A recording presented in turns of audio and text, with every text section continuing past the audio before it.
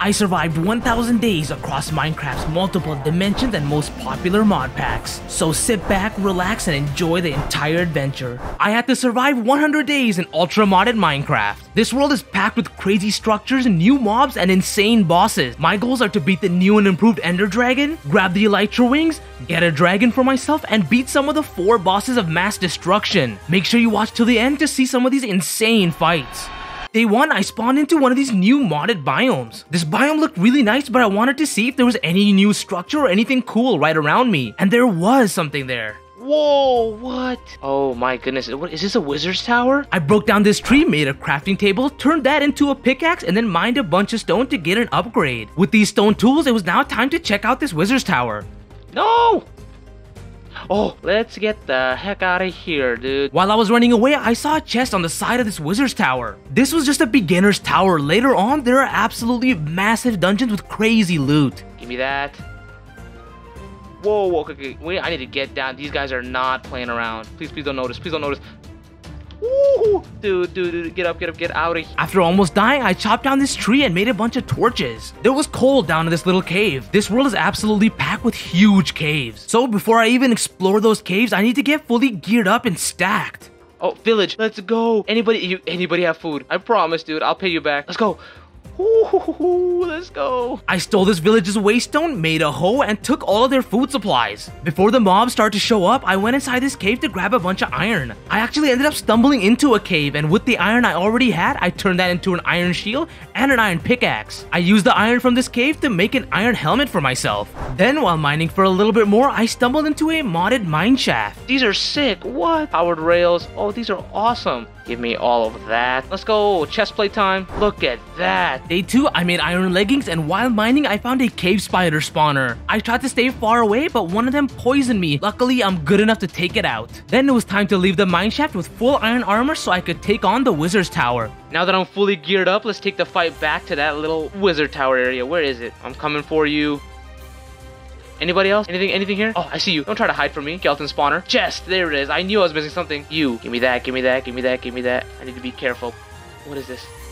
Whoa! Oh my god. These pillagers had captured the iron golem. I stayed in the bottom floor chopping down these pillagers until it was safe enough to break the spawner and free the golem. The top floor was filled with witches. This one got trapped in cobwebs, but once I got to the top floor, these guys were way too much for me to take, so I jumped. I tried to take on this wizard's tower one more time by surprise, but these skeletons and witches absolutely ruined me. Dude, screw that place. Oh my goodness. Is my armor okay? We're leaving this village in the morning.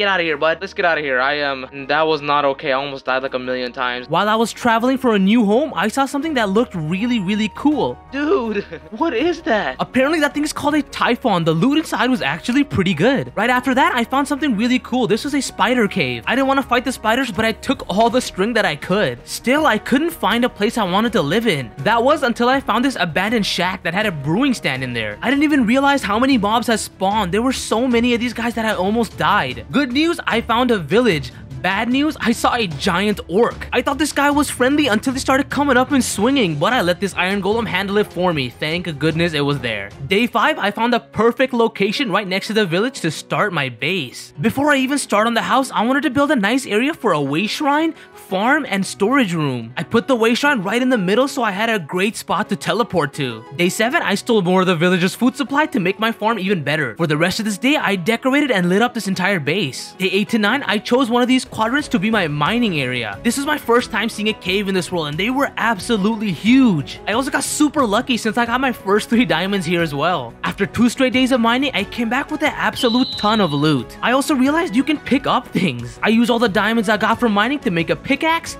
axe, sword, and a chest plate. I was finally getting a little stronger. The rest of day 10, I spent building a nice little storage area. Day 11, I organized all of my chests and swapped out all these oak logs with deep slate tile stairs to make the entire area look a little nicer. Day 12, I planted my sugarcane and went traveling for thousands of blocks to see if I could find anything cool. And I did. These were huge pirate ships filled with skeletons. One of these guys even rode a dolphin. I built up to get a better look, but I realized I was completely outmatched. On the way back, I saw another wizard's tower, but this one was booby trapped. After I waited for one side to blow up, I thought it was safe to go in, but it obviously wasn't. I took down these witches on the floor above, broke their spawner, and even took all these books that they had in here. The next floor was guarded by pillagers. I easily took them down, broke their spawner, and my reward was 4 diamonds and a bunch of enchantment books. I wanted to keep adventuring, so I jumped down and I found this really scary area. This sign was even saying danger, turn back. That made me want to go inside even more. At first, this place was only filled with skeletons and zombies, which were really easy, but then I saw wither skeletons. After finally taking out the wither skeletons, I got myself a wither skeleton skull as a reward. When I looked up, I saw something that was leading me to a certain direction, so I followed it. I think this was a soul star. It came into my inventory and I followed it for thousands of blocks. I thought this thing would slow down, but it didn't. I had to travel for so long.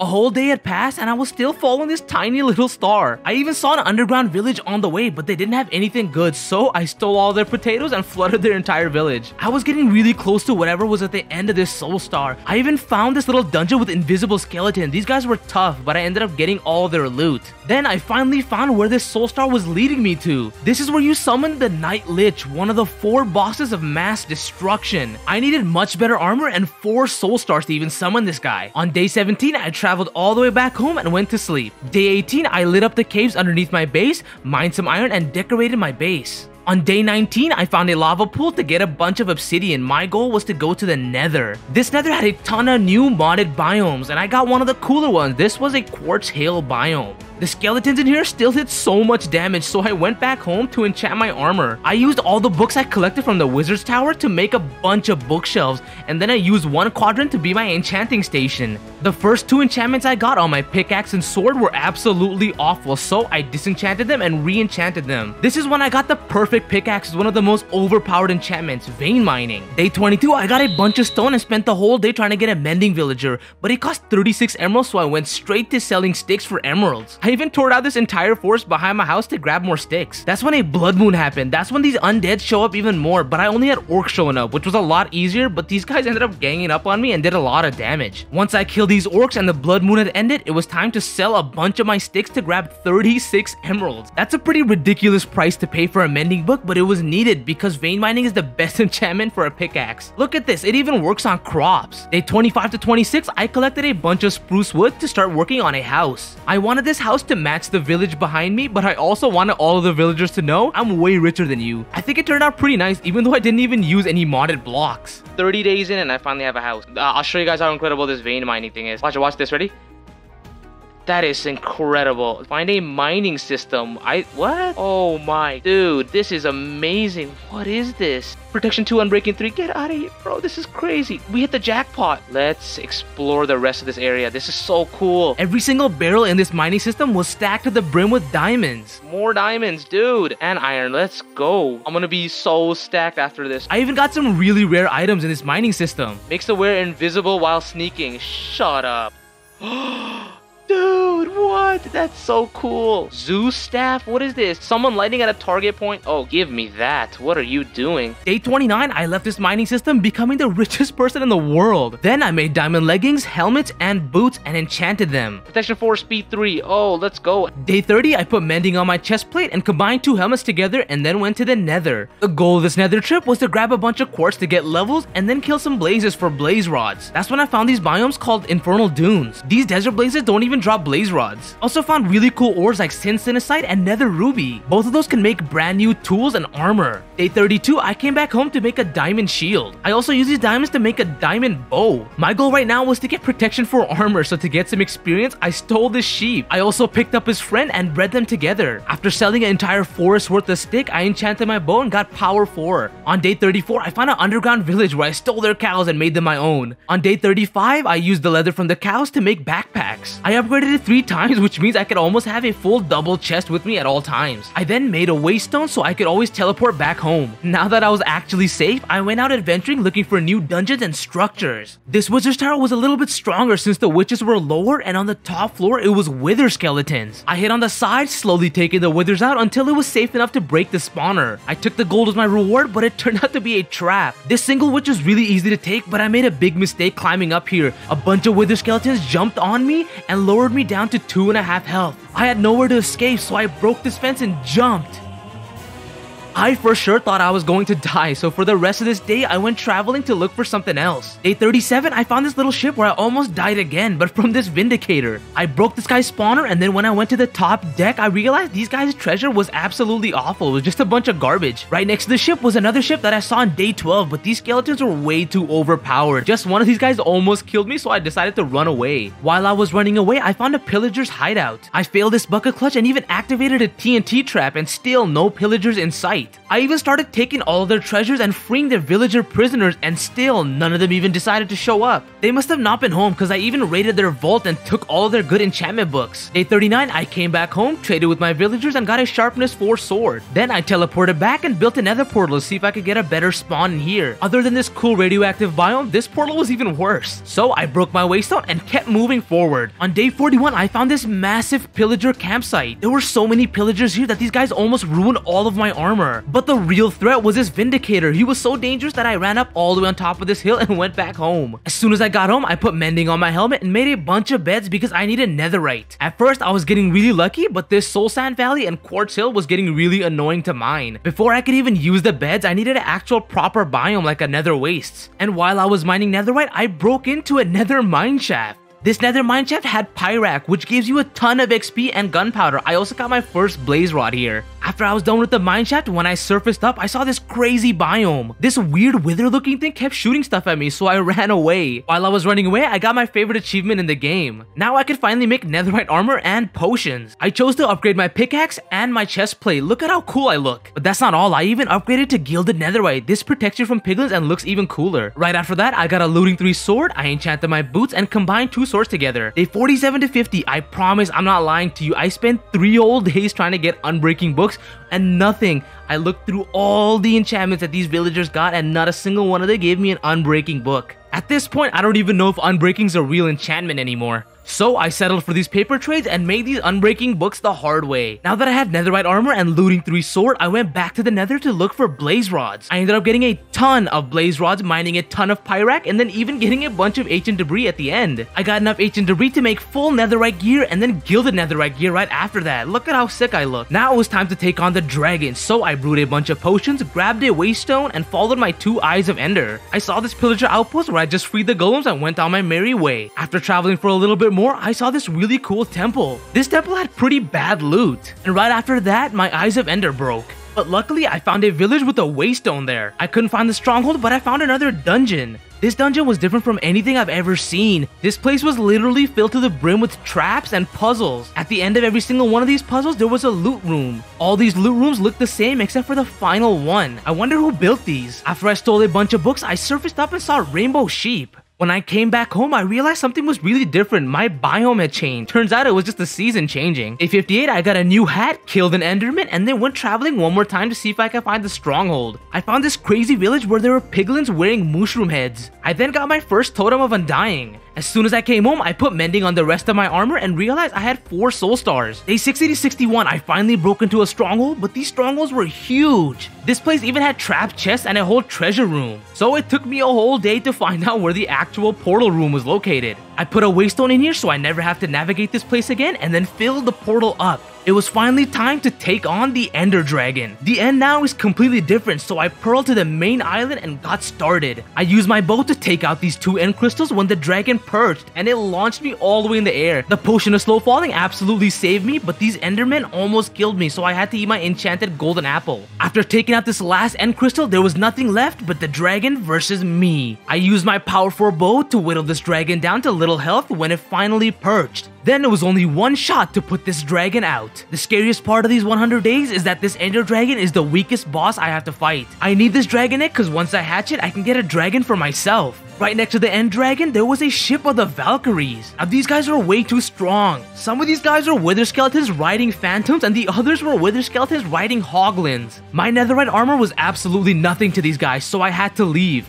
I took the end gateway to one of the nicest looking biomes I've ever seen in my life. These things were called Aurora Crystals and they were needed to make some of the strongest armor in the game. While I was traversing the end, I saw this giant structure. This place is used to summon Obsidiolith, one of the four bosses of mass destruction. I'm gonna come back and take him on later. A 63 to 65, I found an end city in one of the coolest biomes ever, but this place had hundreds of shulkers and not even an end ship. It took me another thousand blocks and three whole days to finally get an end ship. But it all pays off since these Elytra Wings already come with Unbreaking 3 and Mending. And on day 70, I spawned back at the first village I saw and showed them all everything that I got. Day 71, I moved my enchantment table into the house. I also moved my brewing stand and a furnace room in there too. Then I built an area specifically for the dragon egg that I was going to hatch later on. Day 73, I made a bunch of fireworks and golden carrots. I did this because to hatch the dragon egg, I needed to defeat a boss first. This boss only shows up in the end and you need to do a ritual to even summon it. So I placed my dragon egg on top of this obsidian altar and waited as these end rods started glowing. As the ritual finished, a boss called the Eye showed up. This guy shoots a bunch of lasers and even summons little versions of itself. I used these obsidian pillars as cover and started shooting my bow into the middle of the eye. These guys didn't do a lot of damage so I was very surprised. There has to be a bigger boss right after this. And right after it exploded, I realized there was. My egg was taken into the void dimension by this thing called a void shadow. Before I even tried to challenge this guy, I wanted to beat some of the bosses of mass destruction first. The first boss that came into my mind was the Night Lich, so I upgraded my bow and traveled for thousands of blocks back to its summoning place. I waited till the morning and put the remaining three soul stars into the three altars left. Just like that, it turned to night and this monstrosity started shooting projectiles at me. This was the Night Lich, one of the four bosses of mass destruction. With only one projectile, it almost killed me. The best choice I made was getting the Elytra Wings since I could take the fight straight to the Night Lich. This fight was going way too easy since I just started slicing the Night Lich in the air. This bow even knocked it down to the next level. After this critical hit, I felt invincible, but that all changed with one hit from the Night Lich. That one hit popped both my totems, so I made sure to never go on the ground ever again. Even though I kept the fight in the air, one more hit from this Void Totem almost killed me.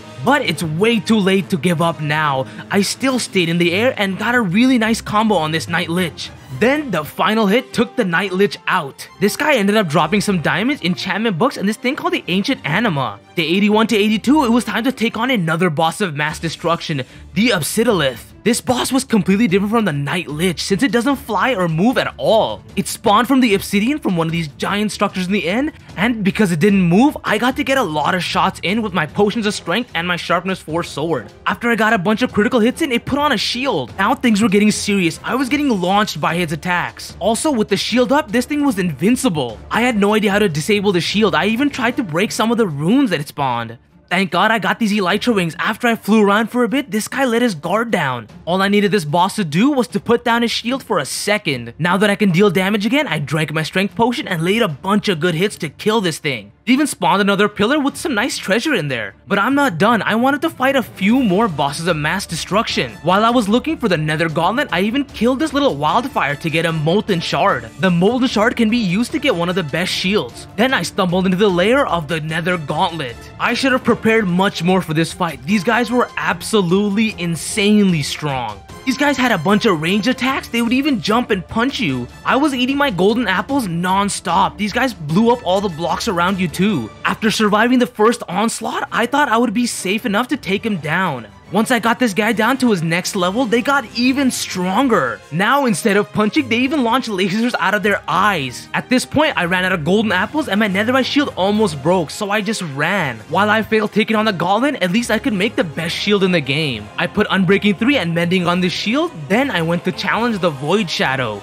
As soon as I entered this void dimension, the void shadow sent a bunch of mobs to come and fight me. I had no idea how to even do damage to the void shadow and this void fragment almost killed me. But it all changed when I accidentally reflected this bullet into the void fragment. That was the first time in a whole day that I did any sort of damage to the void shadow. As soon as I figured that out, I spent the rest of this time trying to hit these void bullets into the void fragments. That's when the Void Shadow's health was low enough to actually challenge me. But my Sharpness Sword and my Strength Potion was way too much. After taking out one more Void Fragment, it was now time to defeat the Void Shadow. And just like that, once the Void Shadow died, it left me my Dragon Egg and a bunch of treasure. So I collected my Dragon Egg and checked what was left for me in the chest. There was something called a Source Stone. Beating the Void Shadow means I was considered a hero. That's the only way to get this dragon egg to hatch. I waited all day for this dragon to hatch. And as soon as it showed up, I fed it all of the orc skin that I had in my inventory. This way the dragon grows up as quick as possible and I can put a saddle on it. And just like that, my dragon had fully grown up. Day 90 to 93, I took this dragon out to explore. That's where I found this absolutely massive temple. So I parked my dragon down below and went to explore this entire place. This tower was absolutely massive. These spiders were way too strong and these wither skeletons were absolutely overpowered. But I've taken on harder bosses than this before. And as two to three days passed, I got on top of this entire temple and looted everything. Then I called it a day and took my dragon back home.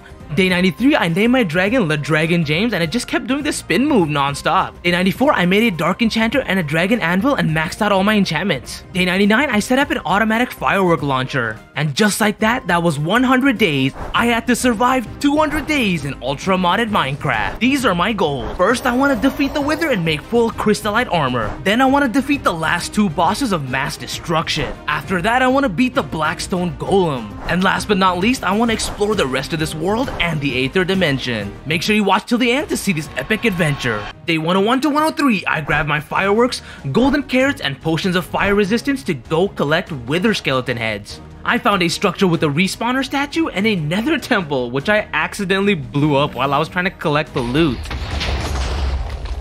For the rest of these days, I killed a ton of withers and this guy called the Wither Necromancer. What? That guy wasn't much of a challenge. And right after that, I managed to kill this thing called the Restless Spirit. And then I finally collected my two Wither Skulls I needed. Day 104, I made potions of health, grabbed some milk, and teleported to an area to fight the Wither. In front of this mountain, I placed my soul sand and summoned the first boss of these 200 days. My power 5 netherite bow did some crazy damage while this guy was flying. The Wither was no match for me. Well, it was no match for me until its health got low and it came down and started doing some serious damage. I had to fly up and then drink my milk. Now that I was healed up, I came down and delivered the final hits to kill the Wither. After that, I picked up the Nether Star and flew over to the pirate ship nearby. I took down the pillagers on board and burned this entire place down.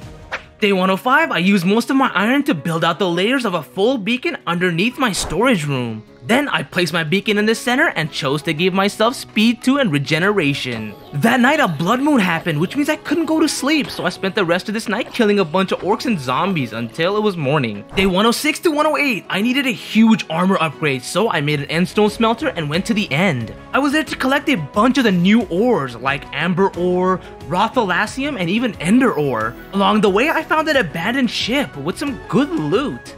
Then I found this crazy looking structure with an elytra wing just hanging around. I then picked this weird looking biome to mine in and got attacked by this thing called a Shadow Walker. I mined for the rest of these days and hit the mother lode of Ender Ore and Raw Thallasium. Day 109, I found an end gateway portal and made my way back home. While I was traveling back home, I found another pirate ship and lit it on fire. I think I spent the whole day watching this thing burn down. So as soon as I got home, I smelted all of my Raw Thallasium and turned my Ender Ore into Ender Dust. Day 110, I used the Ender Dust to make Terminite ingots and turn the ingots into Terminite forged plate. With that, I was able to make full Terminite armor, but that's not even close to being the best armor. I still needed to do the infusion ritual. Day 111, I did the ritual to infuse crystals into my Terminite armor and make crystallite armor. I even infused the Elytra, but it took up a chestplate slot, so I just used the spare Elytra I got from the end. These sets give regeneration, speed, and haste bonuses. Day 112, all the villagers were dying, so I took some of my best ones and put them in this small trading hall. This way I can get mending books way easier. I need them for the enchantment process. Day 113, I started enchanting my crystallite gear. First up was my perfect chestplate, then my leggings, and after that, my boots. I also put mending on each piece of armor and then began maxing out the enchantments on the Dark Enchanter. Next up was the helmet. Day 114 to 116, I completely ran out of XP so I made some more fireworks and went to the nether. I was looking for these things called Pyrac. The only place I knew where to find them was in a nether mineshaft. They give so much XP, I literally got 10 levels in just a few seconds. I mined these guys for the rest of these days until I got up to level 36. I think that'll be enough for the enchantments. I then came back home, put all my gunpowder away, and began enchanting my helmet. I used a dark enchanter to max this bad boy out. A 117 to 119, now that my armor was maxed out, it was time to max out my tools. I wanted to make dragon tools, and to make dragon tools, you need regular netherite tools. I only had gilded netherite stuff. So I spent a few days with vein mining just chopping away at these netherrack. It was actually a lot of fun, I didn't even realize how long I was in the mines. I collected about 12 pieces of ancient debris and made my way back home. Day 120, I smelted my ancient debris, made some netherite ingot, and started making netherite tools. Then I used my dragon scales to make a dragon pickaxe, sword, and a bow. I then disenchanted all of my old gilded netherite gear and used that XP to enchant my new dragon gear. Even though it took all of my experience, I now had some of the best armors and tools in the game. Day 121 to 126, I placed more bookshelves down and went to put this gear to use by taking on some enemies. First up, I found this abandoned building with a skeleton on the door and took out the wither skeleton inside. I then found an abandoned house with some exotic fishes. Next up, I found a pirate ship which I easily manhandled and obliterated it with TNT and fire. Next to that ship was an even bigger pirate ship, but once again, that wasn't even a challenge. I easily took out the skeleton and burned this ship down. I had enough fun, it was time to go back home and prepare for an actual boss.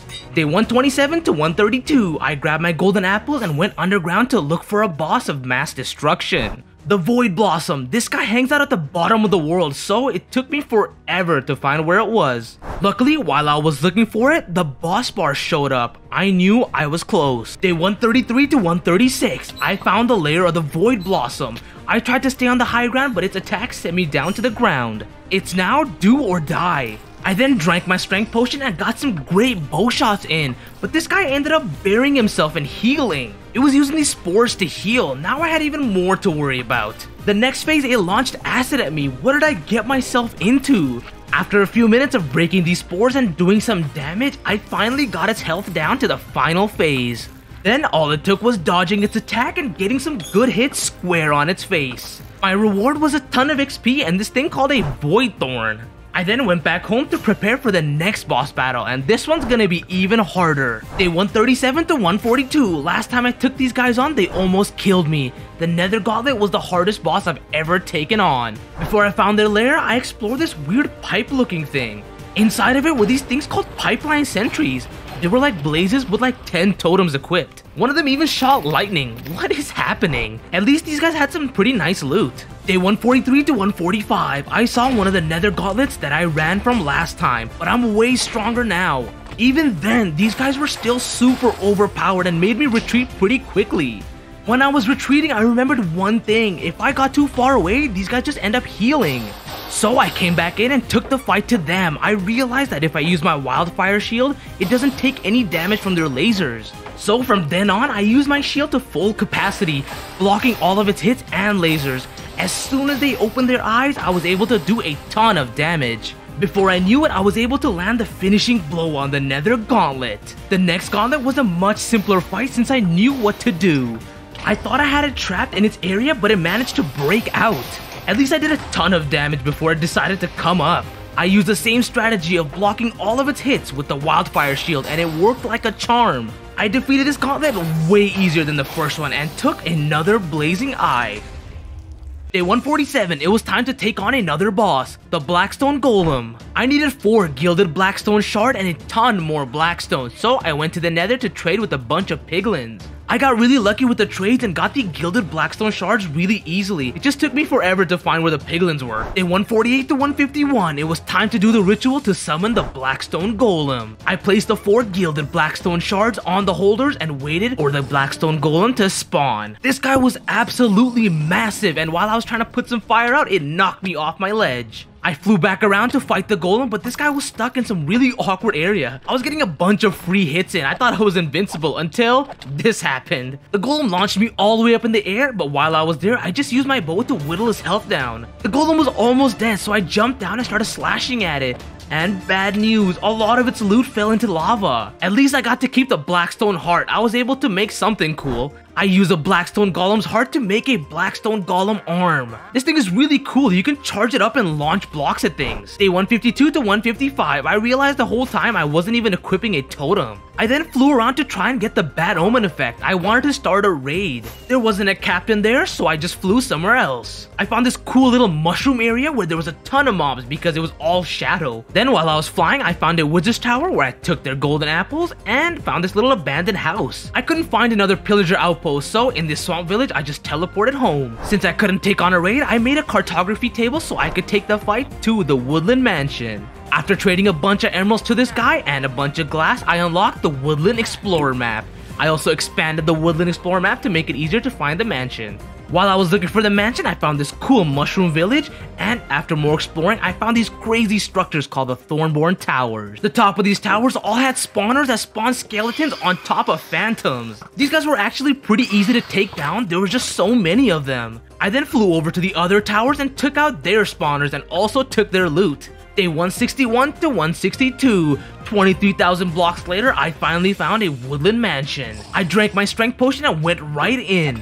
I easily took out this first Vindicator, I took their pumpkins, and then killed more of these guys. Things were going a little too well, I was feeling invincible. That all changed when I moved over to the other side of the mansion. I got trapped in a room with three Vindicators and these guys kept disabling my shield. My health was dropping really fast, so I had to keep running. I kept my distance and used my bow to take these guys out. And just like that, I'd taken down the first floor. For some reason, the second floor only had like one Vindicator. I then made my way up to the final floor to take this entire woodland mansion down. I took apart my first evoker in this mansion and swapped the void totem for a regular totem. Then I killed the last few remaining mobs in the woodland mansion. Luckily, there was a village right next to the woodland mansion that I used to teleport back home. Day 163 to 166, I wanted to see what a jungle fortress was. I then chopped down these trees and finally these pillagers showed up. Now I think I might be the most unlucky person alive. He died by the fire so I didn't get the bad omen effect. I was so mad. I then turned all the wood into sticks and got a ton of emeralds selling those sticks. And I bred these villagers. This village was pretty empty so I wanted to kind of fill it out before I took on a raid around here. I even built some defenses up. Hopefully 3 iron golem will be enough to defend this village, otherwise I'm screwed. And to end these days off, I made an automatic composter for a bunch of seeds that I had. Day 167 to 70, now that a bunch of stuff at home was taken care of, it was time to find this jungle fortress. I found another one of these weird mushroom structures, but this one was packed to the brim with these mushroom brutes. There was even more on the floor underneath. I broke these guys' spawner and all of them started coming after me. Killing them was actually really easy since they just line up in front of you, but they all splash potions of nausea at you. Then I went right back to looking for the jungle fortress. Thankfully, there was another pillager outpost and these guys actually had a captain, so I got the bad omen effect. Day 170 to 173, I followed the map all the way to this jungle fortress. This place was really weird, it was filled to the brim with drowns. It seemed like these guys would never stop spawning. I tried to turn the corner, but I was ambushed by hundreds of drowns. Even with the best armor, these drowns are doing a ton of damage. Thank god I had golden apples at the ready. I then broke away from the hordes of zombies and stayed on the outside shooting my bow. Once I cleared the path from all the drowns, I explored the rest of this jungle fortress. This place was cool, but it had some awful loot, so after exploring a little bit more, I decided to just get out of here. While I was coming back home, I saw this underground village. That's when I realized I still had the bad omen effect. I flew back up to the surface and defended this village from the raid. It's only been two waves, but this raid was really easy. I took out all these guys and one of these guys ended up dropping a horn. I had no idea what this horn did, so I just blew it. Turns out it actually ends up calling off the raid, so all the pillagers went back home and I flew back to my home. Day 174 to 175, I came back to my village and also blew the horn. That ended up calling a bunch of pillagers and I was able to start a raid. The first two waves of this raid was easily handled by the three iron golem, but once wave 3 came around, all of my golems were about to die. This is when the ravagers started coming in. I then finished this wave by taking down the last remaining witch. The next wave was somehow even easier since there was no ravagers there yet. I easily took out these random walking pillagers and then got ready for the next wave. This is when things were getting serious. More Ravengers started coming in as well as a bunch of Vindicators. This raid had already killed all of my Iron Golem and most of my villagers, so I had to put it to an end. I used the high ground as an advantage and took out all the rest of the pillagers. I then made a plan to take out the Ravagers first, then all the ranged guys. But since my village had no other defenders, all these guys were focused on me. I was basically just training these Ravengers all the way around until I could get a good shot on them. After I took out the riders, I flew over to eat my golden apple. My health was getting kinda low. Then it was time to go back in and defeat the bulk of the raid. I made sure to follow the plan and take out the heavy hitters first. Once the Ravagers were dead, it was smooth sailing from now on. This was the last wave, so I had to make sure to not die, but these guys ended up doing not enough damage at all. The last two people left was this witch and this evoker, and once I took these guys out, I earned the title as the hero of the village. Day 176 to 180, I brought a farmer villager over to help repopulate the village. I then went to the nether one more time for another goal. I needed to kill a ton of piglins and grab a bunch of gold. I did this because I wanted a huge moth to spawn, a piglin beast. I don't even know how much piglins I actually killed. I spent a bunch of days just absolutely demolishing these piglins. I even found a piglin outpost where I took out every single person plus the captain. I guess the piglin beast just didn't want any smoke. While I was traveling, I found this cool dome looking thing. So I made my way inside and checked out what this book said. Even if some of the words were scrambled, I could make out the words Nether Star so I knew what my goal was. Because I'm really curious, I wanted to see what would happen if you actually gave this place a nether star. So I made my way to a nether fortress and killed a ton of withers for the rest of these days.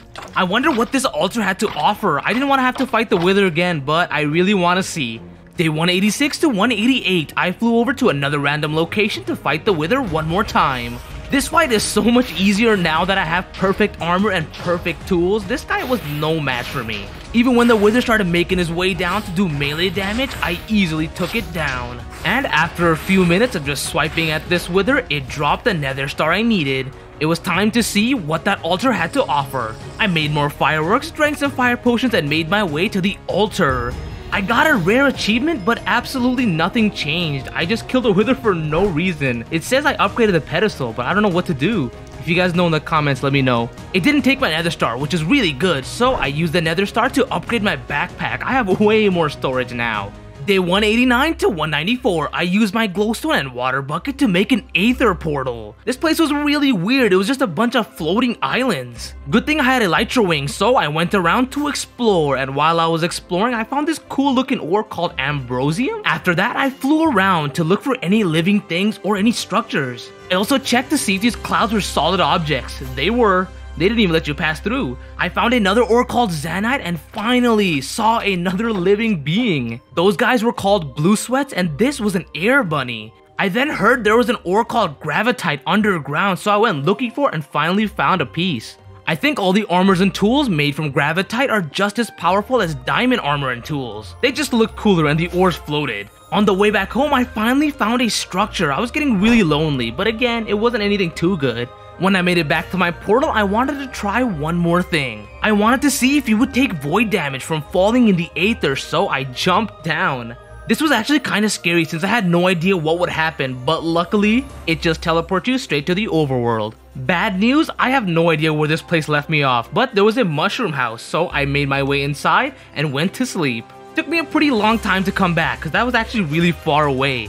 But I had a ton of good stuff I grabbed from the Aether, so I used the Gravitite to make a Gravitite axe, shovel, and a Gravitite hoe. They looked a lot better, so I made sure to also fully enchant them. Day 197 to 199, I used all of my quartz to make a sign celebrating 200 days survived. I know it looks like zoo, but I tried my best. Just like that, I'd survived 200 days. I had to survive 300 days in ultra modded Minecraft. My goals are to craft full dragon scale armor, fully upgrade a beacon with 3 beacon lenses, and fight the strongest boss in the game, the Hovering Inferno. Make sure you watch till the end to see the epic boss fight. Day 201, I grabbed a bunch of ghast tears, then went to collect some sand for a glass and turn my blaze rod into blaze powder. I needed to kill the ender dragon a bunch of times for dragon scales, so I collected a bunch of ender pearls and made summoning crystals. As I was summoning the dragon, this crystal almost killed me. I then drank my potions of slow falling and began taking out all of the crystals once again. I was able to do a ton of damage to the ender dragon in the air and while it was perched. And on day 202, I was able to take out the ender dragon in the air. My reward was about 5 dragon scales. Before I took on another dragon, I flew over to the ship right next to the End Island. This ship had some of the strongest mobs I ever faced, especially in the first 100 days. I got a rare advancement for picking up Protection 5 boots and went to the bottom floor of the ship. I took out these crazy strong husks, so hopefully their loot was actually pretty good. In the chest there were a ton of gold, diamonds, potions, and a bunch of food. After collecting everything, I went back to the island to summon another dragon. I took out the summoning crystals one more time, and once it perched, this dragon launched me all the way into the air. As I was falling down, I was able to take this dragon out with my bow and summon another dragon. This is where things started to go wrong. I was getting a little too cocky. This dragon was super low, so when I went to perch down, it hit me and blew up everything. Luckily, I had my totems and golden apples, so I stayed up in the air taking this dragon out. Even though I almost died, I got what I needed, a ton of dragon scales and a few levels. Well, it turned out to be only 10 dragon scales, but that was enough to make full dragon scale armor, but I needed to make netherite armor first. After making regular netherite gear one more time, I used my dragon scale to make full dragon scale armor. I used almost all of my levels to make sure I got the perfect enchantment on this dragon scale armor. I then disenchanted all of my old armor and put him on an armor stand. After a few days of enchanting all of my gear, I finally had fully enchanted dragon scale armor. The rest of day 205, I went fishing to grab some puffer fish I wanted to make potions of water breathing. Day 206 to 208, I took my waystone and flew over with my potions of water breathing to grab some tridents. While I was looking for tridents, I found this undead ship where I sprinkled this entire area with their own TNT and blew this place up. I then went underwater and killed a ton of drowns to grab a trident for myself. This looting 3 sword was really useful. Right next to where the trident was, there was an ocean temple, which I then broke into and took the loot. This ocean temple had some terrible loot, just 3 diamonds, so I made my way back home to turn this regular trident into a dragon trident. Day 209 to day 214. For these 5 days, I chopped down all the trees near my base to make a bunch of sticks. After that, I took my potions of fire resistance and went to the nether to collect 15 wither skeleton skulls. This way, I could complete one of my main goals, which was to upgrade a beacon with 3 beacon lenses. Those things give you some crazy OP effects. After the nether trip, I then went back home and brewed a bunch of potions to take on 5 withers at once. Day 215, I found a spot to summon all 5 withers at once. While I was placing all of these heads, I messed up on one of these wither skeletons, and guess what happened? One of the withers blew up and took out three of my skeleton heads. I didn't have any time to complain though, so I flew up and tried to focus all of my effort on one wither. I stayed back firing my bow until one of these guys aggroed at me. Thank god for my power 5 dragon bow, I was able to easily take this wither down to its melee stage. Now that the wither was down here with me, it was super easy to take it down with my sharpness 5 sword. I then picked up one of my 4 nether stars and flew over to challenge another wither. Turns out I angered 2 wither at once, so I had to retreat real quick. Luckily, I lowered one of the wither skeleton's health all the way down to melee level. And then with the strength 2 effect, I was easily able to take out the second wither. Then I immediately focused my effort on the next wither. This one was even easier to get down to melee range. Just like the last two, as soon as it got down to melee range, it was super easy to take out. The final wither was hiding in this cave, so I hit it and it flew all the way back out. I was getting a little too good at killing withers, so this one was just a piece of cake and I picked up the last nether star I needed.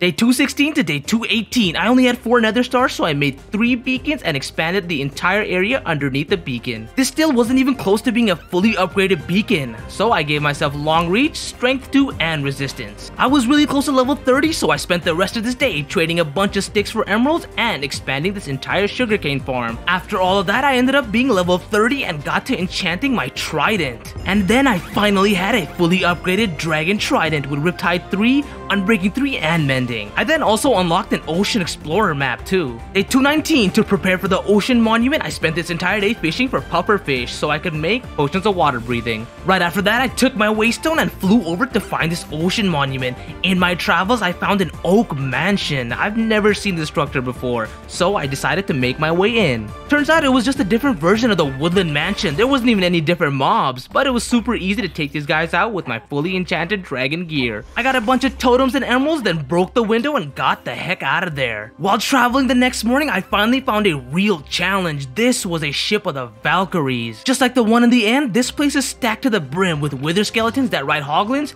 and other wither skeletons that ride phantoms. The only reason you'd even set foot in this crazy structure is for the insane loot. Every single one of these chests was filled to the brim with diamonds and a bunch of potions. One of these rooms even had chests filled with ancient debris. I then took out the rest of these mobs and then made my way over to destroy the final spawner. Right as I was flying, there was another structure that I've never seen before, the Colosseum. I wonder what kind of bosses would be right in the center of this place. The spawner right in the middle ended up spawning a giant phantom with a zombie or a skeleton riding on top of it. Oh, it was a zombie. It was a zombie with diamond armor, but the phantom was really easy to take out and I broke the spawner. I then saw another giant structure, the Thornborn Towers. These huge structures are filled to the brim with so much treasure. I have no idea why they all decided to spawn right next to each other. This place is gigantic. Last time I only stayed on the top floor, but each one of these towers had their own individual rooms. Luckily, these guys weren't wither skeletons, but just regular skeletons. They were still really tough to take out. I then grabbed a bunch of loot and then made my way out of here.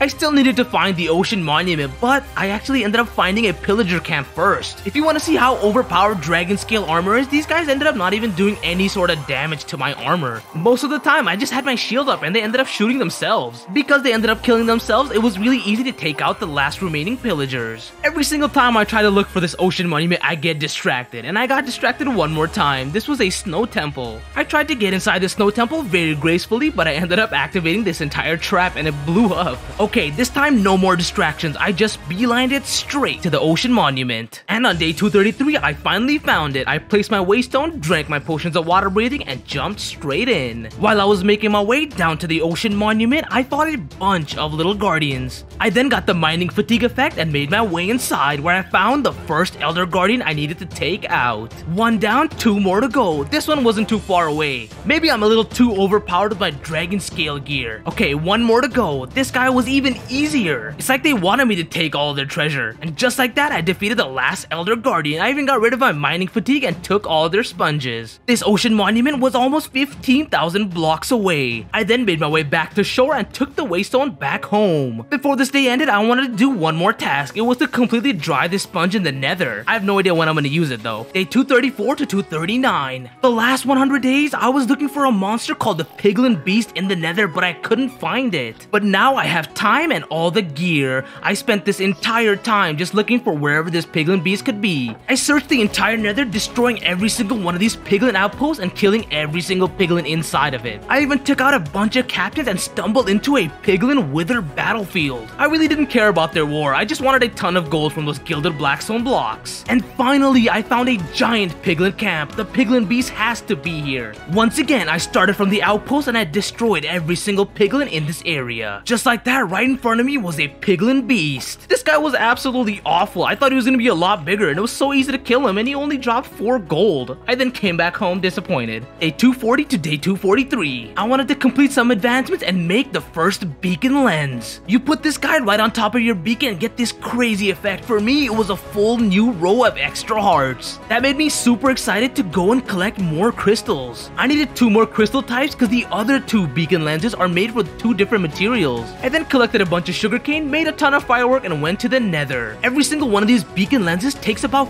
4 netherite ingot. So I spent this entire time in the nether mining for a bunch of ancient debris. I think I needed around 28 ancient debris to be able to make 8 netherite ingot and fully max out the beacon. Took a little bit, but I collected the last few ancient debris I needed and made my way back home. Day 248, while my ancient debris was smelting, I decided to complete a few more advancements. It was something about these weird little pedestals. Then I was able to finally make the last two pieces of the beacon lenses.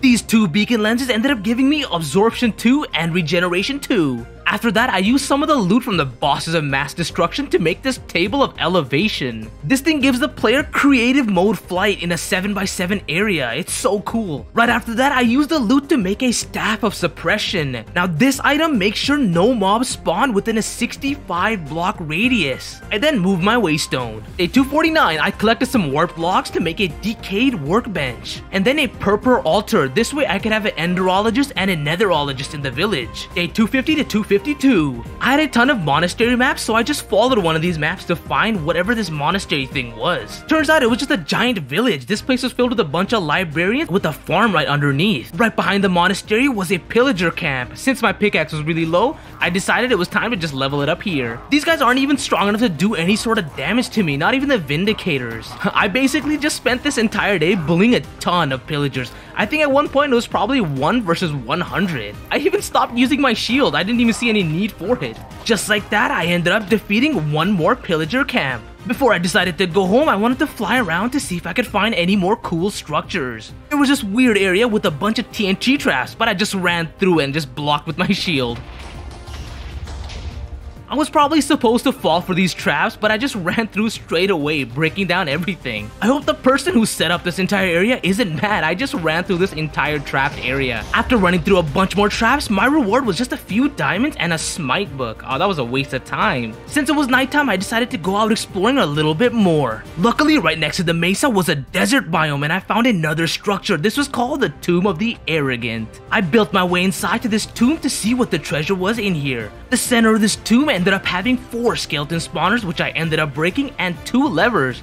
I stupidly pressed both. This ended up blowing up the front of the tomb. I ended up picking up the gold blocks and went upstairs to check this chest. I had enough of traveling, so I went right back home. I had one thing I needed to do really bad, and that was to finally fully upgrade my backpack. Took a full dragon's head, but I think the storage is more than like 2 or 3 double chests. Day 256 to day 258. I made a bunch of night vision potions and went scouring around the ocean to look for an amethyst geode. I think it's just this mod pack, but these amethyst geodes are super rare. It took me forever to find one. Because I didn't really want to come back, I ended up taking almost every single block in here except for the budding amethyst blocks. With all of that, it was finally time to go home. I just needed the amethyst crystals. This trip was so I could make this cool necklace of illumination. Hopefully it wasn't just a waste of time. These amethyst crystals take forever to get, but as soon as I put this necklace on, I realized it didn't do anything. I just wasted a bunch of time. Day 260 to 265, I did a bunch of research to figure out what the altar from the last 100 days was made for. If you throw the nether star at this altar, it summons the hovering inferno. This was a huge mistake. I thought this was just a regular boss, not one of the strongest bosses I would ever face. Luckily for me, I had potions of fire resistance and a totem, so I could at least not die immediately. The Hovering Inferno's movesets were insane. It was non-stop attacks. I used my bow to keep a distance and finally be able to do some sort of damage to this guy. But there were so many problems, I couldn't even see where this guy was. That's when the Hovering Inferno launched itself at me and exploded. My sword ended up doing no damage because this thing also has shields around it. After a few minutes of fighting, I decided to eat my golden apple and attack the Hovering Inferno in the center. Even with my strength potion, I couldn't even get any sort of good damage on this guy. I should have done way more research. This guy was not only destroying the entire battlefield, but he was almost ruining my armor too. When the Hovering Inferno's health was halved, it even started summoning Evoker Fangs right underneath me. I then came back to the middle to do more damage to the Inferno with my sword. That's when another new move appeared. Now the Inferno was launching Shulker Blasts. Luckily for me, this guy ended up being trapped right behind me, so with my bow, I was able to do a ton of damage. But I was quickly running out of golden apples, so I had to be really careful every single time I attacked this thing head on. The entire battlefield was being filled with all the Inferno's projectiles. This might be my last stand.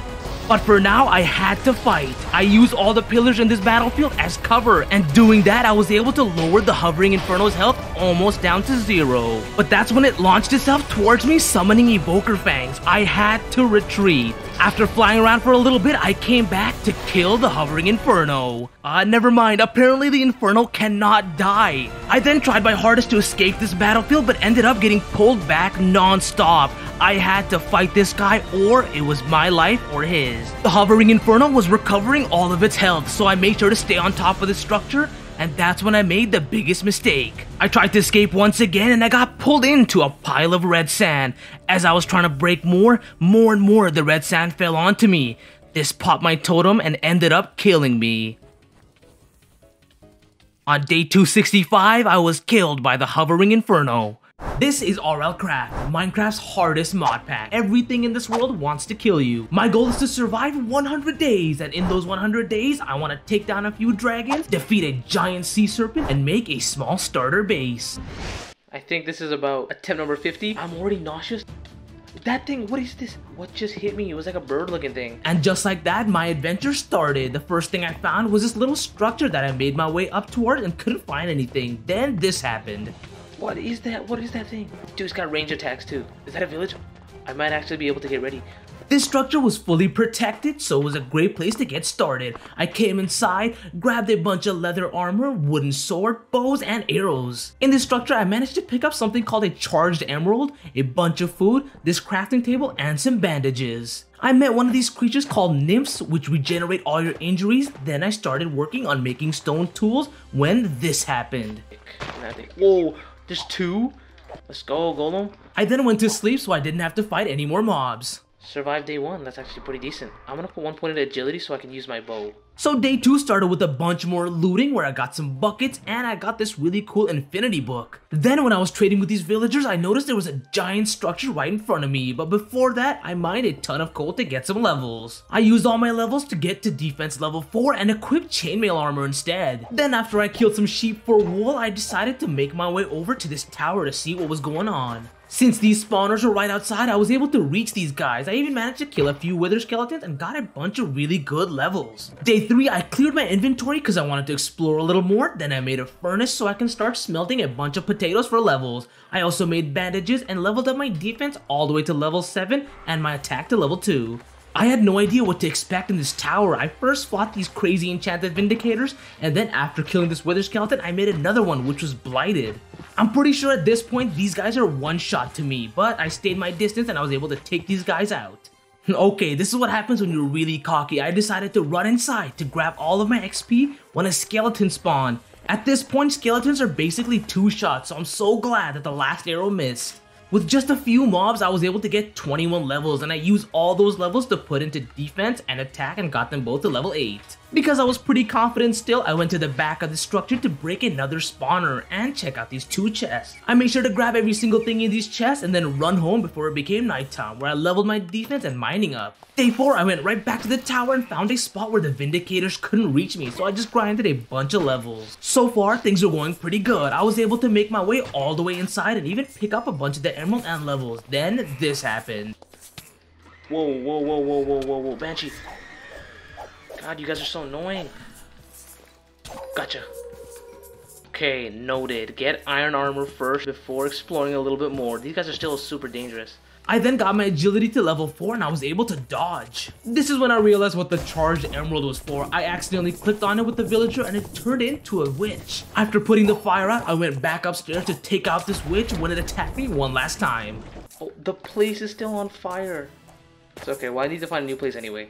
While the village was burning down, I made sure to grab a bunch of my stuff and just decided to go away. But I realized now that I forgot my infinity book. I stumbled on towards this battle tower and when I was breaking these spawners, I got attacked by two reapers. If that wasn't bad enough, one of these guys were blighted, so I spent the rest of this time just running away until I got away from them. Then I went right back to this battle tower to see if I could get some quick XP, but when I went inside to collect my loot, I got hit all the way down to the next floor. At this point, I thought I was completely dead, but I managed to box myself in and slowly dig out behind me. Since it was pitch dark, I had to be really quick, otherwise it said something was gonna eat me. Day 6 to day 7, after I fully healed, it was time to get out of there, but along the way I got attacked by this gigantic worm.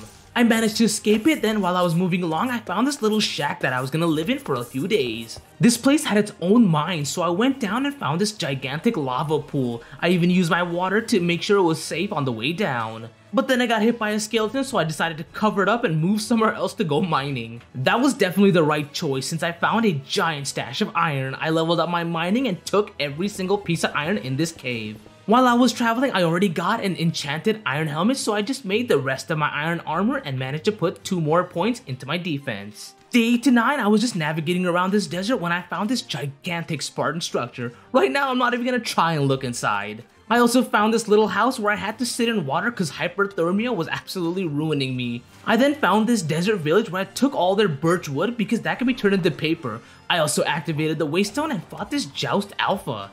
Right after that, I turned the birch wood into paper, then made some lockpicks to check out this blacksmith chest. This chest was actually really nice. I managed to get my first diamond and a bunch of obsidian. Right after that, I found another chest with even more diamonds. This village also had this underground battle tower where I just got a bunch of quick levels, then I made my way back up to this tower to grab some more arrows. Day 10, this is when things are about to get serious. I watched a bunch of videos on how to survive and the first thing I made was an iron spear. Then I went out looking for a plains biome. The first plains biome I found was conquered by a dragon, so I had to be really careful. I entered this giant structure to grab an enchanted golden apple and a regular golden apple, and then I noticed the dragon. Since this guy was stuck on the doorway, I was able to get some few hits in with my bow, but once it spawned cinders, it was time to get out of there.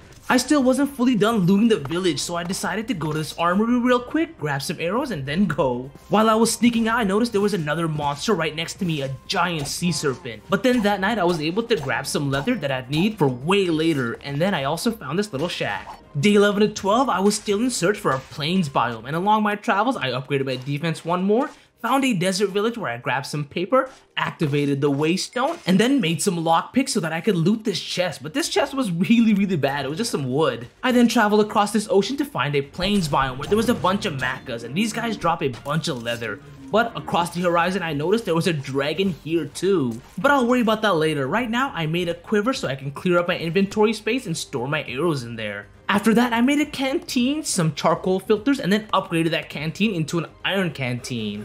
I then made a sleeping bag and then on day 13 I was able to make a tool belt which this thing actually gave me an extra heart. Then I went around searching this area where I found another one of those gigantic towers. I began by breaking these spawners to grab a bunch of XP and then I found the Vindicator area again but this area was a lot hotter so I had to place water down and just hit him from below. Managed to kill a bunch of Vindicators and grab some really good XP but then a blood moon happened. I had to grab whatever I could and get back home before the, all the mobs started spawning. But I was way too late. I had to eat my enchanted golden apple because there were so many mobs and I had no idea if something was gonna grab me. Luckily, I made it home and I was able to box myself in. The rest of the night, I just made little holes that I was able to use to fight some of these mobs and grab some XP. There were so many mobs around me, this was really a terrifying night, but I still managed to get a bunch of XP and get my defense to level 15. Day 14, one of these zombies dropped a backpack, something that I would actually really need, but I had no idea how to equip it, so I accidentally broke it. After messing around, I found out how to equip it, but it turns out it just took my chestplate slot, but I needed my chestplate more than anything. After that, I just grinded a bunch of these Vindicators because I was really close to level 16 on defense, and once I get to level 16, I can actually make a diamond chestplate. After all of that, I managed to get a bunch of XP and level my defense up to 16 and make a diamond chestplate.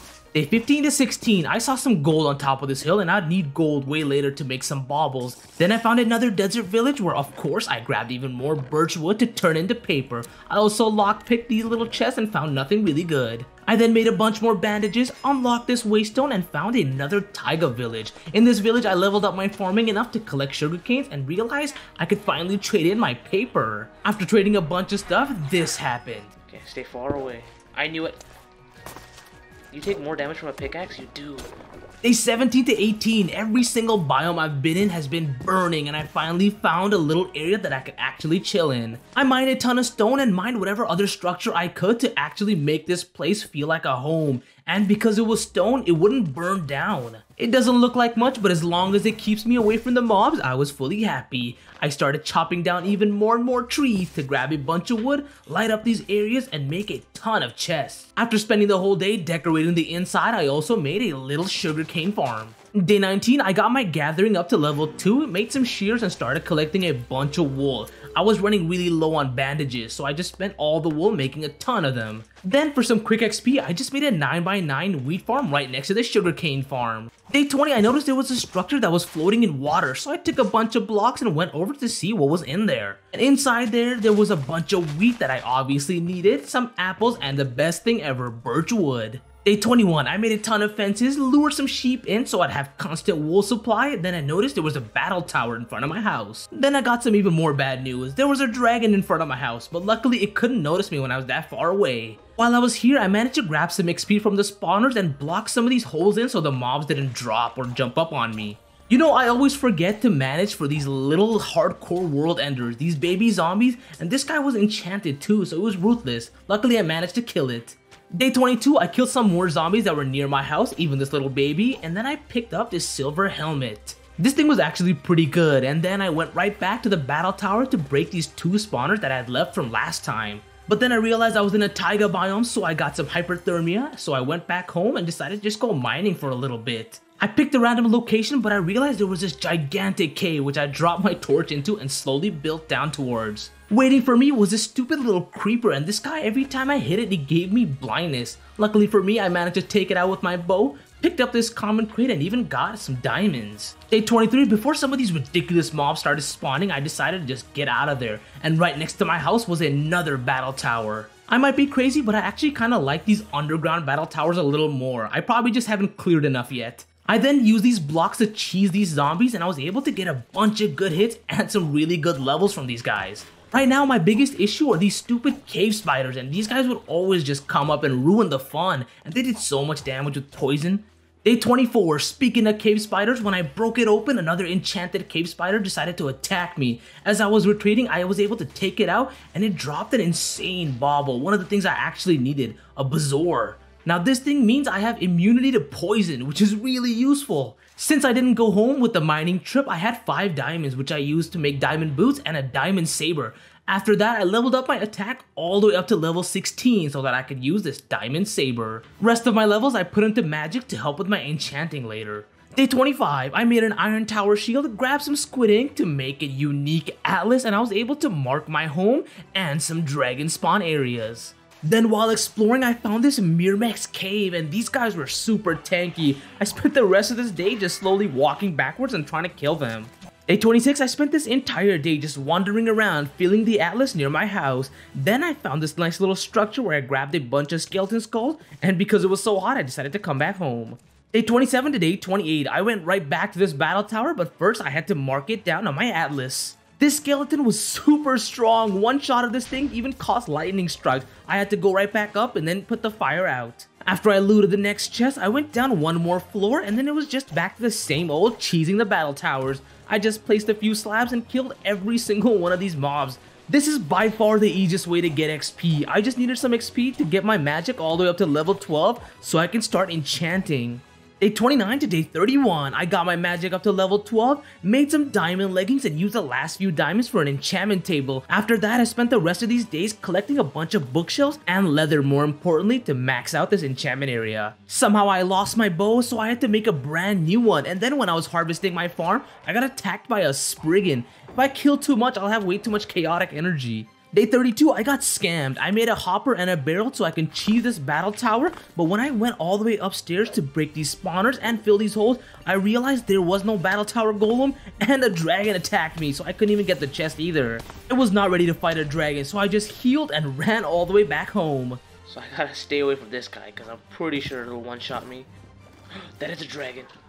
So I'm trapped between two dragons and a sea serpent. This game is ridiculous. I had to be very careful, so I bolted away from the sea serpent and I found this floating house structure. I then went upstairs and took a bunch of arrows from these traps and was able to take out the wither skeletons that were upstairs. These guys weren't too strong and they dropped something I really needed, a bunch of wither bones. Day 34 to day 36, there was another floating structure right next to the house where I grabbed some ender pearls and then I went over to this desert pyramid. But before I could even loot anything, I got attacked by this thing called a sylph and these guys packed a punch, so I had to just get out of there really, really quick. Across the sea, I fought this gigantic leaf monster looking thing, but it was trapped in the tree so I was able to take it out really easily. Then I found this really good pair of boots in this graveyard and I tamed a horse. Then this horse and I adventured for a few more days when we stumbled upon this giant structure that I think was called a kingdom. There's probably so much loot in here that I didn't even explore, but the most important thing were the fishermen and the Fletcher, because they buy a ton of string. Right before I decided to trade with the villagers, I went to check out this big tower, and in this tower were a bunch of blocks of lapis that I would need for later. So you guys are witnessing the biggest market collapse of this villager economy. I collected a ton of white wool, I think up to 4 stacks. Then I turned all that wool into string and just started exploiting these trades with the fishermen.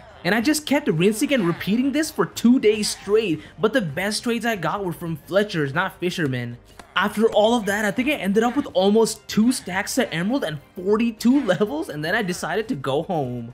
The journey home was pretty scary because I was trying to avoid the giant sea serpent that was in the waters, but as soon as I got home, I was able to make a potion ring. This one gave me some attack speed, so I decided to make some more baubles. First up was this emerald ring. That emerald ring gave me 6% attack damage, and after that, I was able to enchant a bunch of books and get these insane stats on my boots. Day 40 to day 45, I got protection 4 on a new set of chest plates. I then made an emerald necklace which gave me one more heart. Then I went traveling to the village one more time. But this time it was to collect a bunch of strings, not for emeralds, but a ton of arrows. Almost every single villager in this kingdom was basically maxed out, so I had to go to a brand new village to trade a bunch of strings, and it took me a long time to get back home. I then upgraded my quiver so I could store even more arrows, then I started enchanting my saber, which I got lifesteal on, and got these stacked diamond leggings, then this happened.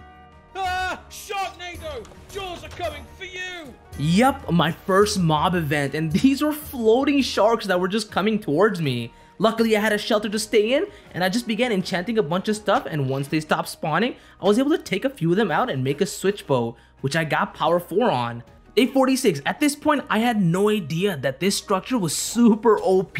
I just thought it was another giant battle tower. I tried to take these guys out, but these mobs did not stop spawning. I mean, there were infinite amounts of these guys, but my life lifesteal kept me alive for the most part, and I was able to just slowly block these mobs off and take them out.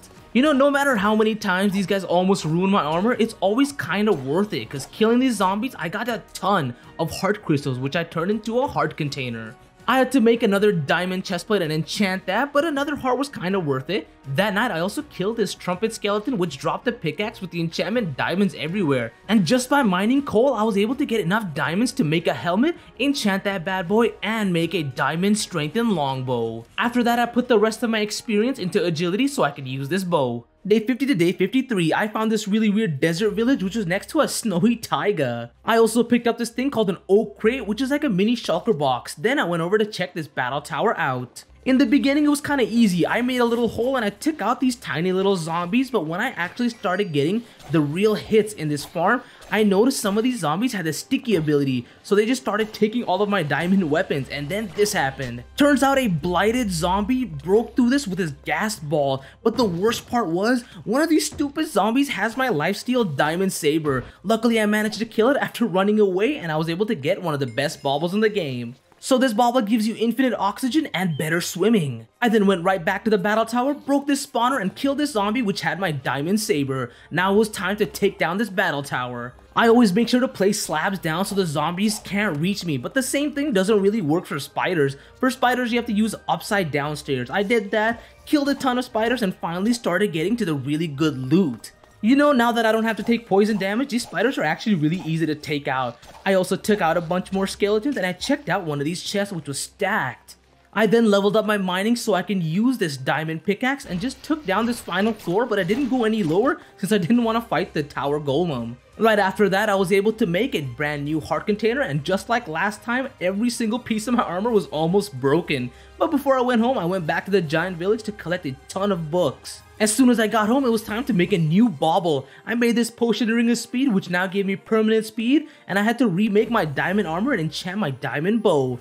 I also made a diamond shield, and then I got a bunch of good enchantments. I actually ended up better than I was. I then went right back to the terrible battle tower in front of my house to grind a bunch of levels, and after that, I was able to get efficiency 4 on my diamond pickaxe and Education 2 on my Diamond Saber. Day 58 to day 62, a lot of things happened. I found out the guys that were poisoning me in the beginning were these things called cockatrices. Then I went right back to the first battle tower I ever saw in this world, and for some reason these guys were really really strong. There were a ton of mobs, even some of these blighted dudes too, but luckily with lifesteal, I was able to take a bunch of these dudes out and make it pretty deep into this battle tower. And of course, after fighting a bunch of these mobs that had the sticky ability, they kept taking my diamond tools and broke all of my diamond armor once again, but I was able to make a brand new heart container and get another heart.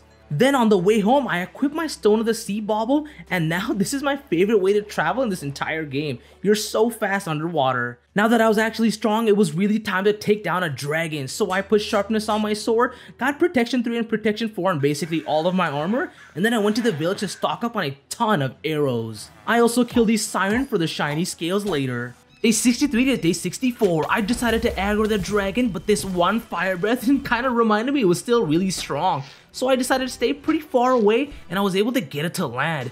As soon as it landed, I equipped my Stone of the Sea bauble and just two more shots and I think this dragon suffocated and my arrow managed to kill this thing. Then it was time to harvest the dragon. I managed to get two bottles of fire dragon blood and collect every single scale and bone this level 3 dragon had. Then I made a dragon scale chestplate and dragon scale leggings. I would need to get to level 24, so I went back down to a battle tower and just started grinding a ton of levels and putting all that XP into my defense. You know, I hope I'm not the only one. Now that I'm a lot stronger, these battle towers are actually really fun to go into. There's so many mobs, you get so much XP and loot, and I was able to get my defense up to level 24 and make another heart container. Day 65 to day 67, so I've been marking a bunch of dragon spots and I went to fight another dragon. This was a green fire dragon and this guy, for some reason, was a lot stronger than the other dragon I fought.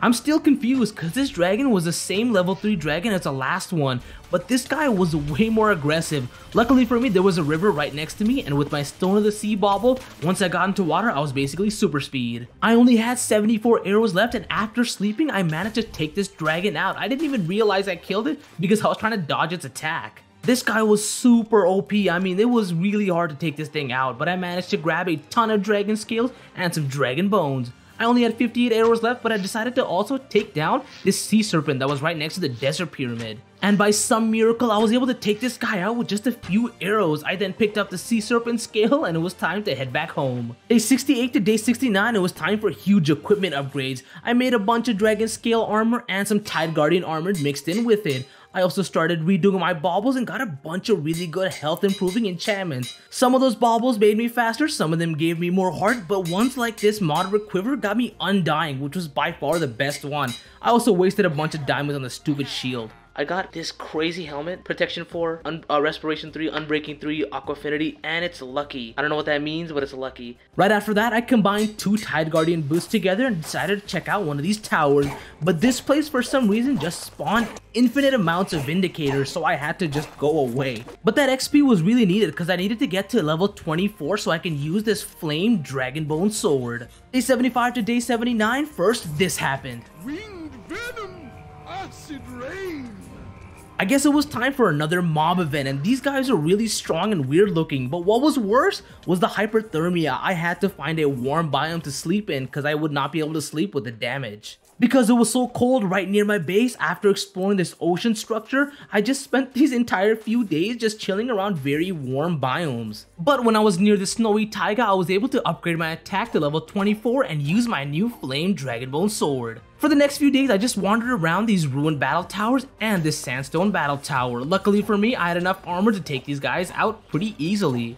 Speaking of armor, it broke again, but like last time, I also had a bunch of heart crystals to make a heart container. I then came back home, combined two dragon bone swords together, and remade my Tide Guardian gear.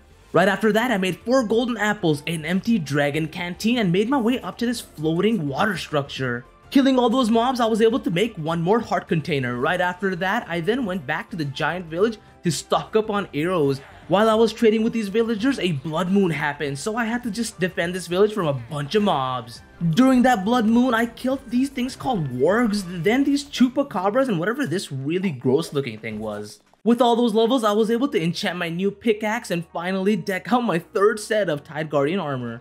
Day 84 to day 85, I got lured in by a bunch of sirens which I managed to kill and pick up the shiny scales, then I took down the Cyclops in its own den. I also managed to take down this Hippogriff and I fought this Blighted Witch who managed to drop a ton of XP. Day 86 to day 88, while looking for librarians, I only found cartographers, but along the way I grabbed some grapes and I even took down like 24 blocks of gold. And as soon as I found a librarian, with my luck, it turned out this guy's trades suck. Later that night, I found a dragon carcass. I harvested everything I could, and in the morning, I realized there was a huge dragon duel happening. I had hypothermia, so I had to just go away real quick. After healing, I went to check out the battlefield when I realized the ice dragon destroyed this fire dragon. Even though the ice dragon got a surprise attack on me, I managed to pick up all the pieces of the fire dragon and take it all the way back home. Then once again, I made some brand new dragon scale armor and I enchanted it with some really good enchantments, especially that strength and vitality one. In 91, while setting up my nether portal, I had this happen. Tsunami! Brave the storm! Yep, it was another mob event, but these guys were all water-based creatures. They were pretty easy to take out. The most annoying thing was they would give you like wait for and paralysis so you couldn't move for a little bit. Once they stopped spawning, I managed to kill so many of them, I got a brand new knowledge rank. They also dropped a bunch of gunpowder and glowstone so they'll be really useful for potions later. Speaking of potions, I went to the nether to collect a bunch of netherwort and bone mushroom spores. I made sure not to stay too far away because the nether is like a big dungeon by itself. Once I came home, I used the bone mushroom spores and the dragon heart to make potions of mending. Day 92 to day 95, I learned what luck does and I just decided to drink my potion and find brand new chunks, but along the way I found another red fire dragon. I managed to do a lot of damage with my bow alone, but as soon as I got to the water, I was able to not take any damage from the dragon's fire breath. Then it was easy to take it out, collect some dragon blood and some dragon scales. I then used all my cooked maka meat to make these things called bulwark burgers. So with these absorption hearts, it was time to take on an underground dungeon. Now this dungeon was really scary. There was like every single type of mobs I could find. A bunch of wargs, hundreds of zombies, and the worst of them all, some spriggans. As you start getting deeper, there was even more and more different looking mobs. A bunch of darklings, those centipods, some more chupacabras, and basically these things called ents which are just walking trees. I then drank my potion of mending, went back upstairs to kill a bunch of makas for maka meat, and then I put 23 levels into my iron skin passive. After that, it was right back to a battle tower where I could upgrade my farming all the way to like level 19. Day 96 to day 98, it was time for the wine production, and oh my god, these things take forever to produce. I also got this Totem of Undying, I think I forgot to show you guys, but I drank one of my wine which was pretty poor quality and I got nausea for like 4 minutes. So with the poor wine, I wasn't really able to use the wine to take on this 4 tower battle tower.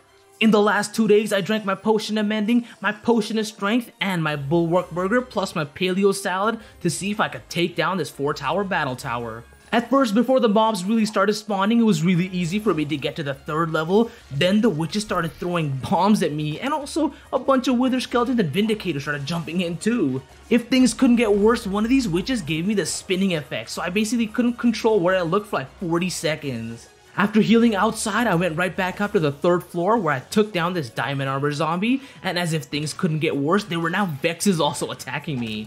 I guess just to make your life harder, they even gave Wither Skeletons diamond axes, so I had to retreat one last time and finish my last few potions. Then this was basically the final straw. One of these blighted reapers gave me fear too and while I was eating my golden apple I got attacked by a wither. So I decided to just call it quits for this battle tower. There's still so much left for me to do in 200 days, but for now it was time to just rest. I had to survive 200 days in RLCraft. This is Minecraft's hardest mod pack. In these 200 days I have three goals. Defeat Rahovort, the Lord of the Underworld. Then defeat Asmodeus, the demonic mastermind. Last but not least I also want to defeat Amalgalich, the devourer of souls.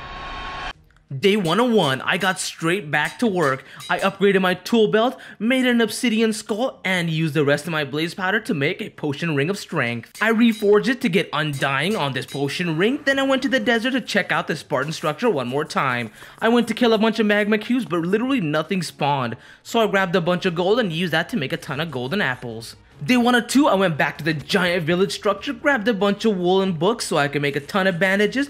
Then as soon as I got home, I used this return scroll to go pretty far away. I was looking for new structures and a bunch of maka meat. On day 103, after exploring and killing a bunch of makas, I found this floating structure, but this place was surrounded by like 6 dragons. I grabbed an enchantment table, a bunch of nether wart, and when I went back outside, there were so many dragons in every direction. I then found a village that was getting burned down by this dragon and this guy was basically unavoidable. So I retreated real quick, grabbed a bunch of food and potions, then I went to take this dragon head on. That obsidian skull makes fighting dragons so much easier, so after I took out some elementals, I went right back to take this guy on one more time. Before I even knew it, I was able to just melee this dragon and take it down with my sword. I didn't even need my bow. I then brought a bunch of glass bottles to collect a bunch of dragon blood and everything else this dragon had. Day 104, turns out there was another dragon in this village. I didn't want to fight it, so I came home, used a bunch of spectral silk to get undying on my obsidian skull and my bezoar. I completely forgot to record the next few parts, but I'll explain to you everything that happened. I took down a battle tower, I got undying on the rest of my baubles, which just required golden leather only to reforge. That battle tower also had an Aussie liner, which I put on my chest plate. I also captured two makas and got a cracked black dragon scale.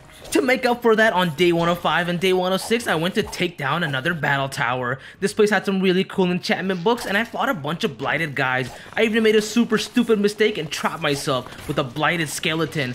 After taking down all those floors, I made it down to the bottom two floors. I could even see the battle tower golem, and this is when I made a stupid mistake. I completely forgot that the second last chest could activate the tower golem, and I thought I was safe just standing up on the slab. Once the golem knocked me down, I realized I had to fight, otherwise I would die, and this guy kept stomping on me. It was actually not too hard, my dragon bone sword was really strong, and I managed to grab all the loot that was in this battle tower. This place also gave me a bunch of recall potions, and these things are so useful. Day 107 to day 108, now that I won't die in one hit from everything, I actually wanted to go explore a bunch of new structures. First up, there was this floating structure where I broke the spawners, then I jumped all the way down to find another structure in the water. This place had a waystone that I activated, and then I found a pirate ship. And this pirate ship was a bunch of zombie spawners, so it was a bunch of free XP for me. So now I know never to get Depth Strider and the Stone of the Sea. For some reason it makes you kinda slow in the water. I then stumbled upon this giant island where I found a huge sea serpent and a battle tower. This guy trapped himself in the sand and it did a lot of damage, but I managed to kill it even with my sword. After killing the sea serpent, I put like 37 levels into Iron Skin. Dude, that took me forever to get. But I went right back into this battle tower. I spent a few days in this battle tower. It wasn't too hard since my sword is super overpowered, but the problem was my armor still doesn't have mending or anything. I then picked up a pretty cool bauble. This was an Ender Queen's crown. After that, I swapped to my Diamond Saber because it had lifesteal and I really didn't want to go through all the healing myself. I then picked up a Wither Skeleton Skull and put like 43 points into Iron Skin. After that, I ate my enchanted Golden Apple and was easily able to take down this Battle Tower Golem. This is when I realized people really don't like to fight the battle tower golem because it explodes the entire battle tower. I fell down, but I was able to come back up, use one of this chests to sort all my items out, and then I took everything that I needed, came back home, and was able to enchant my sword with Vampirism too. I then used my Dragon Heart to make potions of repairing to help repair my armor. Day 111 to day 113, all those potions of mending ended up repairing my armor a lot. Then I made potions of night vision and I wanted to see what these underwater doom-like dungeons were like. Before all the mobs spawned, I was able to pick up a ton of golden apples from this chest, but once these guys started spawning, I got mining fatigue and I realized these guys did so much damage, so I had to come up to heal. While I was healing, another stupid thing happened. This red sea serpent jumped up out of the water started attacking me, and this guy shred through my armor and almost killed me. Luckily, got stuck in the sand and I was able to easily take this guy out just with my sword.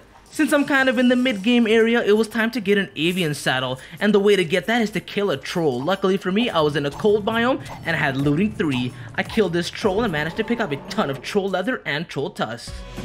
March of the Gorgomites! Watch them crawl! Yep, it was time for another Lycanite mob event, and these little things, I couldn't even see them, they did so much damage. Thank goodness I had Vampirism 2 on my sword. They ended up giving me a ton of stone though. I also got started on making some avian treats.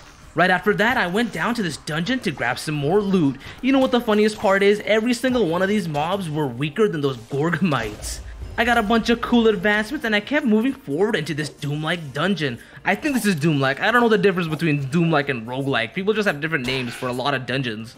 There was some pretty nice loot in this area. I even managed to grab an enchanted golden apple. But once these invisible grooves were coming near, I knew it was my time to get out of here really quick. I then started killing a bunch of Arisaur for the Arisaur meat, and that night I wanted to fight a bunch of husks for the forbidden fruit bauble. I ended up getting nothing to drop really nice, but I found a village, and guess what? This village was overrun by a dragon.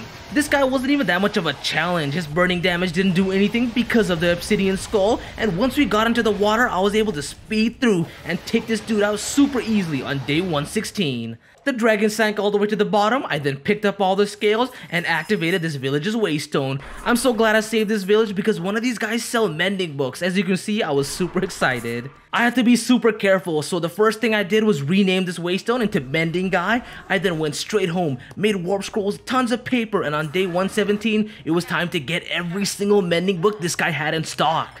Because I kept leveling up the trade, the villager ended up also getting to full health. I was then able to put mending on every single piece of my armor. Then I made a bunch more avian treats and also put mending on my dragon bone sword. Day 118, this Pterodon thing ended up killing all of my makas, so I had to lure all these guys back in and trap him into this little pen. I then made a flame dragon bone spear and made this other reforging thing. I then used all my dragon bones to get a legendary dragon bone sword, then I just started getting whatever was good because I didn't have enough scales for the armor.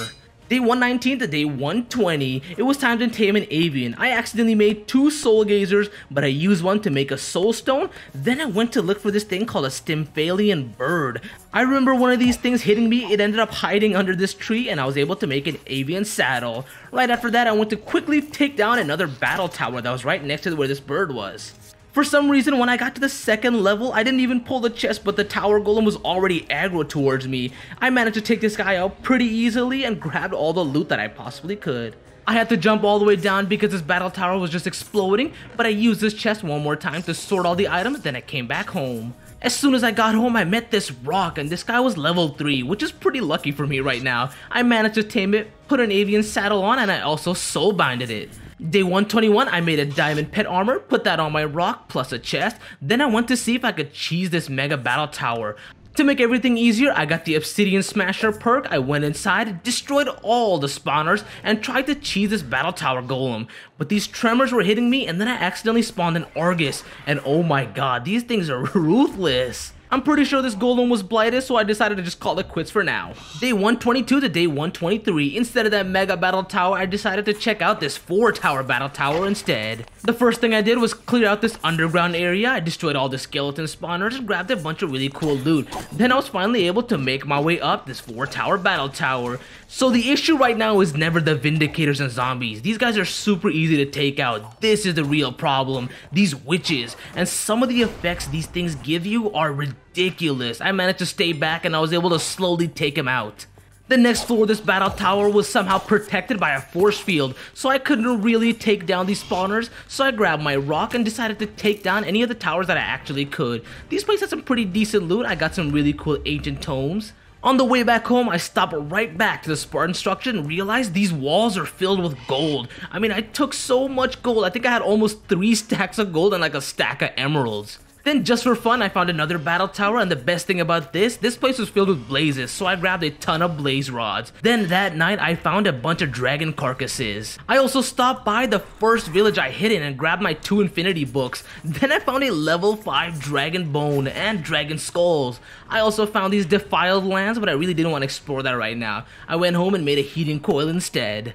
Day 126 to day 128. While I was traveling around, I found a Lycanites dungeon in the sand, and then I actually went looking for where 00 was on the coordinates. I marked it down just to see how far I've been traveling, and then I found a battle tower. Inside this battle tower, I took down a bunch of blazes, and I decided to make it back out where I found a ton of dragons. But it was super cold, so I didn't really want to fight them. I spent the rest of these days in these defile lands. I collected a bunch of this ore, fought this Vapula thing, and after killing a bunch of these mobs, I managed to pick up some foul slime. But this area was way too cold. I had to go to a warmer defiled lands. And over here is where I got a ton of foul candy and I spent the rest of this night just breeding a ton of bookworms.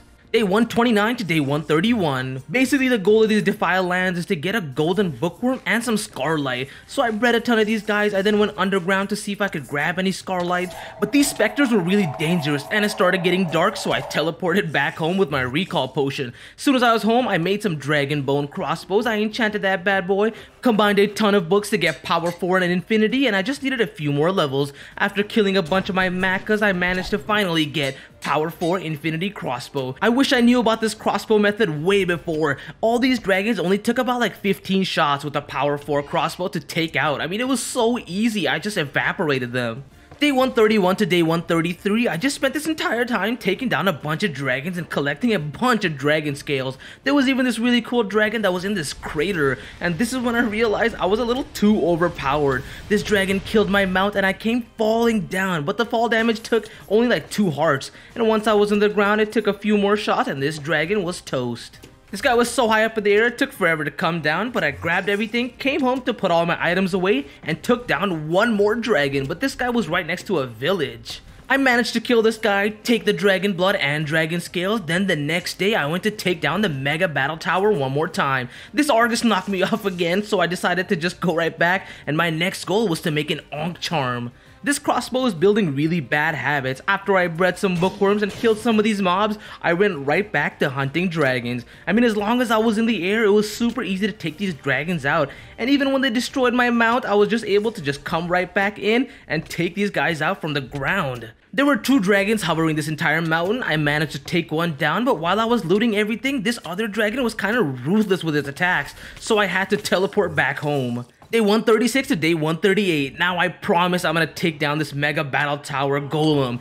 First of all, it knocked my mount down and I had to teleport back because it did a lot of damage and had hypothermia. But after I made some potions of cold resistance, I went back down and it was super easy to take this guy down just cheesing it from up top. Because this guy was just blasting non-stop, one of the unlocked chests before was broken up so there was only three chests for me to loot. I grabbed a bunch of nice ancient tomes, scarlet, and a forbidden fruit. After that, I was able to make a Scarlite Ring, which is like a Walmart version of a Ring of Regeneration. I then just used all of my Dragon Scales to turn all my things into Masterful, well as much as I could with the chest plate. Day 139 to day 142, I used the other Reforging Station to either get attack damage, guard, or health. Then, of course, I went right back to dragon hunting. I mean, it was so easy. I managed to take out like almost 5 dragons in this entire 3 days. It actually feels really good taking these guys out because I know if they had the chance they would immediately destroy me. I also found another village that had two librarians, I'll level them up later. Inside I grabbed a bunch of unbreaking books and one of these mobs managed to kill a golden bookworm, so I got two scales and made a disenchantment table.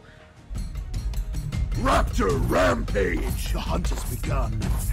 Every time a Lycanite mob events happen, I realize that I'm still really weak. Day 143 to day 150, I found this nice waterfront area where I dug into and started working on a bunker. Thanks to those Gorgomites Lycanite event, I had a ton of stone and glass. I then started digging into another hole so I could make an enchantment area, but what took almost 7 days was basically moving all of my items into this area alone. And on day 150, everything was basically almost done. I had the enchantment area set up and the smelting and the storage area done as well. I sure hope I didn't build right next to a big giant dragon's nest. Speaking of dragons, it was time to celebrate by taking down another dragon. And while I was meleeing this guy, I managed to drop my sword and had to jump all the way down, grab it, and then kill the dragon. Right after collecting all of that, it was time to take on a wither. I needed a nether star for some baubles later. This guy ended up killing my mount, but before my mount died, I was able to put the finishing blow and pick up this nether star. I then built a nice little roof area for the entrance of my bunker, then I realized one more time that I actually had a stage 5 dragon head, so it was time to make a dragon's eye. For some stupid reason, I still kept the obsidian skull. Day 153 to day 155, I made a stack of diamond lockpicks, leveled up my magic a little more, then I realized the forbidden fruit was a lot better, and after that I went to kill a bunch of strays for rings of overclocking. Along there, I managed to fight a bunch of wendigos, level up my melee damage, and even fight this ice dragon. I haven't fought these ice ice dragons in a long time. I managed to take this guy out pretty easily, collect some ice dragon blood, and then take down another battle tower. Those strays really didn't drop anything, so I was just going through battle towers hoping I could get the ring of overclocking here. I didn't get that, I got a bunch of cool loots, I still leveled up my random crits, and then I took down another battle tower just for fun as well. At least there was a bunch of glowing ingots that I could have. I also managed to take out one more battle tower golem. Then a blood moon happened. This was my chance to get a ring of overclocking, but along this entire blood moon there was just nothing but a ton of zombies. I mean I killed so many strays and still nothing. At least now I was able to reforge my baubles, put the disenchanter down and grab a bunch of cool enchantment books from weapons I couldn't mess with before. I also got a few more Mende books from the village right next to my house and I started getting ready to trade with a bunch of villagers. In order to take down these bosses, I needed to be stacked quickly. I started leveling up a bunch of villagers. I really didn't end up getting anything good. I even found this nice little kingdom where I collected a ton of their gold, got an efficiency 2 book and a multi-shot book as well, but there was really nothing else. I thought my only hope was in this battle tower where I took down the golem, then I found a village that had two dragons surrounding it. Obviously, I couldn't really resist. I took down those dragons, then I teleported to wherever I marked those two librarians, and this guy was a godsend, a Vampirism 1 book and an Advanced Efficiency book. Day 161, I leveled up my mining to 24, made a dragon bone pickaxe, and put advanced efficiency 5 on it. This thing was blazing speed. I also made a separate set of armor for the endgame boss fights. While I was trying to get some mending books, the villager right next to it also had Viper 3 books, so I grabbed a bunch and I went down to this Lycanite sand dungeon. The first thing I took out was this gilded great worm and after that I met this crypt executioner. Now this guy's really dangerous but he got trapped in his own water so I was able to easily take it out. This guardian dragon also didn't even want to attack me. I just stayed back, shot at it a bunch of times and I was able to take this guy out as well. I took all these soul stones and I used them all and I got a bunch of new pets. I got a giant chicken and I put Viper 3 on my sword. I don't know if this is a world record, so don't quote me on this, but I'm pretty sure I killed close to like 10 dragons in one day. There were so many just bunched up together. After the Great Dragon Massacre, I found another mega battle tower where I broke into, destroyed the golem, and finally was able to look at these chests. I found these vitamin things, a potion ring of reach, which I immediately equipped, and then I needed two chests for all the dragon equipment I had. I also managed to organize my inventory for this Ankh charm I'm gonna build later. Day 163, I whipped my cockatrice out, I put a dragon saddle on this guy, but I realized it took up half the screen, it was super slow, and the only benefit was a storage. But I still had to put it to the test, so I took this bad boy with me to take down another dragon. After I took the dragon out, I went down to this friendly outpost and one of these guys was selling an Advanced Protection 4 book. I was super excited. I had to mark it down for sure. I recalled back home, grabbed a ton of emeralds, I summoned my roc and got back as soon as I possibly could. I needed to buy every single Advanced Protection book in this guy's stock. I then started setting up every single one of my enchantment books to get ready for the end game armor I'm gonna make later. Day 164 to day 168, I went to the giant village, grabbed a ton of emeralds and some mending books, then I started disenchanting all of my old stuff to get unbreaking books. After that, I was able to make an advanced protection 4 dragon scale helmet.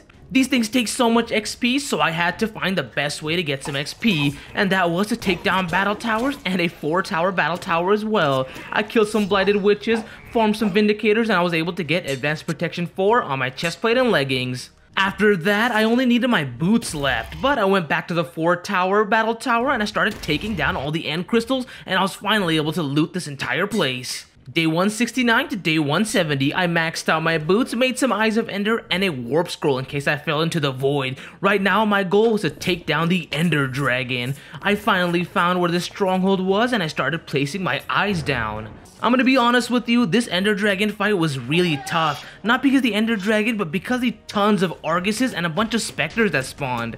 Destroying the crystals and taking out the dragon was the really easy part. The hardest part was figuring out how I was gonna grab the dragon scales and the dragon egg. I managed to just do a drive-by and grab everything I can and just get out of there. I did not want to get swarmed. For the next few days, I did nothing but fly around the void until I found an end city. Then the grind started. It was time to kill a bunch, and I mean a bunch of shulkers. I needed something called a shulker heart, and I swear to god, I think I ran through like four end cities. With all the XP I collected from the dragon, I put 74 points into combat, which was my iron skin and a bunch of archery skills. After that, I took down this battle tower that was in the end. When I resummoned my roc, it turned out to be blighted. Then, finally, I got the Shulk Heart and I was able to go home. I was sick and tired of this end dimension. As soon as I came home, I made a black dragon scale, combined that with my Bezoar, I also equipped it, then I began disenchanting all of my loot I got from the end dimension. Then it was back to killing strays for the ring of overclocking. And on day 173, in the middle of killing those strays, I took down a few dragons just for fun and then I began exploring some battle towers. Hopefully I could get some nice loot, but one of these things connected to a huge other dungeon and I fought a bunch of things. Pterodons, Ventoraptors, and whatever these dragon things were. But once the witch gave me a perplexity, it was time to come home. And lucky for me, I had a ring of overclocking, so I made a ring of free action, now I had everything to make an Ankh charm. No more having to carry like 6 extra baubles. I then disintegrated my baubles, put 41 levels into combat, and made a ton of shulker boxes. The next day, it was time to test out this Ankh charm. I took down a dragon, went down to a battle tower, and also went down to this Doom-like dungeon. I thought this place was flooded, but it turned out just to be a desert structure. I grabbed a bunch of levels, grabbed some really good loot from these chests, and I moved on to an actual underwater structure. When I had Stone of the Sea and Depth Strider, I was moving super slow, but now that I have Underwater Strider instead, I was blazing through this area. I got 76 levels, teleported home, started getting some silver armor ready, then I disenchanted a bunch of books and even started on an endgame weapon. This is gonna be my Ice Dragonbone sword. On day 177, I realized I'm the dumbest person alive. While clearing out some cobwebs, I realized there was a level 4 dragon's nest right underneath my base. I took this guy out and once it flew above me, I thought my base was done for but it turned out to just miss it. I then flew on my roc and I was able to take down a level 4 dragon. Lucky for me, this dragon is also a female, so I collected a ton of skulls and a dragon egg for myself. I'll hatch that bad boy later. Also, this was the giant crater right in front of my base. Then I went down to the nether because I needed two things, nether rack and nether quartz. One for the baubles and one to hatch the dragon egg later. Then I came home, used the ender biotite so I could make a shield of honor, and I started my wine production. I also started working on enchanting my sword. I only had regular sharpness, not the other ones, but then the next few days I filled an entire shulker box filled with all the dragons I could possibly collect. I also took out a bunch more battle towers and just kept collecting these dragon items. I had so many dragon skulls, I just started throwing a bunch of them out to make some space. I also took down a bunch more battle towers, and I was able to come home to put this incredible haul away. I then put the rest of the enchantments on my Ice Dragon Bone sword. I only had regular sharpness anyway, so it didn't really make that much of a difference. I then got a bunch of these agility perks and started my wine production properly. After smelting a bunch of steel battle axes, I made a withering and used all of my dragon skills to get masterful armor. To test my new sword, I took this Mega Battle Tower down. I destroyed this golem, and in these chests, I got one of the luckiest things ever, a Cobalt Shield. I was really happy. After that, just for fun, I decided to go down to the bottom floor and work my way up, taking down this entire Mega Battle Tower down. After getting revenge on the Mega Battle Tower, I made an Obsidian Shield, turned that into an Ankh Shield, and also put Looting 3 on my new sword. Day 186 to day 190, I made an advanced rune reader, started working on my endgame bow, and also finally started getting some good quality wine. Then I went to check out what a bunch of these boss bars are for. Turns out it's for this guy named Pong Kong and a bunch of malevolent observers. Pong Kong starts throwing a bunch of poop, but it also drops cocoa beans, which is pretty nice. Then whatever this princess thing was, I did not expect whatever this was to be a princess. The hardest bosses in here were definitely the malevolent observers, but I just kept my distance and I was able to take them all out and clear this Lycanite's dungeon. I managed to grab a ton of aberration soulstones and a bunch of diamond. I stupidly used every single one of my soulstones, which I just could have saved. Right after that, I killed a wither so I could summon a cacodemon, mostly to get a demon soulstone, but I stupidly used it, which I could have used for Rahovart, so I had to go back to the nether, take down a nether Lycanite's dungeon, and I started fighting a bunch of these really cool mobs. I got this really cool Sin Pendant, which I can craft into something else better. But in here, I only got like Beast Soulstone and Aberration Soulstone, not a single demonic one. Day 191 to 193, finally, the final preparations. I took out another Cacodemon for a Demon Soul Stone, killed a bunch of Withers, and collected a ton of Bebeko meat. This way I could make a Potion Ring of Regeneration, get some decent wine, and make a ton of Battle Burritos. I also made a bunch of Potions of True Shot, got Advanced Power 5 on my Dragon Bow, and I ran out of levels, so I had to take down a few dungeons. I got to level 50, and I went to another Spartan structure, where I killed a ton of Magma Creams, and I was able to make an Enchanted Medkit, fully enchant my Dragon Bow, then make a ton of golden apples and also enchant my medkit and make a demonic soul cube. And then it was time to take on Rahovart, so I made a pride pendant and a teddy bear, then I teleported to the nether to get this altar ready and buff up with all of my stuff. Even though Rahovart takes it out, I wanted to be able to do a bunch of damage on phase 1. Rahovart, Lord so I completely forgot to take my potion of True Shot and buff that up, but I was still able to get a bunch of hits on Rahovart. I stayed in this corner and even got hit by his huge green beam. Now that phase 1 is done and phase 2 started, all I had to do was just stay away from his green beam. I managed to chip his health down all the way to phase 3. Now the only thing stopping me was his stupid demons that would just keep hitting me from the side. As for Rahovart, this guy is basically as good as dead. A few more shots and I took Rahovart out and I picked up every single piece of that loot and 84 levels. I then finally came home and I was super confident to take on Asmodeus. I managed to get Undying on a bunch of my baubles as well as Healthy on the rest. I got Strength and Vitality on my chest plate and I was ready to take on this Crimson Epion to grab an Aberration Soulstone and go to the end to buff up and take down Asmodeus, the demonic mastermind. This time I also remembered to take my potion of True Shot. Asmodeus, Then Asmodeus' arena started filling up the end near me. I started taking out some Arguses so I wouldn't get bothered. Then I realized Asmodeus was doing an unbelievable amount of damage. I mean, I it killed my mount and when I went down, this guy just shred through my advanced protection 4 armor and it just killed me.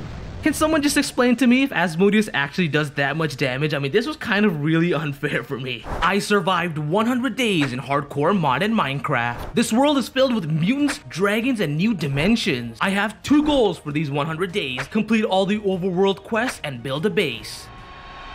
Day 1, I immediately found a village and began looting. The first thing I found in these chests were a farmer's hat, and in the other one I found a leather worker's apron. Then after that I did the basics, make a wooden pickaxe, collect stone, and make stone tools. With these tools I went exploring. I found this monastery that had an illusioner. Now this guy blinded me and summoned clones, so I had to just run away. Along this travel I found this weird graveyard looking structure. Now these chests were actually pretty nice. I found an unbreaking 4 iron chestplate and I made made my way inside, where I collected this chest and I used all the string to make a backpack for all the useless stuff. Day 2 turns out this house had a basement in there, and in this basement there were two villagers that were trapped. That's none of my business because I found Protection 5 diamond leggings and a diamond helmet. I'm already getting kinda stacked. I also grabbed the brewing stand, smelted some iron, and used that iron to upgrade my backpack. Then after looting some more, it was time to go outside. That's when I got attacked by this crocodile. This guy lowered me down to like 3 hearts, and when I was running away, turned out another bird was also chasing me. The rest of this day I was running away and I found another graveyard structure and in this chest I found a Curse of Binding diamond chestplate. I also made a shield and stupidly equipped this chestplate. Well, after that, at least I could make a bunch of iron tools, and I went down to the basement one more time, and in here I hit the jackpot. There were some netherite leggings just laying there for me. Day 3, I made a bucket and started going back to the mainland. I was sick and tired of being on this island, but right before that, I checked this pirate ship out and realized there were way too many mobs to fight, so I just kept moving. And uh, literally three structures in a row, I found another one of these graveyard structures, but this one had a golden apple, a wither skeleton head, and then I hit another gold mine. This chest had a ton of bottles enchanting and a totem of undying. It turns out I don't even have to hold the totem, it just goes in a charm slot. That night I also found this thing called a goddess statue, no clue what it does, I'm just gonna collect a bunch of spirit orbs. And on day 4 I found a perfect place to start building a house, so I cleared this entire area of all its reeds. There were also a ton of bears around, so it was time to massacre the entire bear family. They ended up not doing a lot of damage. I also figured out that I'm trapped between two villages. But while I was here, it was time to collect a bunch of spruce logs, these hay bales, and even this blast furnace in this guy's home. I then made a sleeping bag and went to sleep for the first time. Then on day 5 to 7, it was time to make some shelter. I started by clearing the dirt away, and then I grabbed a bunch of oak logs from the giant tree behind me and made a frame to start building this house. It was gonna be nothing too serious, I just wanted a small starter base that I can expand upon. I also killed my first monster and finished the roof. Day 8, I just expect there to be so much loot, so I made a ton of chests and sprinkled the entire house with as much of this as I can, and some armor stands for decoration. I also smelted whatever I could and started a nice little farm next to my house. Day 9, I collected enough seeds to fill out this farm, then I planted my sugar cane as well right in front of the water. After that, this was basically the house. Just so I never get lost, I made a waypoint for my house and then I started collecting a bunch of wool so I can make a nice new bedroom. Day 10 to 11, finally time to explore some more. I made a gold backpack, now I had a ton of storage, and while exploring, I found this weird dungeon that had twisty staircases. Of course, I went down, and this turned out to be an underground dungeon. This place was filled with spawners and turned out these spawners give you spirit orbs. That's what I'm gonna need to collect a bunch of. I also found this destroyed library area where I grabbed a bunch of lapis and a free enchantment table.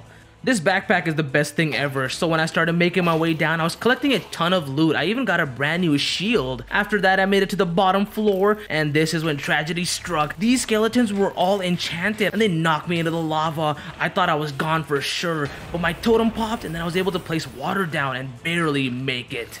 After hiding for a bit, they despawned and I was able to check this oh. chest out and I got two diamonds. That was definitely not worth it. Before I left, I collected these cold deepstone and these expetrified orbs and put every single thing I had in my backpack.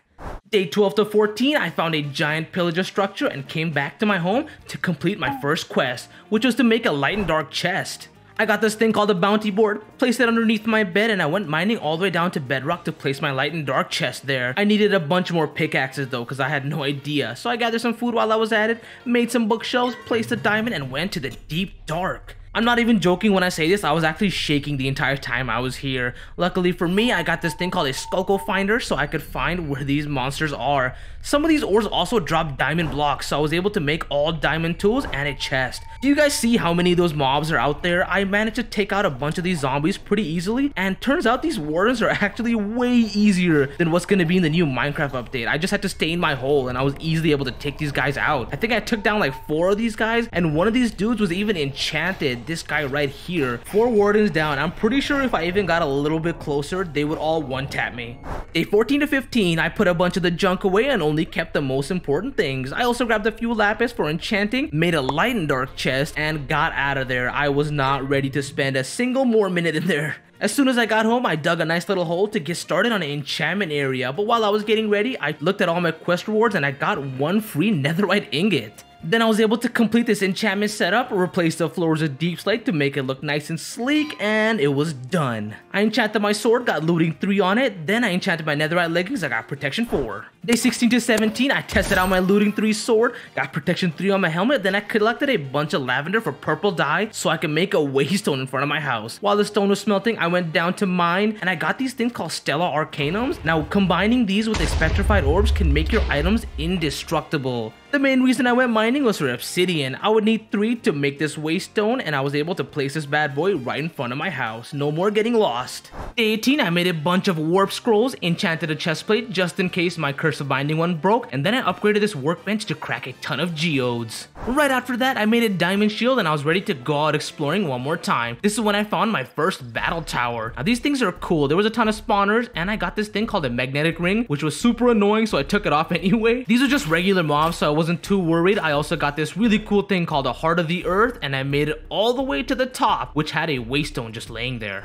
Day 19, I found an underground village, clutched it down there, grabbed some flint and feather, made my own arrows, and then I realized I could just buy it from this guy over here, and then I found another one of these spiral dungeons. Day 20 to 21, I was able to break through a bunch of these spawners and make this thing called an exquisite ring, which made me non-hostile to regular piglins. I also mined a bunch of these Stella Arcanums and found another dungeon combined to this dungeon. This is where I got some necklaces and some straggling chests had an enchanted golden apple and a fortune 2 pickaxe. Now that my backpack was getting filled, it was time to go back home and dump off all this stuff. While I was there, I made a netherwart farm, disenchanted a bunch of my stuff. So I don't know which mod it is, but one of these things spawned these overpowered mobs. This guy launched me all the way into the air. I was so lucky I landed in the water and I just managed to kill him.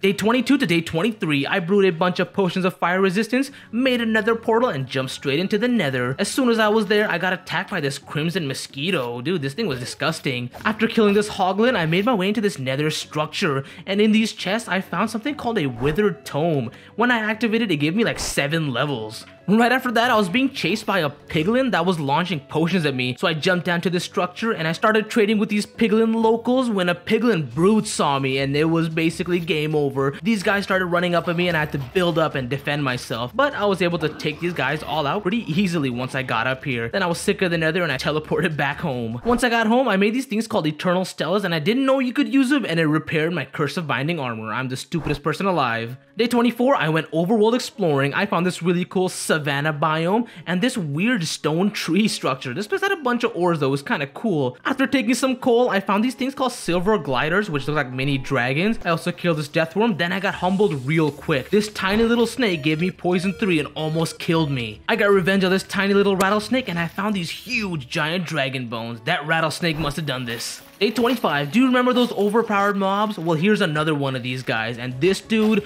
was so OP. After I killed it, it gave me like 20 different advancements. Just look at this. I don't even know what level protection this gear is. Of course, I had to put it on, and then I found this flower temple, but I got a weird achievement, so I knew there was another structure behind there, and this place was ridiculous. I was running away from these netherite wearing piglins. These dudes were so OP. You know, I guess I just wanted to die that day, because I went down to challenge these guys, I broke down the spawners, and then I realized how strong these dudes were. Just with the pickaxe, it got me down to one heart, I managed to sneak past and finally make it through, and I was able to heal and keep exploring. Day 26 to day 27, I made my way down to another dungeon and in the bottom floor, I saw a level 5 dragon lair. You can see the tail, this thing was huge. So it was time for me to go right back home. I then came home, got infinity on my bow, put power 3 on that bad boy, protection 4 on my boots, and I disenchanted a bunch of this OP gear I got. Day 28, I went grave robbing. Now, don't be mad at me, but this place had some really insane loot. I even got a Fortune 3 book from here. That night, I was just killing a bunch of mobs, hoping one of those lightning struck guys would spawn, and they did. This guy dropped an indestructible bow, which I was gonna disenchant later. That was kind of disappointing until I met this dude. This was Father Dinben, and if you thought any of these mobs were hard, I spent an entire day just critical striking this dude, and he still took no damage at all. But it was all worth it. This guy dropped two pieces of netherite armor, and the chest plate was protection 6 and indestructible. So now I just gotta get this curse of binding chest plate off of me, and I found the perfect perfect guy to help me do it. There was this pillager that I just used to whittle down my armor all the way while I was just eating a bunch of food. And once it broke it, I put my new chest plate on and took this bad boy out. Then I used this Eternal Stella to repair all of my armor and by day 29 I already almost had full netherite armor. Then on day 30, I put protection 5 on my netherite helmet, disenchanted a bunch of this leather armor that had mending, and I also disenchanted that indestructible bow. Then I used my one netherite ingot to get full netherite armor. Thank God for those mending books, I put them on my helmet and my boots and now they were basically indestructible too. I also got rid of my bad omen effect and made a ton of golden apples. That night I met another one of these guys called Rose the Odd Smelling and I felt really stupid. Since this thing just dropped an indestructible pair of boots that I could've used my netherite on, I disenchanted a few more stuff and I made this thing called a Charm of Treasure Hunter.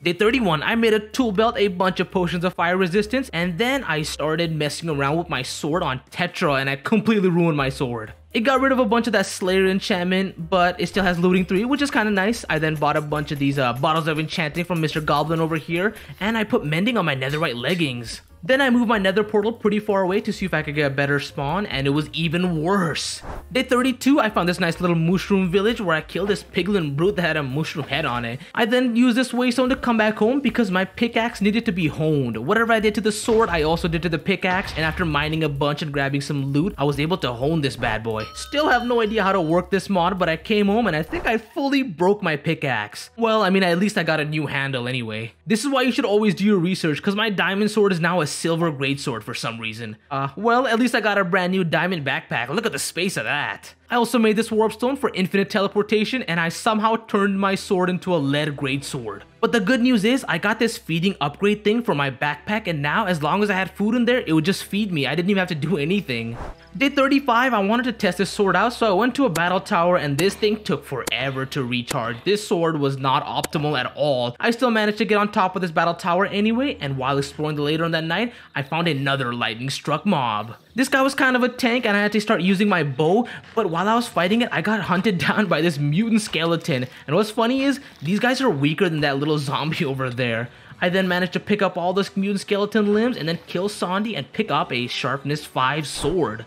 Day 36 to day 38, it was time to take on another pillager tower. I'm now just fully using that sharpness 5 sword. It was kind of easy taking down the bow guys and then a bunch of these vindicators started pouring out. But that's not even the worst part. Somewhere there was a bunch of evokers hiding and these guys just kept sending vexes and these vexes are so annoying to take care of. The first floor was kind of tough but I managed to take all those guys out and go up to the second floor where I grabbed even more loot and this thing called the Heart of the Golem. Now this thing was pretty nice. I then made it all the way to the top, took out out some of these last few Vindicators and I turned everything into blocks. Now my backpack was filled to the brim. I also got these tattered tomes and a bunch of bottles of enchanting. When I meant loot, I meant a lot of loot. There was so much armor for me to disenchant for better gear and I also got like 10 different totems. This leather armor had some crazy unbreaking levels, so bye bye lead great sword. And I also enchanted my shield.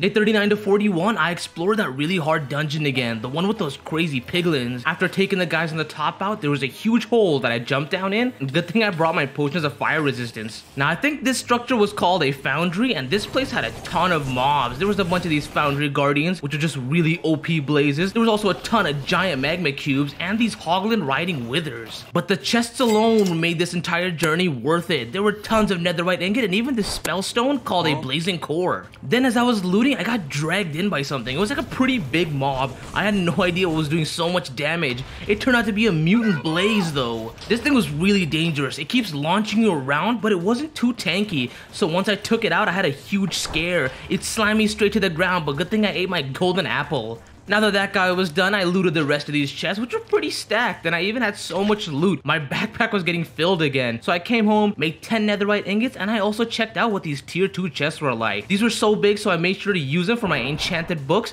and I put looting 5 on my new diamond sword. Day 43 to day 45, I made a bunch of obsidian ingots to craft an obsidian skull, and after combining that with an eternal stella, I had full fire immunity as long as it was in my inventory, so now I can take on the tier 5 dragon. Just for fun, I attacked this tier 5 fire dragon head to head, but it all started going wrong when it launched me into the lava. Thank god I had that obsidian skull. This entire fight, I was more worried that my helmet was gonna break. It was kinda getting low. This guy did a ton of damage to my armor. But once I got on the same level as the dragon, I just meleeed it with my brand new sword and I was able to easily take it out and grab every single piece of its loot. I got really lucky. Turns out this dragon was a female, and aside from the huge amount of scales, I also got a fire dragon egg. So I set up a nice little area to hatch this thing. Then I waited for this bad boy to hatch and I used this dragon horn to keep it safe until I could feed it and level it up. But while I was there, I also upgraded my netherite bow, lured this sheep over so I could have a constant supply of new dragon meal. Day 46 to day 48, I found this huge tower, and on top of that, I grabbed the waystone and also found a paraglider in the chest. So I decided to use that to come all the way down, and I placed the waystone a little bit lower. Turns out it was on top of a dungeon, so I went down there, I got this thing called a four-leaf clover, and when I got all the way to the bottom, I also accidentally killed a goblin. I then managed to clear this entire dungeon and teleport all the way back home, where I honed my pickaxe. Still have no clue what it does, but in the meantime, I made an automatic composter for a bunch of seeds I had. Right after that, I massacred a bunch of these sheep, made a bunch of dragon meal, and fed my dragon for the first time. Day 49 to 50, I made tons of Eyes of Ender, put Punch 3 and Indestructible on my bow, and went out to find the stronghold. Along my travels, I found a slime island, got attacked by some sirens, and I also found a ice dragon's nest where I destroyed this ice dragon just meleeing it. Once this bad boy died, I picked up a bunch of ice dragon scales, and speaking of ice, I also found a ice maze biome. This is gonna be really important for a quest later. I then broke my way into this portal and finally found the portal room which I placed a waystone in front of. Right after that, I placed my eyes on the portal and jumped in. Turns out the end spawns are a little bit different. I was just in an obsidian box with no blocks or ender pearls, so I had to teleport back out, grab some blocks, and then come back. I also found this giant tower in the end, which I climbed up to, activated the waystone, grabbed whatever was in the chest, and I used this vantage point to take out every single one of the summoning crystals. Right after that, I jumped down to fight the dragon, but there was a mutant enderman in my way, and this guy started summoning a bunch of these shadow clones, and once I killed it, I thought my hardcore world was done for. This thing just kept dragging me in and pushing me out. I thought I was gonna fall into the void, but I survived, I took out the dragon, all the XP went down the portal, but I was able to grab the dragon egg at least. Right after that, it was now the hunt for the Elytra wing, so I took the portal outside to the End Islands, grabbed my quest reward, which was a lightning dragon egg, and I finally, after two days, found an end city. So I knew that the end cities were kinda stacked, but I had no idea how stacked they were. I had so much loot, I put them all into a shulker box and that shulker box in my backpack. I also found the end ship and got even more loot and this thing called an extra dimensional eye. And the Elytra of course, which I teleported back home to and made a bunch of tier 4 chests to put all of my new loot inside of. Day 55, I made the Elytra indestructible, made a ton of firework, and then it was raining so it was time to hatch my dragon egg. While I was waiting, I enchanted this pickaxe, made it fortune 3 indestructible, efficiency 9, and made it netherite as well. And after that, my dragon finally hatched.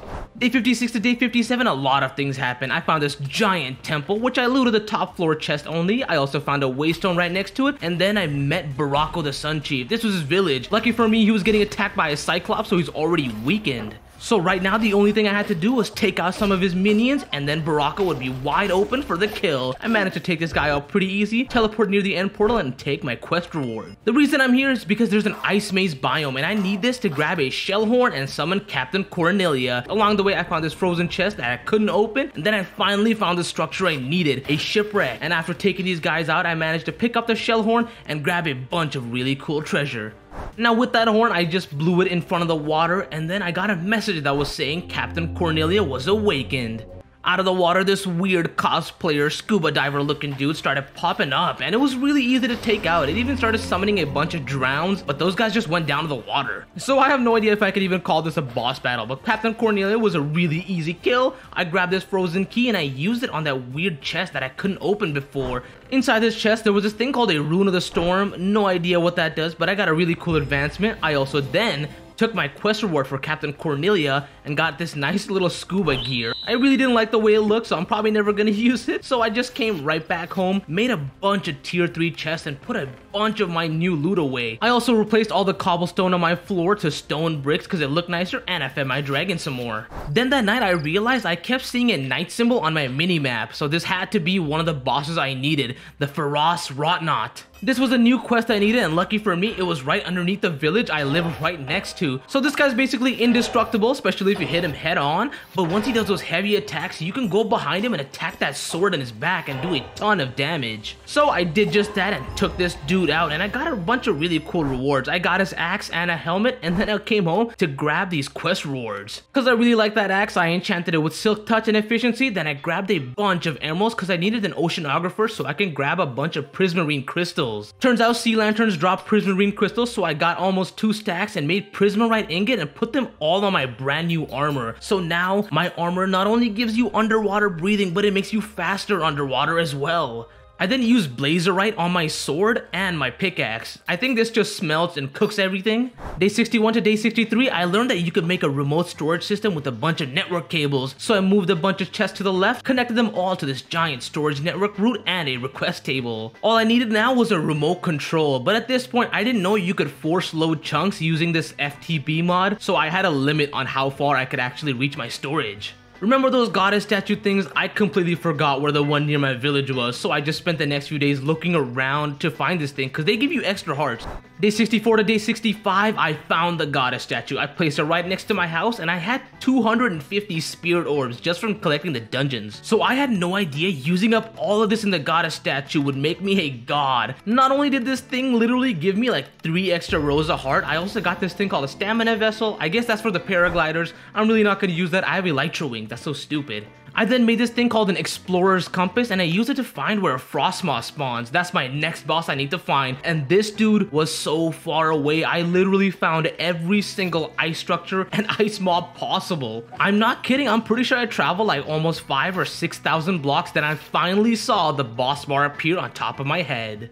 I waited till the morning of day 66 to take this guy out. Turns out arrows don't do any damage and this thing keeps freezing you. So it's super annoying to take out. But as long as you kite it, you can do a ton of damage this guy. Honestly, I feel kind of like a bully. I really did not need those extra hearts. I was already basically unkillable. And uh, after a few more hits, I killed Frostmaw and grabbed its drop and turned out there was an ice dragon nest right in front of me. But my punch 3 bow was able to keep this dragon away and I took it out pretty easily. I then collected a ton of ice dragon blood, got my quest reward which was an ice dragon bone sword, made an advanced feeding upgrade and went to the end to collect some endstone. Turns out if you have an enderologist, you can just buy gunpowder from this guy. So I made this thing called a quantum level this guy up until I could buy a bunch of firework rockets, and I kidnapped him. While this dude was in my inventory, I cleared a huge area in my old enchantment setup, and I wanted to make a huge, huge area for both enchanting, putting a bunch of my enchanted books away, and a villager trading hall area. Right now, I only needed a few villagers, so I placed like four spots, and I replaced every single torch with lanterns and placed down a bunch of these workshops, and also went to the village to kidnap more villagers.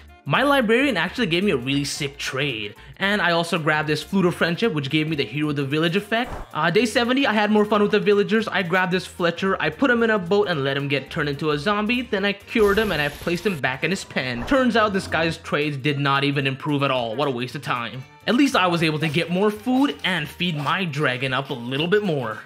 Day 72 to day 74, I finally learned how to force load my chunks. Now I can access my inventory everywhere. I then found the perfect village to start a raid in. I used my raid horn to call a patrol and I got the bad omen effect and started this raid. The first two waves are really easy and it started getting a lot harder once a bunch of these crazy new mobs started spawning. There was even a huge squall golem, whatever this thing was. It was pretty easy to take out, but then the huge horde started coming in. Uh, basically, the hardest part of this raid for me was finding out where these mobs spawned, because some of them just spawned in a cave, some of them spawned in a hole, and some of these dudes are really cool. I've never seen mobs like this before, but after all of that, I managed to clear out this entire raid, get the Hero of the Village effect, and also take my quest reward, which is a bunch of really cool things.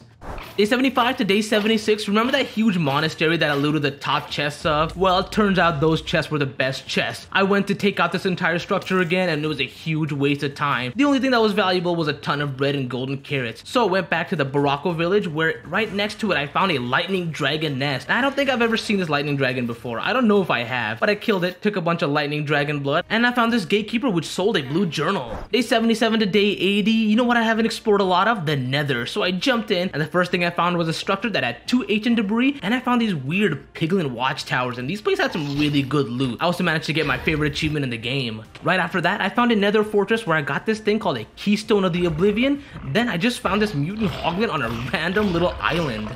Uh, then in this nether tower, I got a waystone and I teleported back home where I went mining for a quick little bit and I found this huge ancient forge. This might be important, so I marked it down and when I came home, I got a bunch of upgrades. I made an indestructible blazerite shield, a tide trident, I put flame on my bow, and I got like Riptide 10 or something on my new trident and look how far this thing launches me in the air. Day 81 to day 82, I made a blindfold and went to take down this Gorgon. If I wasn't wearing a blindfold, it's basically insta death for me, so I grabbed the Gorgon head and I went back down to the deep dark.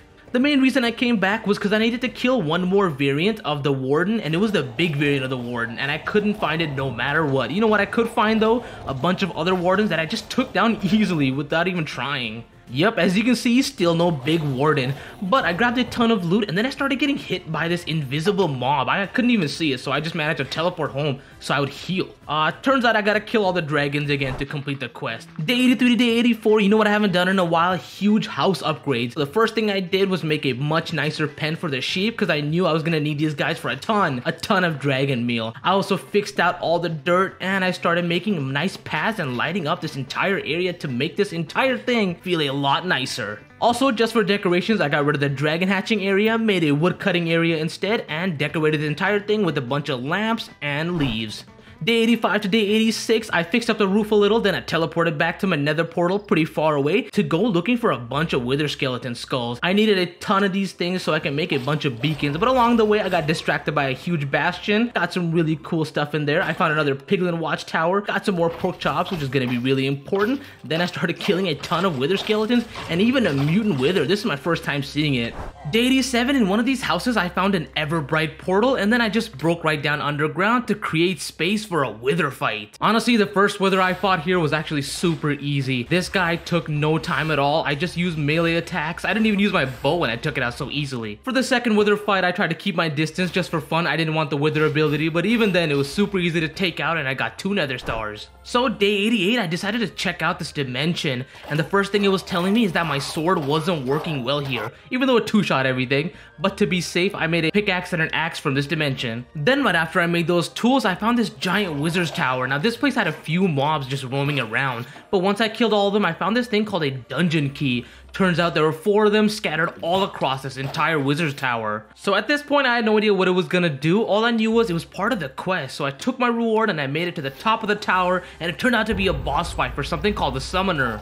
Since this message didn't go away, I thought my sword was gonna do no damage, but it actually did a ton of damage, and I managed to take out all of his minions and do an insane amount of damage to this Summoner. I just rinsed and repeated that until the summoner was pretty low in health and then I was able to take it out pretty easily and collect my quest reward. So just looking at my quest, I knew there was one more boss left and I used my explorer compass to find its dungeon.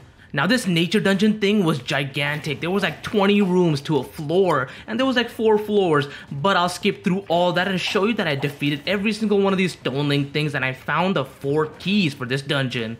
I actually have no idea what this boss battle is gonna be. It was this thing called a Starlit Crusher, and thankfully I found an axe in one of the chests that was from this biome, and this thing kept spawning walls to protect itself from the hits.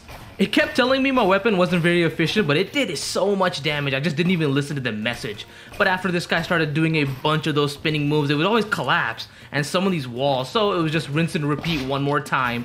I just had to keep breaking those walls and just do a ton of damage to the Starlit Crusher. Then finally, I was able to defeat this guy and clear this entire area for all of its bosses. I even picked up these cool things called arcs, which gave me 3 extra heart and the other one gave me some movement speed. Day 91 to day 92, I got some wheat and I found a wither spawner. I didn't get a single wither skeleton skull, but I was able to come home, put sharpness 6 and looting 6 on my new sword, and I went to find a dragon's nest. It was super unlucky, it wasn't a fire dragon, but it was cool enough. Day 93 to day 94, I found this giant coliseum with a huge phantom, and I took that guy out and its rider pretty easily. Then later that night, I finally found what I needed, a fire dragon. After that air duel, I managed to kill this dragon. Now there were two quests left, and lucky for me, an ice dragon spawned as soon as I came over to this ice spikes area. So this guy went under the water, and when he came out, it looked really cool, but it was still no match. I started using my bow only, and I took it out and collected my quest rewards for that as well. Then to end this day off, I found this huge mining area with a bunch of zombies, and I destroyed every single one of them.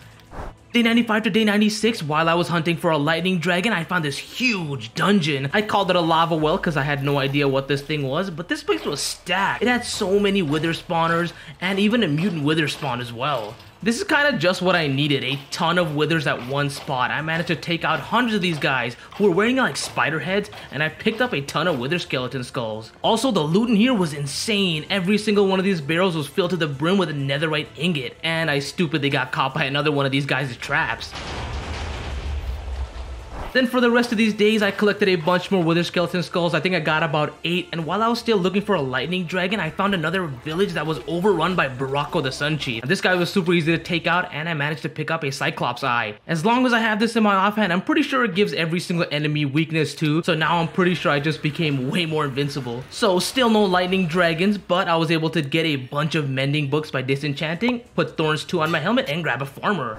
Day 98 to day 99, I spent this entire day just feeding my dragon dragon and finally got it up to level 3, so now I could equip it with some armor and even ride it as well. Right after that, in a buzzer beater move, I found a lightning dragon nest and I was able to really easily take this guy out and complete every single one of the overworld quests. The reward was a sapphire dragon egg, which is the rarest, but before these days ended, I want to take down two more withers so I can build as many beacons as I want. On day 100, I decided to just build one beacon for now, and I used all of my gold and iron that I've been collecting to build this beacon right in front of my house. I even placed my waystone right on top of it. I had to survive 100 days on these lava islands. There are 9 total islands scattered around this entire world, all of them filled with their own treasures and mobs. My goals are simple, the first thing I want to do is make a nice base. Then I want full netherite tools, and last but not least, I want to keep as many living things alive in this world as possible.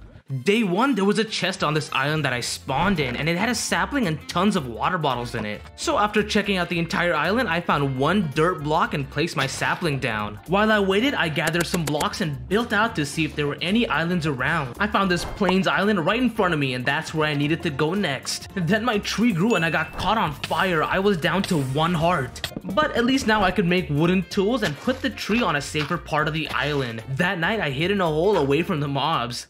Day 2, I found some rotten flesh on the ground, healed up a little bit, and went mining for some stone. I was able to upgrade into full stone tools. While I was here, I also found some iron, so I made a furnace and used these planks as fuel. This way, I also had some light down this cave. After all of that, I was able to make an iron pickaxe and I finally found some coal. So now I had torches and I immediately found even more iron. While everything was smelting, I chopped down this huge tree that just spawned and I realized I have an infinite fuel source. So I made a bucket and collected some lava that I'm to be using as my fuel from now on. Then I went mining for a few more minutes when I grabbed a bunch of ores and I had enough to make an iron chestplate, a shield, and iron leggings. Day 3, I turned all my cobblestone into slabs and just as it was becoming morning, I bridged over to the Plains Island. This is where I met Jerry. So after a few seconds of talking, I'm more than willing to give up my life to keep Jerry safe. I might just be going crazy, but Jerry said some of his friends are trapped on one of these islands. But before all of that, I needed food and some shelter. So I went back to the sand islands and grabbed a chest, my crafting table, and my furnace. While I was there, I also chopped down all the trees for saplings and I went underground to grab this water I found in the cave cave. I then started a farm, bred these cows and killed one of them so I could finally eat some real food and not just rotten flesh. That night the worst case scenario happened, a bunch of mobs spawned and I had only one goal, keep Jerry safe. I fought off hordes of zombies and skeletons and finally got Jerry in a hole to keep him safe for the night. Day 4, as the morning came, since all the skeletons burned, I used all their bones to get some wheat. I also turned this creeper hole into a future pool. I was gonna put water down later. After that, I flattened out a big area and put some fences down. I needed to keep these animals safe and first up were the sheeps because I needed a ton of wool. I then made some shears, sheared my sheep, and went to sleep for the first time. Day 5 to 7, I tore down all the birch trees and replaced them with oak saplings instead. I then made another fenced area, but this one was for the cows. Right after that, I made a composter because I needed bone meal for a pro gamer trick. The trick is that if you have your water like this and place bone meal underwater, you can make an infinite source of water just from one bucket of water. So now I was able to make a nice little pond, but more importantly, I can start working on larger farms. And I did just that that, I started working on 9x9 farms, and my visions for this is to be a big vertical farm tower thing. You know, this way slimes don't spawn and crush my crops, and I can save a ton of space. I also had to decorate the area, but as day 7 was ending, the farm was already 2 stories tall and looking kinda nice. Day 8, I decorated my island some more and I went mining. When I came back, I was able to make myself a new set of iron tools and breed my animals some more. Day 9 to 11, I started making the frameworks of my house. I've never made a circular house in Minecraft before, so it took me a bit to get the shape just right. I also had a bunch of sand from the previous island that I turned into glass. And before I knew it, most of the house was already done. The only things that were left were the roof and the interior. For the roof, I used up all of my stone and my andesite, and then for the interior, I just moved my chests and furnaces inside. I also filled the entire floor with carpets. Day 12 to 13, I expanded up one level on my farm because I got carrots and potatoes from the Mesa Island. I also flattened out the area behind my animals and I turned my cave into a safe space for Jerry. Oh yeah, speaking of Jerry, it turns out his friends were trapped on the Mesa Island. So I made some boats and went on a rescue mission to grab all of his friends. I managed to get these guys on a boat and I started the transport mission and oh man, it was a nightmare. I also had a casualty. One of Jerry's friends unfortunately died during the transport, but at least I could bring back one friend for Jerry. Day 17, I gave these guys some bread and placed more beds in front of them. Then from my spawn island, I went went across to explore another one of these sand islands. Right in the middle there was a chest and in that chest I got some acacia saplings and an Unbreaking 3 book. And then again the worst thing happened. It turned into night and this island was not lit up so so many mobs spawned. I thought I was gonna die for sure. I just ran for it hoping I didn't get shot by a skeleton. Because of all those mobs, I got a crazy good idea. The lava makes it so that mobs can't spawn anywhere else, so as long as an area is kind of dark, a bunch of mobs will spawn. So I used all of my stone and wood to construct a mob grinder. I placed it right behind my house and surprisingly only took one day to complete since I had a ton of blocks already. Day 19, this thing was working like a dream. I already had like 35 bones, so say goodbye to hunger. I then turned all those bones into bone meal and force grew all of my crops. With all these new crops, I was able to breed a ton of sheep and cows. Then I was also able to fill out the second level of my farm with carrots and my third level with potatoes. I gave the leftovers to Jerry because he must have been starving. Day 20 to 21, turns out these guys weren't just friends because there's a baby here now. But that's none of my business. I, on the other hand, had to make a bunch of blocks because I saw a mushroom island and this island was pretty far away. Even though I brought a bunch of blocks, it still wasn't enough so I had to go right back home. Then I got even more bad news because the wood I used for the mob spawner caught on fire. I guess this is what I get for being too fancy. I then had to go mining for some stone so I could finally get on the other island. I barely had enough blocks to make it onto this island, but it was completely worth it because the chest in the middle was crazy. This chest was filled with 36 diamonds. So I came home to make full diamond armor, a diamond pickaxe, and a diamond sword. I spent all of day 21 locking down Jerry's trades, and I made a third floor of the farm just for cactuses. Day 22 to day 26, I built a bigger pen for the sheep and cows, used up all of my bone meal again, and I even moved Jerry up to my house since I had enough villagers down in the cave. After that, I built another portal and got the worst spawn possible. I tried looking around, but there was nothing but lava pools and this huge basalt delta biome, so I just came right back home.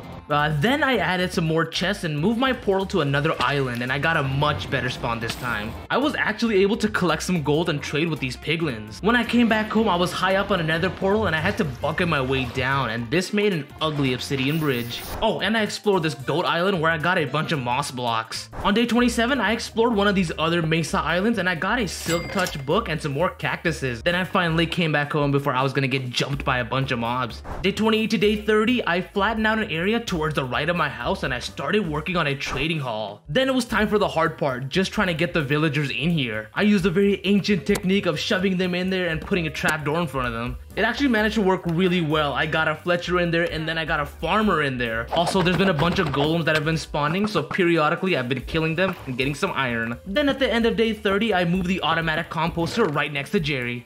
Day 31, for the first time in this world, I actually had a lot of cows. So I slaughtered them and realized I have another island to explore. So I ran through the goat island, picked up some more moss blocks, and I built over to the island that I haven't explored yet. I actually ended up running out of blocks, so I had to make these ugly obsidian bridges. But once I made it, this place turned out to be an end island. There was a chest on top of a bunch of coal blocks, and it had one sugarcane and 24 pieces of paper. So I ran back straight home and planted the sugarcane and stored the paper. Day 32 to day 35, I used moss carpets to hide all the lightings in my base, and then I was able to make a lectern so I trapped a librarian in the trading hall. I even skipped a sharpness 5 trade because I just needed bookshelves right now. While I was there, I also set up a leather worker so hopefully I could get some saddles. I then expanded my pool, bone mealed the floor, and put glowstone down to make it look a lot nicer.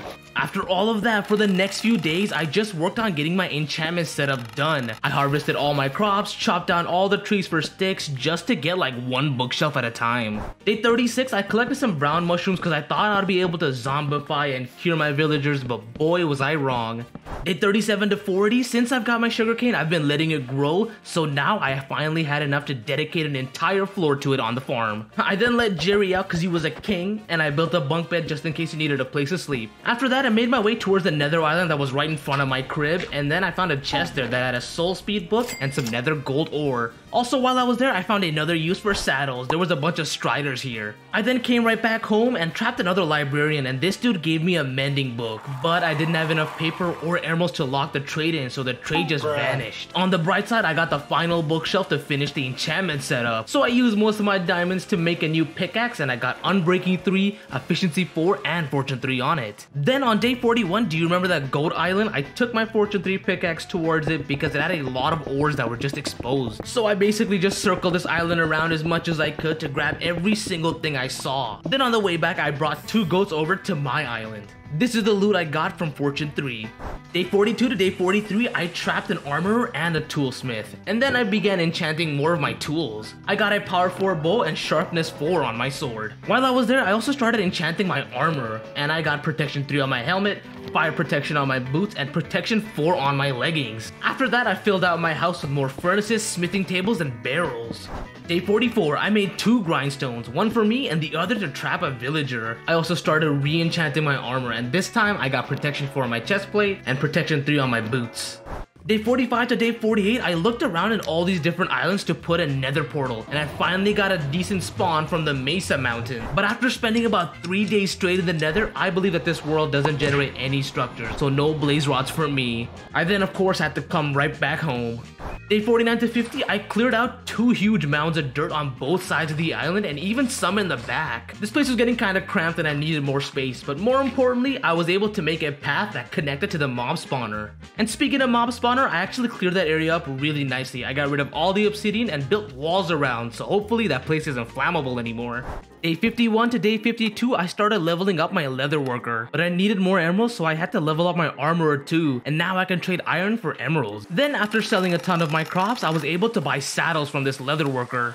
But just when I got saddles and the ability to ride horses, all the horses on this island either despawned or died. I knew somewhere else that I can use a saddle for, so I went to the nether island and placed that saddle on a strider, and that's when I realized I also needed a fungus on a stick.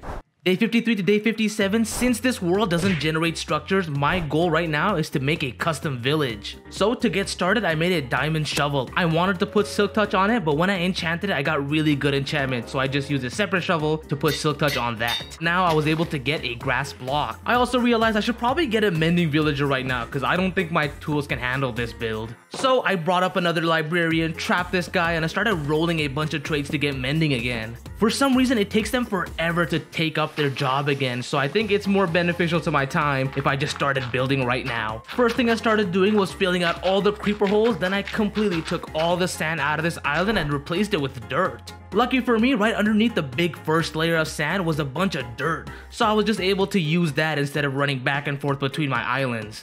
Day 58 to day 59, I was 100% right. Most of my tools are super damaged, so now I really need mending. This time I actually got lucky and after rolling for just a little bit, I got a mending book. And unlike last time, I could actually lock it in. I then also got a feather falling 4 book that I put onto my boots.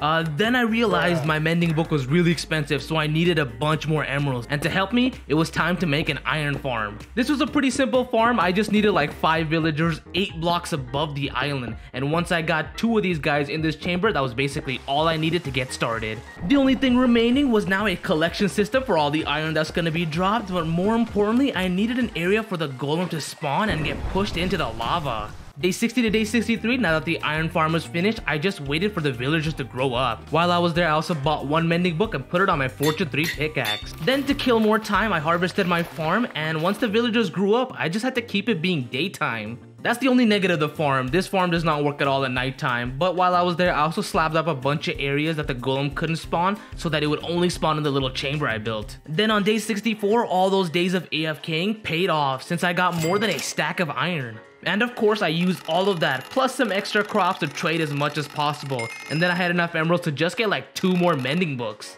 I put a mending book on my diamond axe because it was really about to break and I put it on my diamond sword. Then for the rest of this day, I just spent this entire time repairing the axe and then I made another chest for all the rotten flesh. Day 65 to day 67, now that I have mending on all my tools, I can gather a ton of stone and oak wood. With all those resources, it was time to finish the custom village once and for all. I found the center of this village and I started making a path to set up where the houses are gonna be. For now, I built two simple houses, one large villager house, and two farms. Plus, I put stone walls all around the island so things wouldn't catch on fire. Day 68 to day 69, that little bridge that connected both of these islands, I made them too wide. This way the villagers don't burn. And just placing all these things, it took so long, especially just adding the walls alone. At least now the ride across was actually safe. So I lured two villagers right near the bridge and I trapped both of them on boats. It's been so long since I transported these villagers, I forgot how long it takes to just move the boat on land. As soon as I brought one villager over, I placed a bunch of beds all around the village and I went right back to grab the next dude. My only hope is that these guys are both farmers so they can actually repopulate quickly and I also gave them like a stack of carrots and potatoes. Day 70 to day 80, it was now time for major upgrades. Since this whole time I've been clearing out a bunch of sand, plus that whole sand island, I had stacks on stacks of sand. I also had a bunch of gunpowder, so you guessed it, it was time to get some ancient debris. I made about a stack and a half of TNT, but I spent like a few days just trying to get a decent nether spawn, and travel in between these islands took basically forever. Every single one of these nether spawns were either a basalt delta or I was just inside some walls. So I went to the only safe place I knew and that was the Mushroom Island. From here I was able to find a nether waste biome and then I went down to y equals 15 and started letting it rain with a bunch of TNT. I ended up with 22 pieces of ancient debris. That's a pretty decent haul if you ask me. The only negative is that my armor was getting totaled. Then on day 81 to day 84, I spent these days collecting the biggest haul of carrots, potatoes, sticks, and sugarcane, all while my iron farm was running. I took every single piece of these stuff to the villages to crash their entire economy. I ended up with about two stacks of emeralds. Do you want to guess how much these two stacks of emerald got me? I got like only three mending books. Lucky for me, I had a spare one in my enchantment area and I put mending on all of my armor pieces. Then while my ancient debris was smelting, I repaired all of my armor. Now it was time to actually do the upgrade. I made every piece of my armor netherite and also made my pickaxe netherite as well. Day 85 to day 86 to celebrate a huge achievement, I actually collected a bunch of stone and I used it to make a villager statue right above the trading hall. Now I might win the dumbest person in the world award because this thing took me so long. I think I have the same IQ as these villagers. After that, I made another statue on the other side of the island because I wanted to use all of my copper and I saw this on TikTok. I also used this on my ocean world as well. Day 87 to day 89, I didn't need these villager breeders anymore, so I set them free. Plus, I needed this cave. Once those dudes left, I expanded the room out some more and I began making a storage area. I know it's pretty stupid to make a storage area on like day 90, but I really needed it and I was running out of space in my house. Making this thing made me realize how much stuff I actually had. Organizing and moving the items took me forever, but after I put the furnaces and the automatic composter down, this place was looking really, really nice.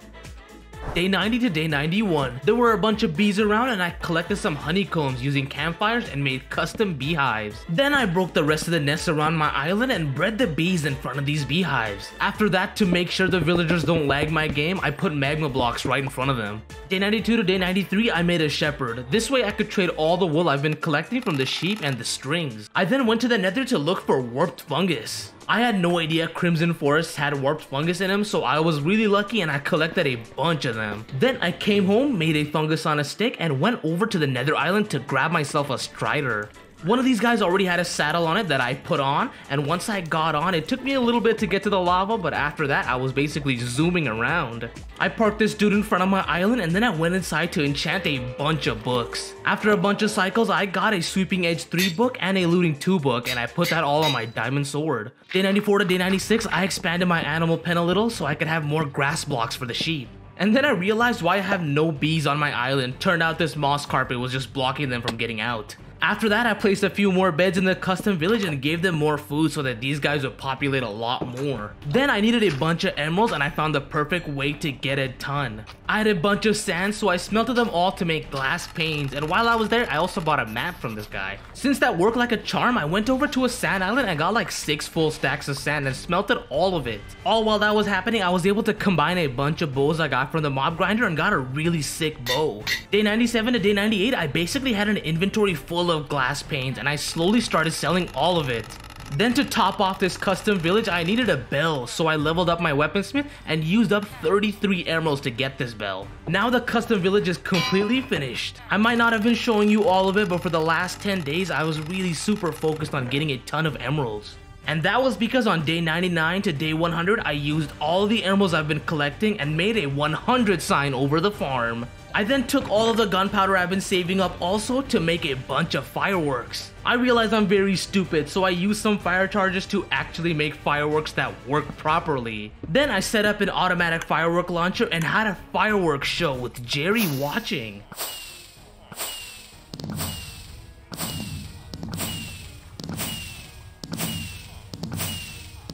Speaking of Jerry, it was time to retire him, so I took him all the way over to the village so he can live the rest of his life with his own people. I survived 100 days as a knight in medieval Minecraft. This world is filled with dragons, demons, and legendary bosses. And as a knight, I can only use melee weapons and I'm vulnerable to magic. Can I collect the 12 new Eyes of Ender and free the end in 100 days? Watch till the end to find out. Day 1, I started off in a little village and the first thing I did was take my quest rewards. This gave me a bunch of random books, but more importantly, I got a spawn bag. And in that spawn bag, I got oak logs, apples, and torches. I also got a canteen and then did the basics of Minecraft. Crafting table and a wooden pickaxe. After that, I started looting the chests and got some ender pearls, then found a librarian toga and made stone tools. While exploring some more, I actually managed to get a piece of armor and these things called maulers. I also realized I had two skill points and put it into constitution so I got an extra heart. Then I collected some hay bales and went to explore this ruined portal. In this chest I got a few more pieces of armor and a crazy pickaxe. Then night came and mobs started spawning so I went straight to sleep. Day 2, now that I can defend myself, it was time to go explore. But as soon as I stepped out, I got attacked by desert bandits. I took a lot of damage, but I managed to get these bandits trapped in the villager house and then I made a hole to take them all out easily. After that, while I was exploring, I killed a snake and checked if this big man over here was hostile and I killed a harpy. But while I was there, I found this airship so I made tons of oak planks and built up to it. This place was filled with machinery and spawners. Then I met a skeleton which I killed quickly and got blinded from somewhere. I then broke another spawner and killed another skeleton and I was able to put 3 more points into constitution. I felt a little braver and went up to the top floor and immediately got attacked by enchanted and powered up skeletons, so I was poisoned as well. Lucky for me, there were slabs in front of me so I could heal and keep fighting these skeletons. These guys dropped a bunch of enchanted books and I started taking out more of the spawner so I could finally loot the chest in here. These chests ended up having a bunch of iron ingots and an iron chestplate which was better than what I had. I then put 2 more points into strength and found one more chest and this one had 3 diamonds and a sharp 3 iron sword. I was also able to come home and make more iron armor.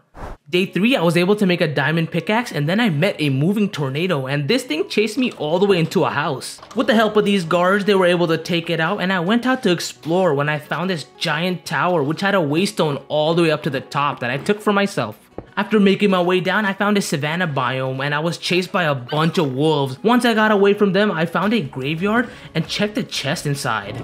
This ended up waking up a ghost and after I did some ghost busting, I got a fire aspect book, some iron, and a skeleton head. Then since it was getting dark, I grabbed some sugarcane and ran to find somewhere to sleep. There was a camp where I grabbed the wool and made a bed to go to sleep. The next day, there was another looking structure right next to me, which had a golden apple and a bunch of gold nuggets. And this side of the world was basically a dead end, so I made my way back to the village and then went to the other direction. I stumbled onto another graveyard with some decent loot and took out another ghost, and this is when I found my first huge structure. It was a huge pillager windmill right next to a witch village.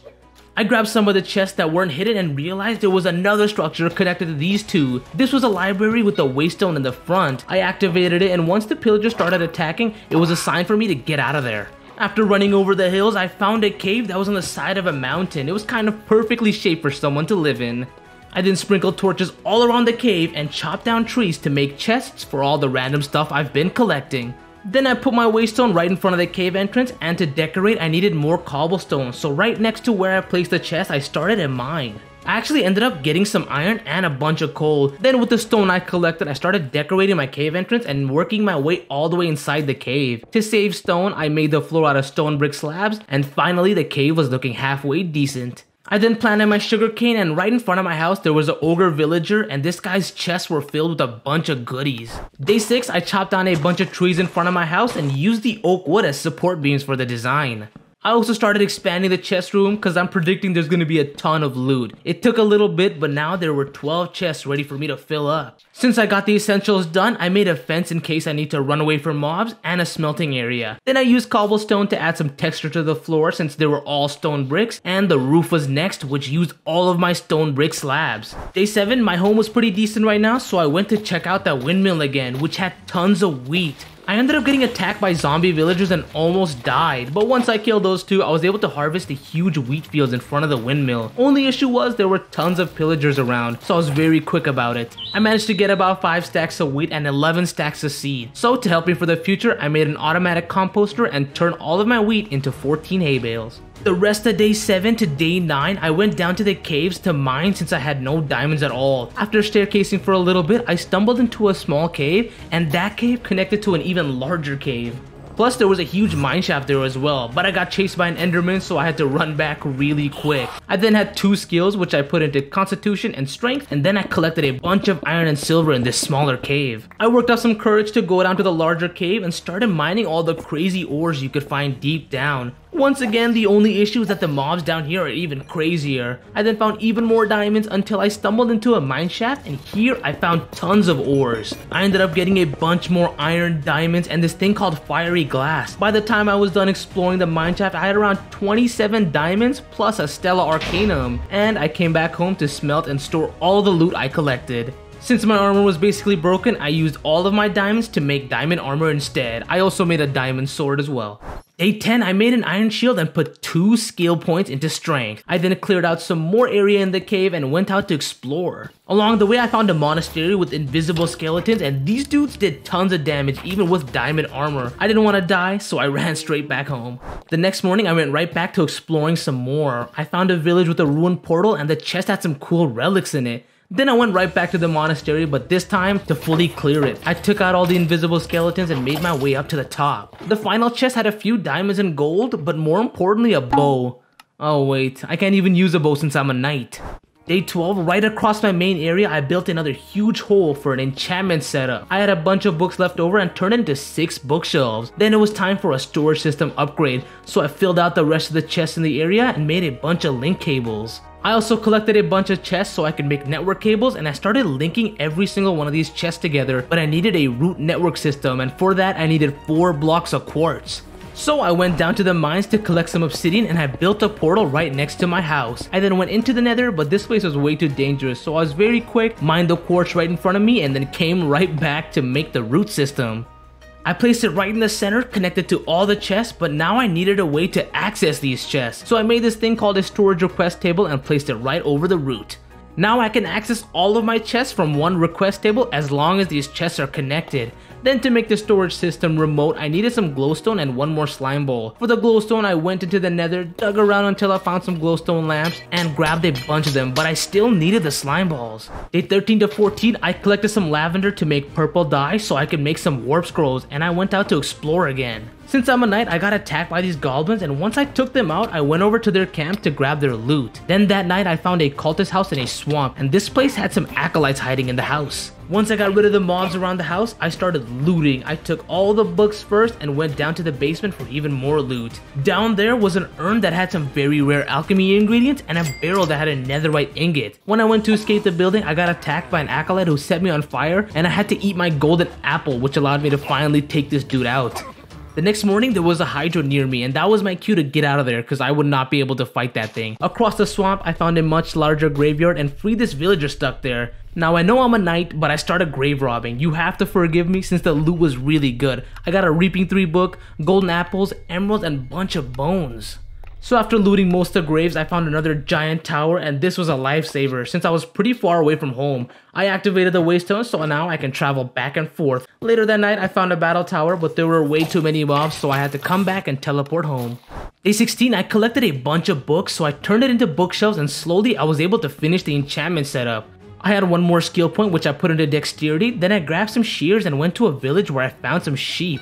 I dyed one of these guys red and I was able to make a sleeping bag. I then teleported home and started working on making a backpack. I also needed some sand, so I smelted it for glass and once I got every single piece of the equipment ready, I made a standard traveler's backpack. I wasn't done yet, I wanted to upgrade the backpack and see what the difference was. I needed more glass, so I collected some more sand, made stained glass, and then I made an iron traveler's backpack, and I'm pretty sure it didn't make a difference at all. It seemed to be just cosmetic. So now I had a huge inventory upgrade and I filled up the tanks in the backpack with water just in case I need to fill up a bucket. Then I needed more diamonds for an enchantment table so I went down to the mines. While I was there I collected some arcane blocks, fiery glass, and cold deep stone. And I also got the diamonds I needed. When I came back home, I made a light and dark chest and force loaded the chunks my house was in. Day 19 to day 21, I wanted to use this light and dark chest because you can get tons of diamonds in the deep dark and I was completely running out. So I needed to mine all the way down to bedrock and this took a good amount of time since my tunnel kept getting flooded. I still managed to make it down to bedrock and place down the light and dark chest. I put a diamond in there to get ready for the trip.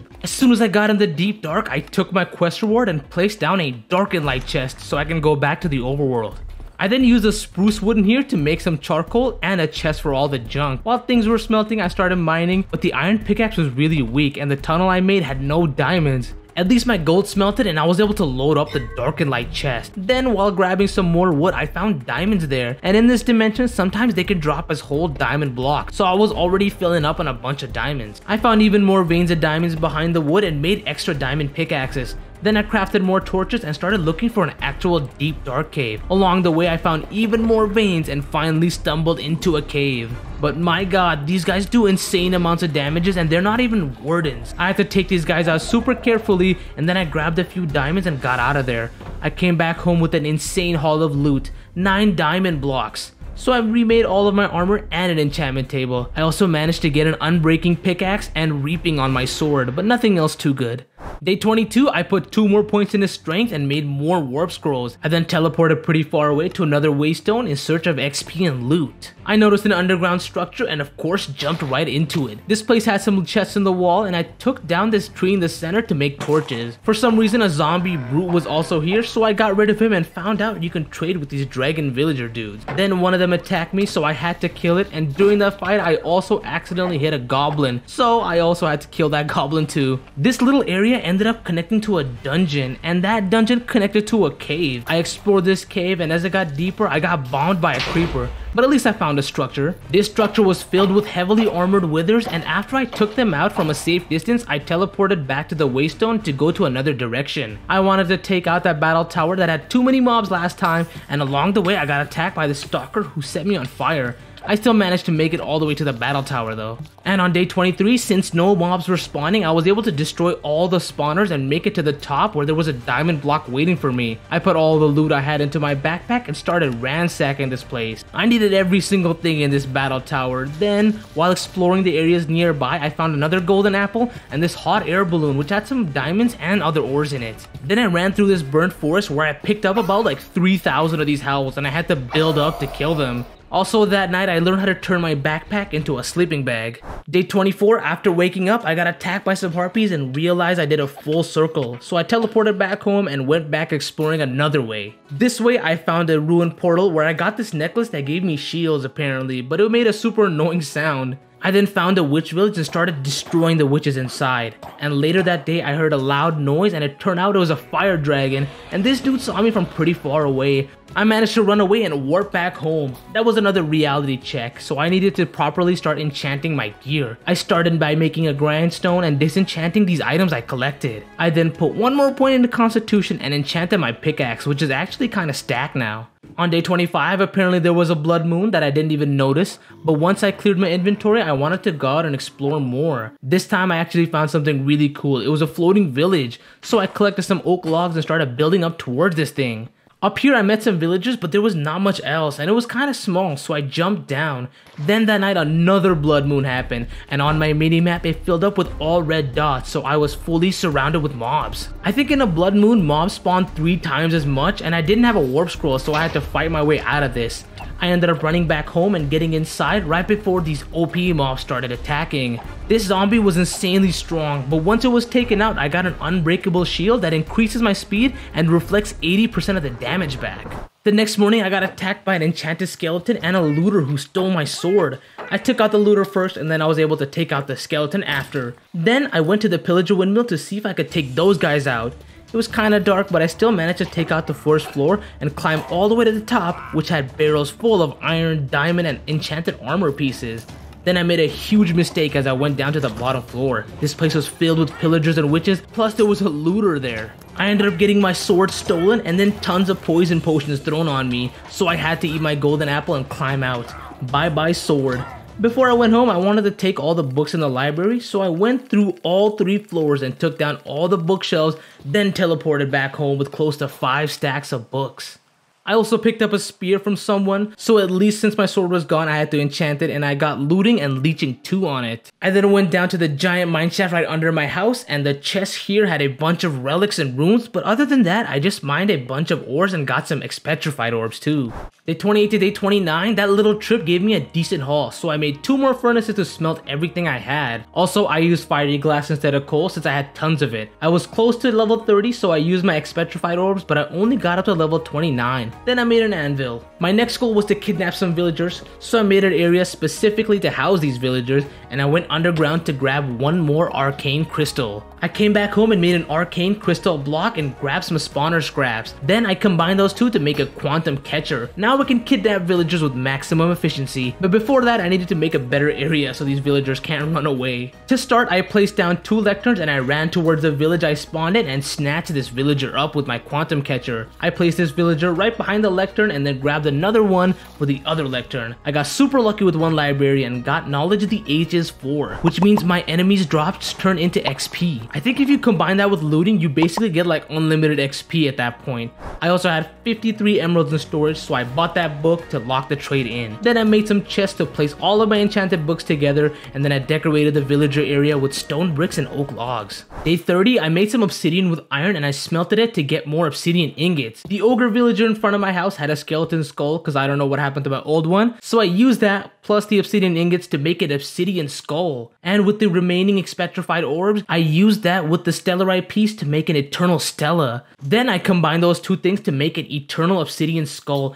and as long as it's in my inventory, I have full fire resistance. I then put the knowledge of the ages onto my spear and used the rest of my levels to enchant random pieces of armor. Now with fire resistance I could finally explore the nether, but first I tore down the portal and teleported far away to rebuild it there. I entered the nether looking for XP and I picked up some glowstone and nether quartz first. Then things changed when I built down and found a blaze spawner. With the knowledge of the ages, I literally got 3 levels from 2 blazes, so this place was gonna be nice to grind levels. Well, until a mutant blaze spawned and I ran for my life. This guy was so overpowered, one of its fireball moves got rid of half of my hearts. I ended up getting really lucky because I think this thing just suffocated in the walls because it just disappeared. So I went right back to grinding XP. I only killed these blazes for a minute straight and I got like 6 levels and 3 skill points, which I put 2 into constitution and 1 into strength. Once I got up to level 41 and my spear broke, I left the nether. As soon as I got back, I enchanted my chest plate and got protection 3 on it. Then after rolling some more enchants, I was able to get protection 4 on my diamond helmet. Since my spear broke, I made a new diamond sword and when I enchanted it, I got smite 3 and sharpness 3 on it. Then I disenchanted an unbreaking 3 shovel and put that on my sword. I also sprinkled glowstones all around the base for lighting and decoration. Then I stole the library's waystone and moved it towards the village so I could steal more villagers.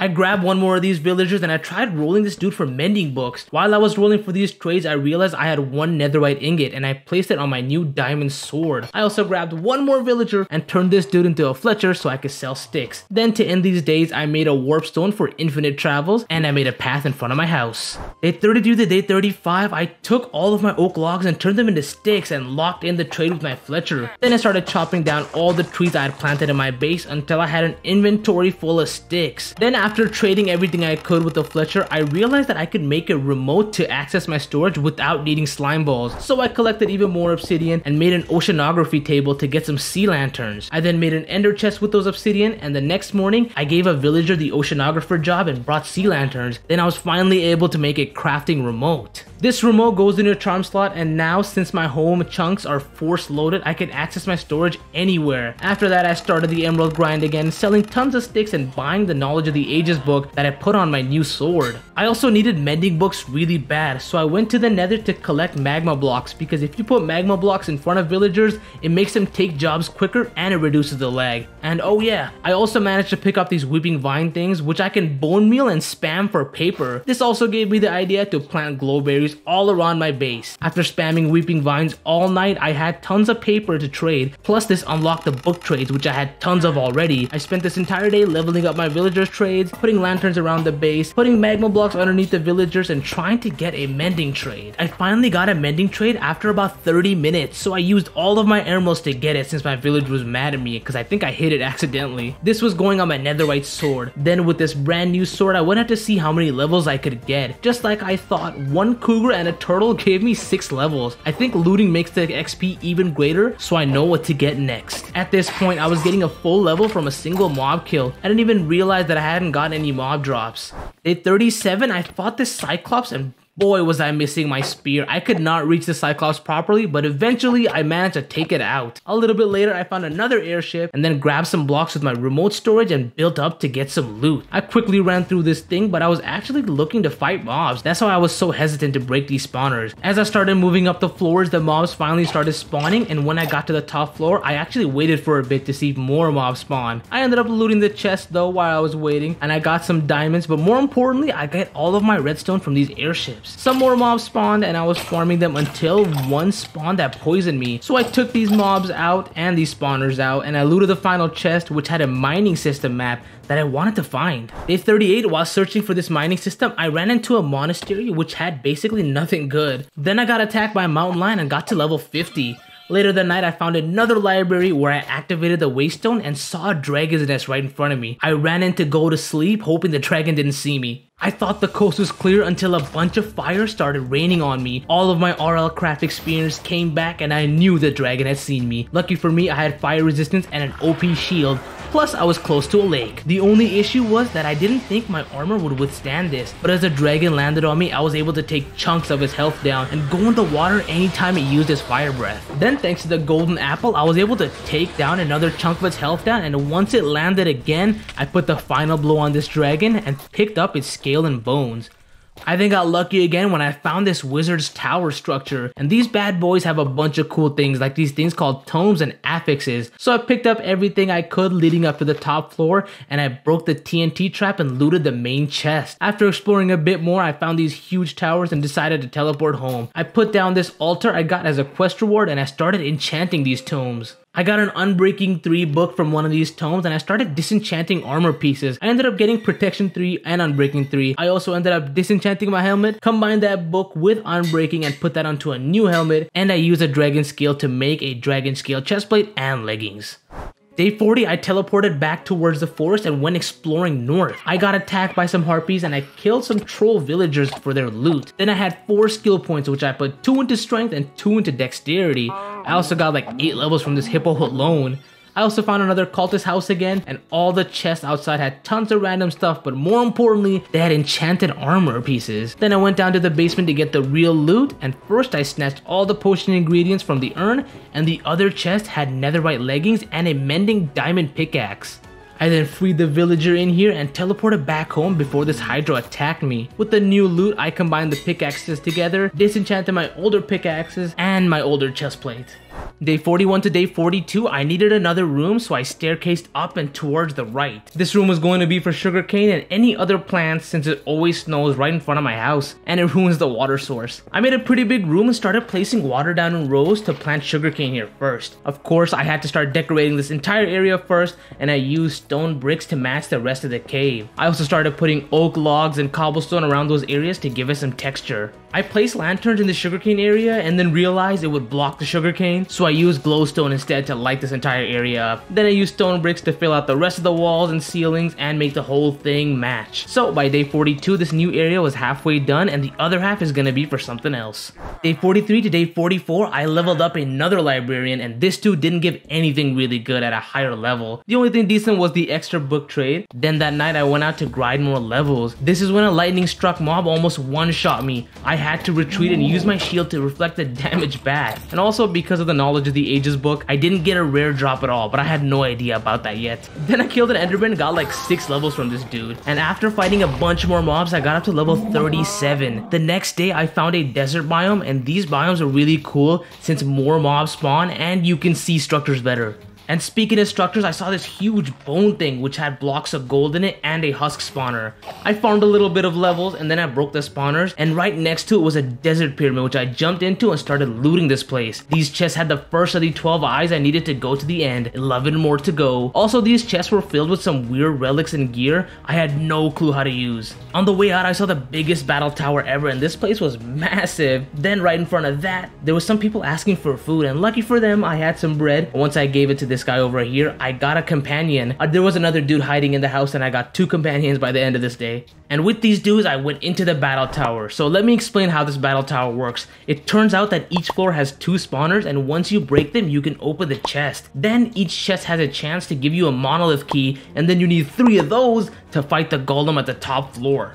At first I had no clue what to do, so I just started looking around for all these floors, grabbing the loot. The only thing that I knew was that there were locked chests and I needed to open them. When I made it up some floors, I found some pillagers and realized the spawners have to be here somewhere. While making my way up the tower, I also grabbed a ton of books and I made it to the top floor and that's when I realized I needed something to activate this thing in the middle. After doing some research, I started going through the floors and breaking these spawners. This took literally forever, but I managed to get three land monolith keys and went up to challenge this tower golem.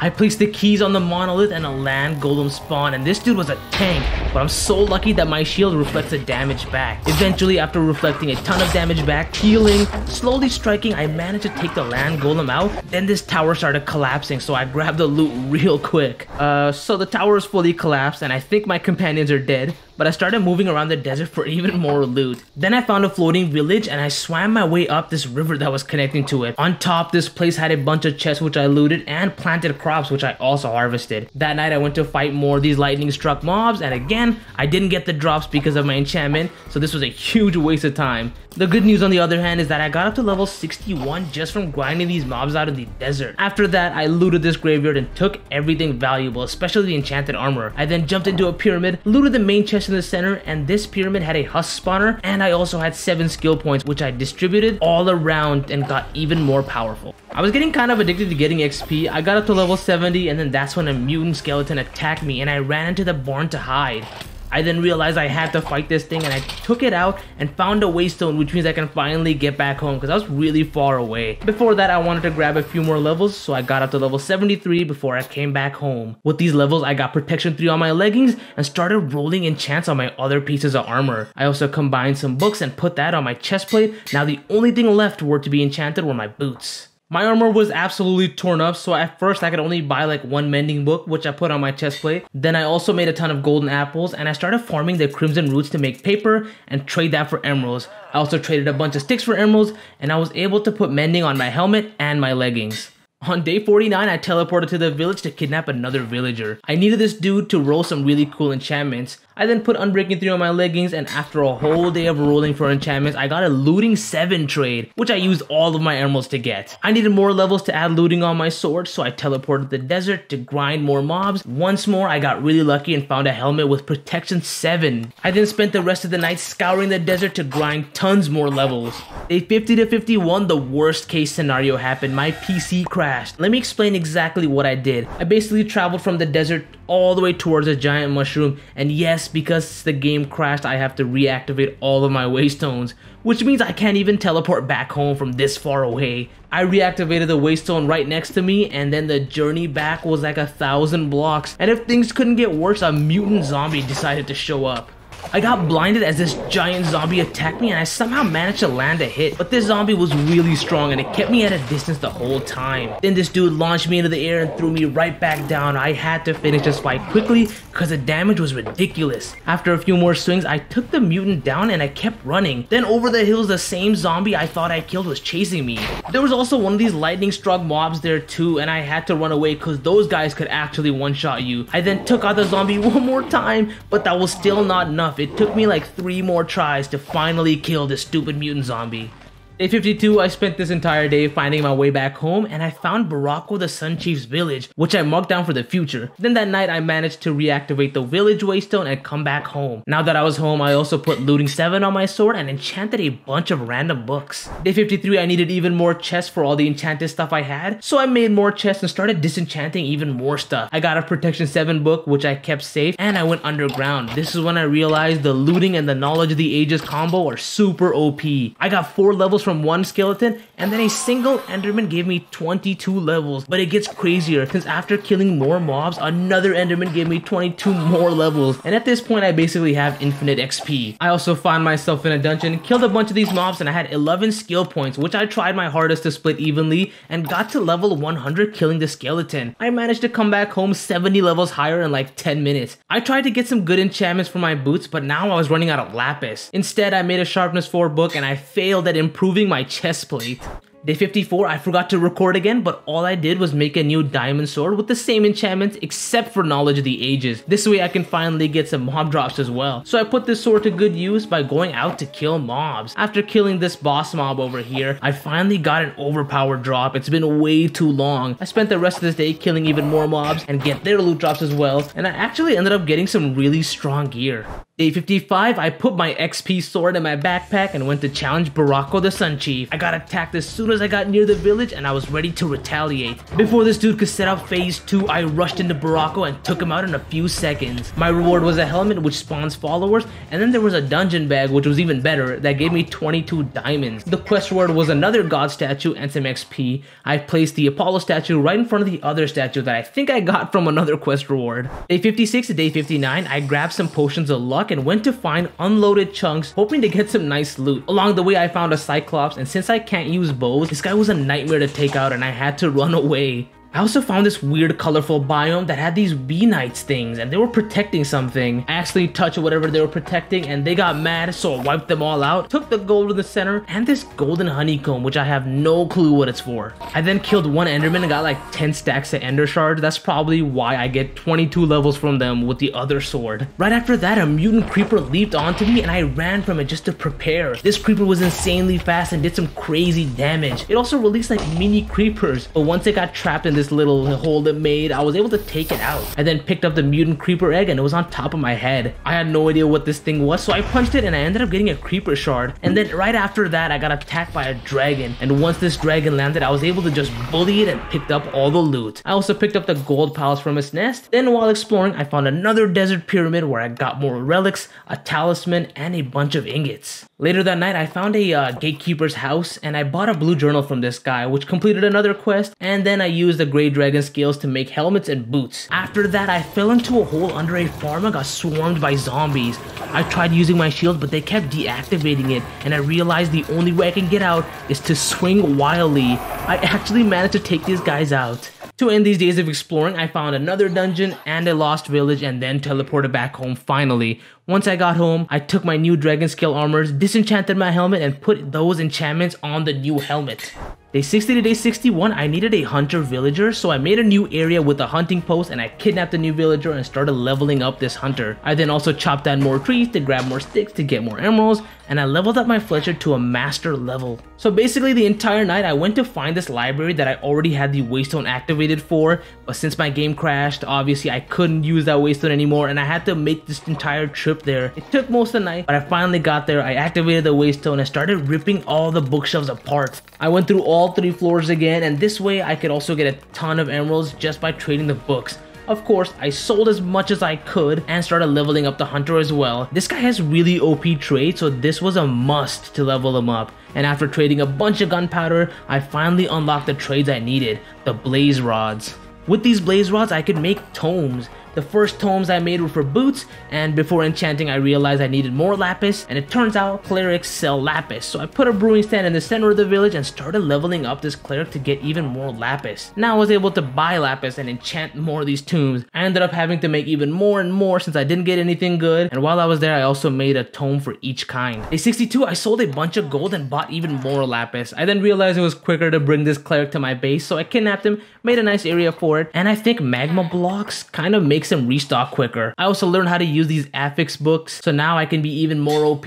Finally, the last piece of armor, the boots, I actually enchanted it and got a really good feather falling enchantment. After that, I combined a protection 7 book with unbreaking 3 and also put mending on this thing. So now I basically had a perfect set of boots. Just for fun, I also made another obsidian skull and combined it with my shield because I really liked the way it looked. Day 63 to day 65, I broke the nether portal and moved it far away again. And one more time, I'd already been in this place before. I then moved my way over to a waypoint I said before. This is where I found a fortress and after a little bit, I saw a little bit of the fortress peeking out, and I ender pearl towards it. Then I started killing these wither skeletons. I also took out a bunch of blazes and even with looting 7, I was having a real hard time getting wither skeleton heads. And since I've been leveling up like crazy, I had 4 more skill points and I was level 67. Then while I was here, I also got some nether warts and this chest had a nether eye. 2 down, 10 more to go. I also picked up this bastion map and once I got sick of all the wither skeleton farming, this is where I wanted to go next. But while I was here, I was grinding a bunch more wither skeletons until a mutant blaze attacked. And these guys are some of the toughest because they can just drag you in and throw you you around. I still managed to take out these guys pretty quick and I picked up the core. And I'm not kidding you when I tell you this, I did not get a single wither skeleton head and none of them spawned at all. I then actually got sick of this fortress and I went out to look for other structures and using my ender pearls I found this temple thing. And in these chests there was a bunch of enchanted weapons and gold. I also picked up whatever this bastion ring thing is called and I started flying through these nethers killing these things called nagas who ended up dropping the first wither skeleton I've seen this entire world. Then after traveling even more I found another nether fortress and the chest in here had another map which I was actually pretty close to so I ender pearled around until I reached this bastion where right in front of it was a dungeon filled with tons of spawners. I then had a great idea to break all the spawners that weren't wither skeletons or nagas. For the next few days, I basically moved around this entire dungeon, farming a bunch of whatever these guys were that dropped wither skeleton heads. I ended up getting one more wither skeleton head and some ancient debris as well. And I'm not kidding, I think I killed a few hundred of these nagas and wither skeletons and it still took forever to get the last wither skeleton head I needed. I then took a break to go explore this bastion where I killed these piglin brutes and looted the main chests. Since this bastion was glitched, there wasn't really anything else, so I went right back to grinding even more wither skeleton heads. This time I finally got the last head I needed and I teleported back home. And also because I killed a mutant blaze, my quest reward was a blazerite ingot. Then while all my ancient debris was smelting, I started working on expanding my storage system. So I grabbed a ton of network and link cables, and then I made space on the other side of the storage room and filled that area with 12 more double chests connected to the root system. Now in total, there are 24 cables connected to 24 double chests. I also had tons of lanterns, which I sprinkled all around the base, and I put glowstone on the floor for more lighting. A 67, I grabbed a golem kit, the wither skeleton heads, and I made a netherite ingot which I used to improve my non-XP sword. So after all of that, I went underground to take this wither down. Actually found some really useful ores while I was digging down there, and then I summoned the wither and used the golem kit to summon an iron golem to fight with me. This stupid golem was useless, it ended up getting stuck and I didn't even need it since I was able to take this wither out in like less than 30 seconds.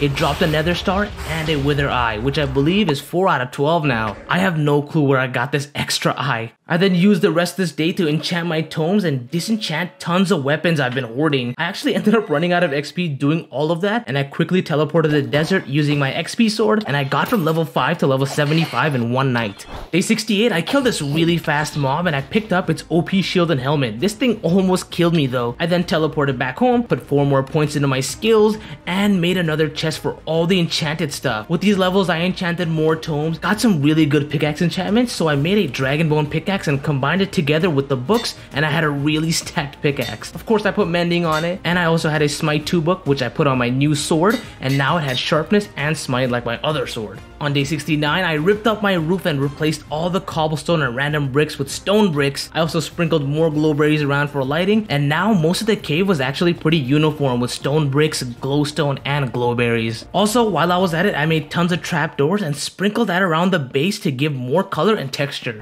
Day 70 to day 72, I traded a bunch of gold and brought more lapis. Then I went out to go explore and complete some more quests. The first thing I wanted to do was take out the first dragon I saw in this world and explore from there. Once again, I went toe to toe with a fire dragon and I immediately destroyed it. Then later that night, I found a wizard's tower again, which means more affixes, so I went inside and grabbed everything I could in this tower. The main chest had some really nice stuff, a mending book, a vampiric weapon, and more importantly, it had a ton of these affix removing books. When I came back out, I used my XP sword to get even more levels, and I drank a potion of luck to hopefully get better loot. The next morning, I found tons of pillagers and an outpost. These outposts are the only place where you can get the corrupted eye, so now I got 5 out of 12 done, I think. The top chest of this outpost had nothing too good, which is really weird because normally they're the best chest in this entire outpost. Oh yeah, and my luck on these bags were insane. I got a netherite ingot. After all of that, I found a really nice area, and this place had a blacksmith's house and a waystone, floating village, wizard towers, and a battle tower. That night, I killed a boss mob and got a killer chest plate plus more tomes and affixes from this wizard tower. The main chest had a netherite axe and a netherite sword. Then when I made my way down, I got attacked by a mutant enderman. And these guys are insane. They never stop attacking and summon clones non-stop while teleporting everywhere. I used my shield to reflect as much damage as I could and I took down this mutant enderman. Oh yeah, this thing also has a last stand move where it just drags everything in and launches you pretty far away. Before these days ended, I also raided another wizard's tower,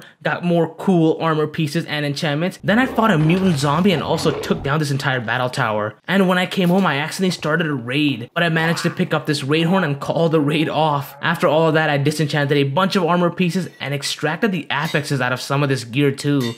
Day 73 to day 75, I set aside two pieces of armor that I wanted to remove the affixes from, and I went to grind even more levels. I killed basically everything I could because removing these things take like 40 level each. Along the way, I found a jungle pyramid and got a rogue eye. Now I think I'm uh, halfway there, it was 6 out of 12.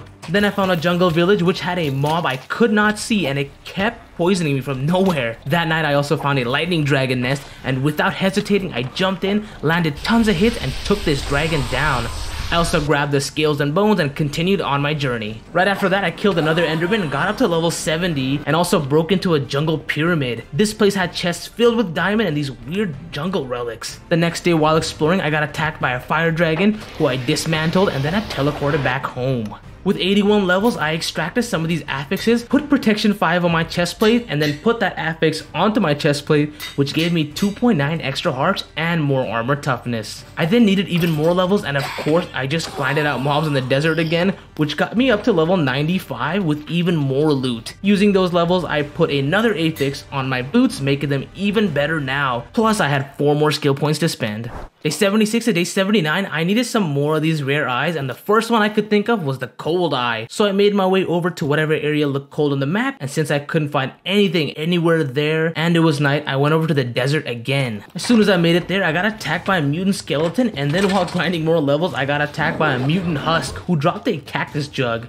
I managed to get up to level 77 and just picked a direction to move towards. Here I found a Hydra and no matter what I did, I could not kill it, so I just moved on. The next morning, I favorited all the eyes I needed and crossed off the ones I had. In total, I needed 5 more since I crafted the witch eyes too. Then while traveling across this lake, I got the best news ever. The Goblin King's health bar showed up. It was time to destroy that little dude. I barged through the front door and started evaporating all these little goblins. Then I tore this ogre apart and just like that, the first floor was basically wiped out. I then made my way up the stairs ready to destroy the Goblin King. I hit this guy as hard as I can and dropped his health down to half when I started running away and teleporting. Then at basically a sliver of health, this dude teleported somewhere and I couldn't find him for a bit. So I just looted as much of this place as I could until I saw him on the ground and I did a jumping strike to take the Goblin King out. My rewards were not that good though either way. As I was looting this castle, a blood moon happened so I grabbed whatever I could as quickly as possible and I teleported to the desert to farm this 3 times spawn rate. Oh my god, they were not kidding about the spawn rates at all. Since there were unbelievable amounts of mobs and tons of lightning strikes, my game was getting like 30 frames per second, and all of that before I even entered the desert. I also have to say that the mutant skeletons are the most annoying mobs in this mod pack. Anyways, I made a huge mistake since I wasn't using my XP sword for a little bit, and my energy bar was almost ruined. I only had like one or two little energy bars left. I basically had to stop running, and after fighting hundreds of mobs and getting to level 103, I came back home quickly before I ran out of energy. Day 79 to day 81, I extracted a mythic affix and put it on my helmet, which gave me 8 hearts extra. Then I got some more lapis and started enchanting this new axe, which was basically perfect now. After that, I teleported far away to search for more structures that could have the eyes I needed. During that journey, I also killed some slimes and finally got the slime balls, even though it's useless now. Oh yeah, turns out I've had this compass this entire time. I use this to point myself towards a cold ocean so I could either get buried treasure or an ocean monument. I found a pirate ship, which I boarded, killed everyone, grabbed all the loot, and burned it down as well. After that, I killed some sirens and got attacked by a sea serpent, which I handled handled pretty well. I also raided these underground villages which had sea dwellers and these chests were actually not bad at all. After all of that, I finally found an ocean monument and I already had doors so I rushed in. I didn't really try to clear all the mobs, I just wanted to kill the guardians and get the guardian eye. And after searching around, I finally found my first elder guardian and wiped that bad boy out, picking up the guardian eye. Now I can finally get out of here. Four more eyes left. When I got home, I opened all the bags I've been saving up and I couldn't even tell you what I got. And then I upgraded to a diamond backpack and got completely scammed again. I for sure thought it would give me more space. I also made a separate area for nether warts right next to the sugarcane farm just in case I needed to make potions later on. Day 82 to day 86, to get this black eye, I needed to find buried treasures, and just looking at my dot in this map, I knew it was gonna be really far. I teleported around to see if the map would budge and realized this treasure is probably even farther than I thought. So I found this ruined portal, which was pretty ready to activate, and I went to the nether. If I found a bastion, that would make me be able to craft an end crystal eye. And I did get kinda lucky, because I found a fortress immediately, so my hopes are high. And after traveling around using these ender pearls, I found some really weird structures. Turns out this place was a piglin camp and one of the chests had a bastion map which I was really close to. This was a pretty open bastion and I got two end crystal ores. I also got swarmed by piglins and hoglins and had to kill all of them. Then I got two more end crystal fragments and I was able to make an end crystal eye, so three more to go. With that I teleported back to the overworld and I went to grab this buried treasure. While traveling I got another waystone and I finally noticed the blip on my map increasing in size, so I was getting somewhat close. This journey was completely worth it because after digging up the treasure, I got what I needed, the black eye. So two more left. While I was here, I also looked up a cold tundra on the compass and I went to go find it so I can knock off the cold eye from the list. This biome was like 7,000 blocks away and thank god there was a waystone in that direction so that I can go back and forth from it. I'm pretty sure I spent about 3 whole days traveling but it was completely worth it since this biome was also an ice maze connected to a snowy tundra. While I was here, I wanted to take on a boss so I jumped onto this pillager outpost and started working my way up looking for the horn to summon Captain Cornelia. I didn't manage to get the horn at all in this structure but there was a bunch of good loot at the top of this outpost. The next structure I found led me underground and had this locked chest which I obviously needed to open. On day 87, I found a shipwreck and took out the pillagers on board. The captain quarters had even more enemies, but it was also where all the loot was. I think I managed to pick up the shell horn from a pillager and I blew it right next to the water. Then from the water came Captain Cornelia, who I managed to do tons of damage before it even landed. It then summoned a bunch of these drowns to distract me and heal, so after I took care of all those guys, I killed the captain and took my quest rewards. I also got this frozen key, which I needed to use on that locked chest. Inside the chest, I got something called the Heart of the Storm, and then there was another chest that I didn't even open, which had the Cold Eye, so I had one more eye left to get. Day 88 to 90, I knew that one eye can only be dropped from an evoker, so I teleported to the village, rang the bell, and I barricaded all the doors so the villagers wouldn't die, and then I got ready. At first, it was just a patrol that showed up, so I took them out to get a bad omen effect, and then it started. And uh, wave 1 was simple. It was just some regular pillagers and like one or two advanced guys. Wave 2 then summoned more armored pillagers and some of these specialized dudes like these chefs and the royal guard who was a tank. In two waves I already had a stack of emeralds just from killing all these pillagers. Wave 3 things started getting a little bit more difficult. There were now pillager golems and these mini creepers but it was still pretty manageable. Then wave 4 happened and now tons of these pillagers started pouring out from nowhere, all different shapes and kinds of them too. That's not all, there's now dudes who do tons of magic damage and as a knight that's what I'm weak against. Lucky for me the golems and the village guards were still alive, I think, and I was able to get a quick nap in also before wave 5. This wave was ridiculous. There were now diamond armor wearing pillagers and way more magic dudes. They kept levitating me and there were non-stop explosions. Still, with my OP gear, I managed to take them all out, but it did almost kill me.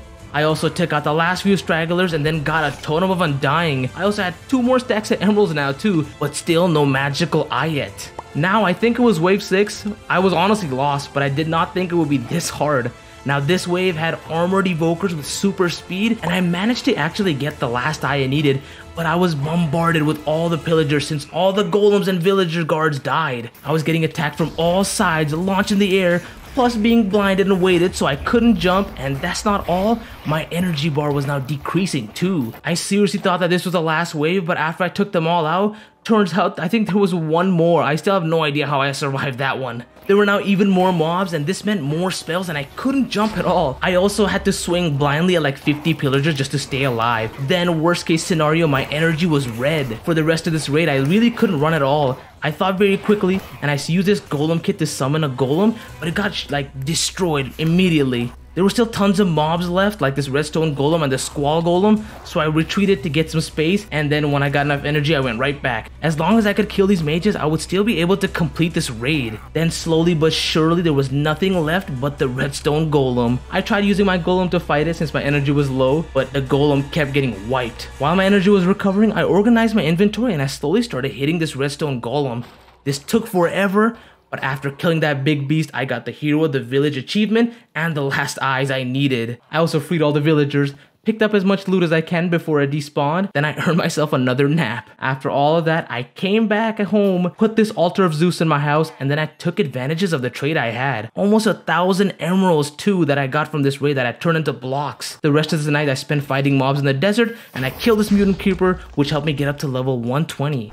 Day 91 to day 93, from that last night of fighting mobs, I had a bunch of these affixes that I collected from the mobs, and I used them to max out my leggings. I also hit level 93 and used up 3 skill points. Now I was ready to take on the Ender Dragon, so I put all of these unique Ender Pearls in my backpack and then I used two of the ones that I had a tons of to lead me towards the portal. I don't think regular Eyes of Ender work. I traveled for a good little bit until I reached a point where the eyes started turning back. So from here, I knew to dig down around this area. I dug down until I reached these stone bricks, but I wasn't sure if this was a stronghold. I still made sure to loot everything I saw. And then there was a library room, and I made sure to get all the bookshelves there too. That's basically free emeralds for me right now. After dodging more traps, I found another library, got even more bookshelves, and I started moving lower and lower to these floors. Then there were these two spiral staircases which led all the way down to another library. And finally after all of that there was a weird room that was flooded. And I started looking at all these chests and breaking down the walls. And good thing I did that because I found a redstone machine. I think this is a redstone comparator that connected to a hidden room. I think this is gonna lead me to the portal. There was a huge maze and I just brute forced it by just building and chopping through everything. And in the last room I think there was a puzzle but I was just sick of it. I just broke the blocks and then I found another secret entrance and this one was the actual one that led to this really beautiful portal room. I looked around for a bit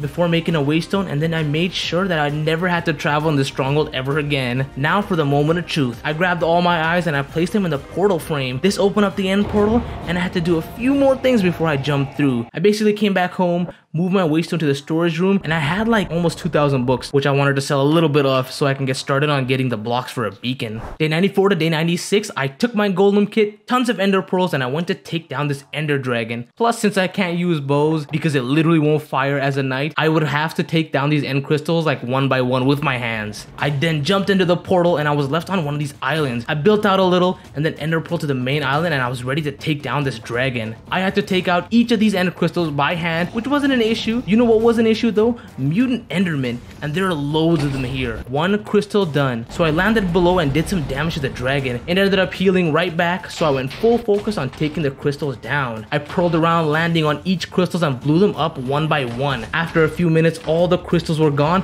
and I swooped in and did tons of damage to the ender dragon. While I was waiting for the dragon to perch, I also grabbed my quest rewards and then one more round of hitting the dragon, it had only a third of its health left. Then it perched again and it left with only a sliver of health. A few more and this thing was gone. Alright, finally I took the dragon out and I swapped to my XP sword. The dragon egg was also super shiny and of course I grabbed that for myself. I then realized that the end dimension is an XP gold mine. Every single enderman would give me tons of levels, but I ended up pushing my luck since this mutant enderman attacked me. And not gonna lie, this mutant enderman was a lot stronger than the ender dragon. Before I left to go to the other end islands, I took all of my quest rewards which gave me another dragon egg and a nether star, plus I got up to level 213. I made my way over to the gateway and slid through the portal. I'm gonna skip past the boring travel because I literally killed tons of endermen, got to level 300, and I found the end city relatively quickly. Now that I was here, I killed as many shulkers as possible and slowly worked my way up towards the top. The top floors had pedestals holding up shulker boxes and tons more books, but it was time for the real star of the show, the end ship. Of course, I took all the books and the Elytra, which already had Unbreaking and Mending, but these chests were filled with crazy diamond weapons, strong enchantments, and relics, and most importantly, dragon scales, which can make some insane armor. I grabbed everything I possibly could, like void totems, orbs, any armor piece with good enchantments, and I teleported right back home. For the rest of day 96 to day 98, I made these obsidians with iron so I could make more obsidian ingots. It was time for an armor upgrade. To make these Draco Arcanus armor, I needed to make obsidian armor first, and I started by making the helmet, then the chest plate, then the leggings next, and last but not least, the full armor was done with the boots. This armor ended up matching my shield and was more powerful than the dragon scale armor. I just needed to transfer the enchantments and put the affixes on it. I chose to take out all the enchants off first and I put it on my new armor but this meant losing like 15 extra hearts from all the affixes I had and it took like 100 plus levels. I had one decent affix which I extracted and a protection 5 book which I also disenchanted. I put the protection 5 on my leggings and the affix on my chest plate. I then put one more affix on my boots and I realized I needed fireworks which luckily can be bought from a villager. I also had enough to make a few. Before that, I made a hole towards the sky because I wanted a beacon inside of the base. I dug out an entire area right in front of my enchantment setup to house the beacon. Then this is where all the iron, gold, and emeralds I've been collecting paid off. Each layer of this beacon was a different block and it was ready to be activated finally. I chose to use this for regeneration and haste. Then I made another area in the trading hall for the Enderian trader so I could have infinite fireworks. First I needed these purple blocks so I flew all the way back to the end city and I teleported right back home. Then I kidnapped a villager and I leveled it up to unlock this fire trade. I wanted to buy enough fireworks that would fill up like half the backpack. For the rest of day 98 to day 100, this Enderian I realized sells dragon heads, which can help make the best bookshelves in the game. The end shelf can let you enchant up to level 80, so this is a must. I brought tons of dragon breath from this guy, then I chopped down tons of trees for bookshelves, and last but not least, the dragon head to top it all off. At first, I was only able to make like one end shelf, and this already meant I could do enchants up to level 36. So I went to the end to grab even more end stones, and I got up to like level 195. With all of that, I filled up my enchantment setup with end shelves. Now I can enchant things with 80 levels. I also just realized that there might be one more tier of bookshelves that I completely forgot to get. But aside from that, I did get my first level 80 enchant and it was really nice. I still kept rolling it though to see if I could get something better and I did. It was a lot better. I then had a genius idea of enchanting level 80 books and tomes to fill it out and max out my armor. Doing all of that, I managed to make my armor and gear unbelievably overpowered. This is what my endgame gear looked like. I actually had to re-enchant my boots since one of it like took half of my heart, and now this thing was completely ridiculous. Finally, I ended up being level 146 and enchanted my shield as day 100 came around. I got transported to ancient Egypt and this place is filled to the brim with bandits, mummies, and these ghosts. I have 100 days to collect the artifacts of Atem from the pharaohs scattered around this world before I can come back home. Day 1, the first thing I needed to do was to look for food, but I noticed a bandit patrol right in front of me. I had to go the other way and as I was chopping this deadwood tree, a little creature came out and attacked me. Once that was taken care of, I made a crafting table, killed another scarab, and made some wooden tools. Just as I was about to leave, a bandit patrol noticed me and started firing arrows. I ran away and started burrowing underground and mined some limestone. This is where I made a limestone pickaxe. Before I left this hole, I made a full set of limestone tools and found my first pyramid. Right now, there's no way to tackle this place. Instead, I found another structure where I looted the crates and got dirty coins, jewelry, and some of these emmer seeds. After eating the scraps I collected, I found an even larger structure and built up to it. This place was filled with crates and each crate had tons of goodies. I found leather, coal, and even iron in here. There was also a spawner on the bottom floor and this bandit who had a giant sword. I managed to kill him and while looting some more crates, I got tons of leather, coal, gold, iron, and I even managed to get a pair of iron boots. After filling my inventory with junk, there were way too many bandits around here, so I had to run away. I found a little hill, made some torches, and dug in hoping to survive the night. With the iron I got, I managed to make a shield which would protect me from the incoming arrows. Day 2, I went down in the mines and realized I had 3 iron ingots which I turned into an iron pickaxe. Then I started digging down, grabbing everything I could, and I mostly found iron and coal, which was enough for me to make tons of torches and an iron chest plate. I then used the rest of the leather I had to make leggings and a helmet. Oh, and I also made a bucket. Then it was time to somehow get past the bandits that have been piling up right next to me. It definitely was not worth it fighting these guys right now, so I just ran even though some of the arrows were hitting me. Since I had no food, I had to kill every rabbit or quail I saw, and then I was looting some of these structures when I got hit by a bandit with a huge sword and it knocked me down to 3 hearts. Luckily, I was able to take this guy out, but I realized I needed to find a village or an oasis soon to have a good food source. After that, that, I found another giant structure where I picked up a Fortune 2 pickaxe and managed to already kill every single type of bandit. But now I was surrounded by them and I jumped and began running again. For the rest of this day, I dug another hole and set this place up to get more resources. I made torches, cleared some more space, and went down to the mines with my Fortune 2 pickaxe where I found a mine shaft. Day 3, in the mineshaft, I picked up a bunch of strings to make wool and I explored around trying to find some chests. I managed to get one chest and the loot wasn't too good. Thankfully, this Fortune 2 pickaxe is crazy and I picked up tons of coal and these fossil blocks which gave me dirty coins and jewelry. Oh, and of course, even more iron. I had to be careful using this Fortune 2 pickaxe since it was almost broken already. I then came back up to make some wool and smelt the iron. I realized the smartest thing to do is to make more iron pickaxes and only use the Fortune 2 on, on diamonds. I then explored around the caves underneath the mine shafts collecting some more ores and I found this weird creature. Now this guy was an absolute tank and it took a bunch of swings to take him out. All that exploring paid off though since I found my first diamonds of this world. The Fortune 2 didn't help at all since I only got 2 from 2 veins. I then picked up some lapis, killed another stone golem, and found even more diamonds. This time luck was on my side and I have 10 diamonds in total now. So after collecting a few more new ores, like this Nebu ore, I decided to come back up to the base area. I spilled to the Nebu ore, and then since I picked up this bucket of water, I used it to clean all the dirty coins and jewelry I had. Day 4, I grabbed everything that was important and ran off to go find civilization. After dodging tons of bandit patrols, I had 2 hearts left, and had to start killing some of these camels for their meat. That night a sandstorm hit and I dug underground to wait it out. Once the sandstorm went away, I slaughtered a bunch more cows and had 7 raw camel meat.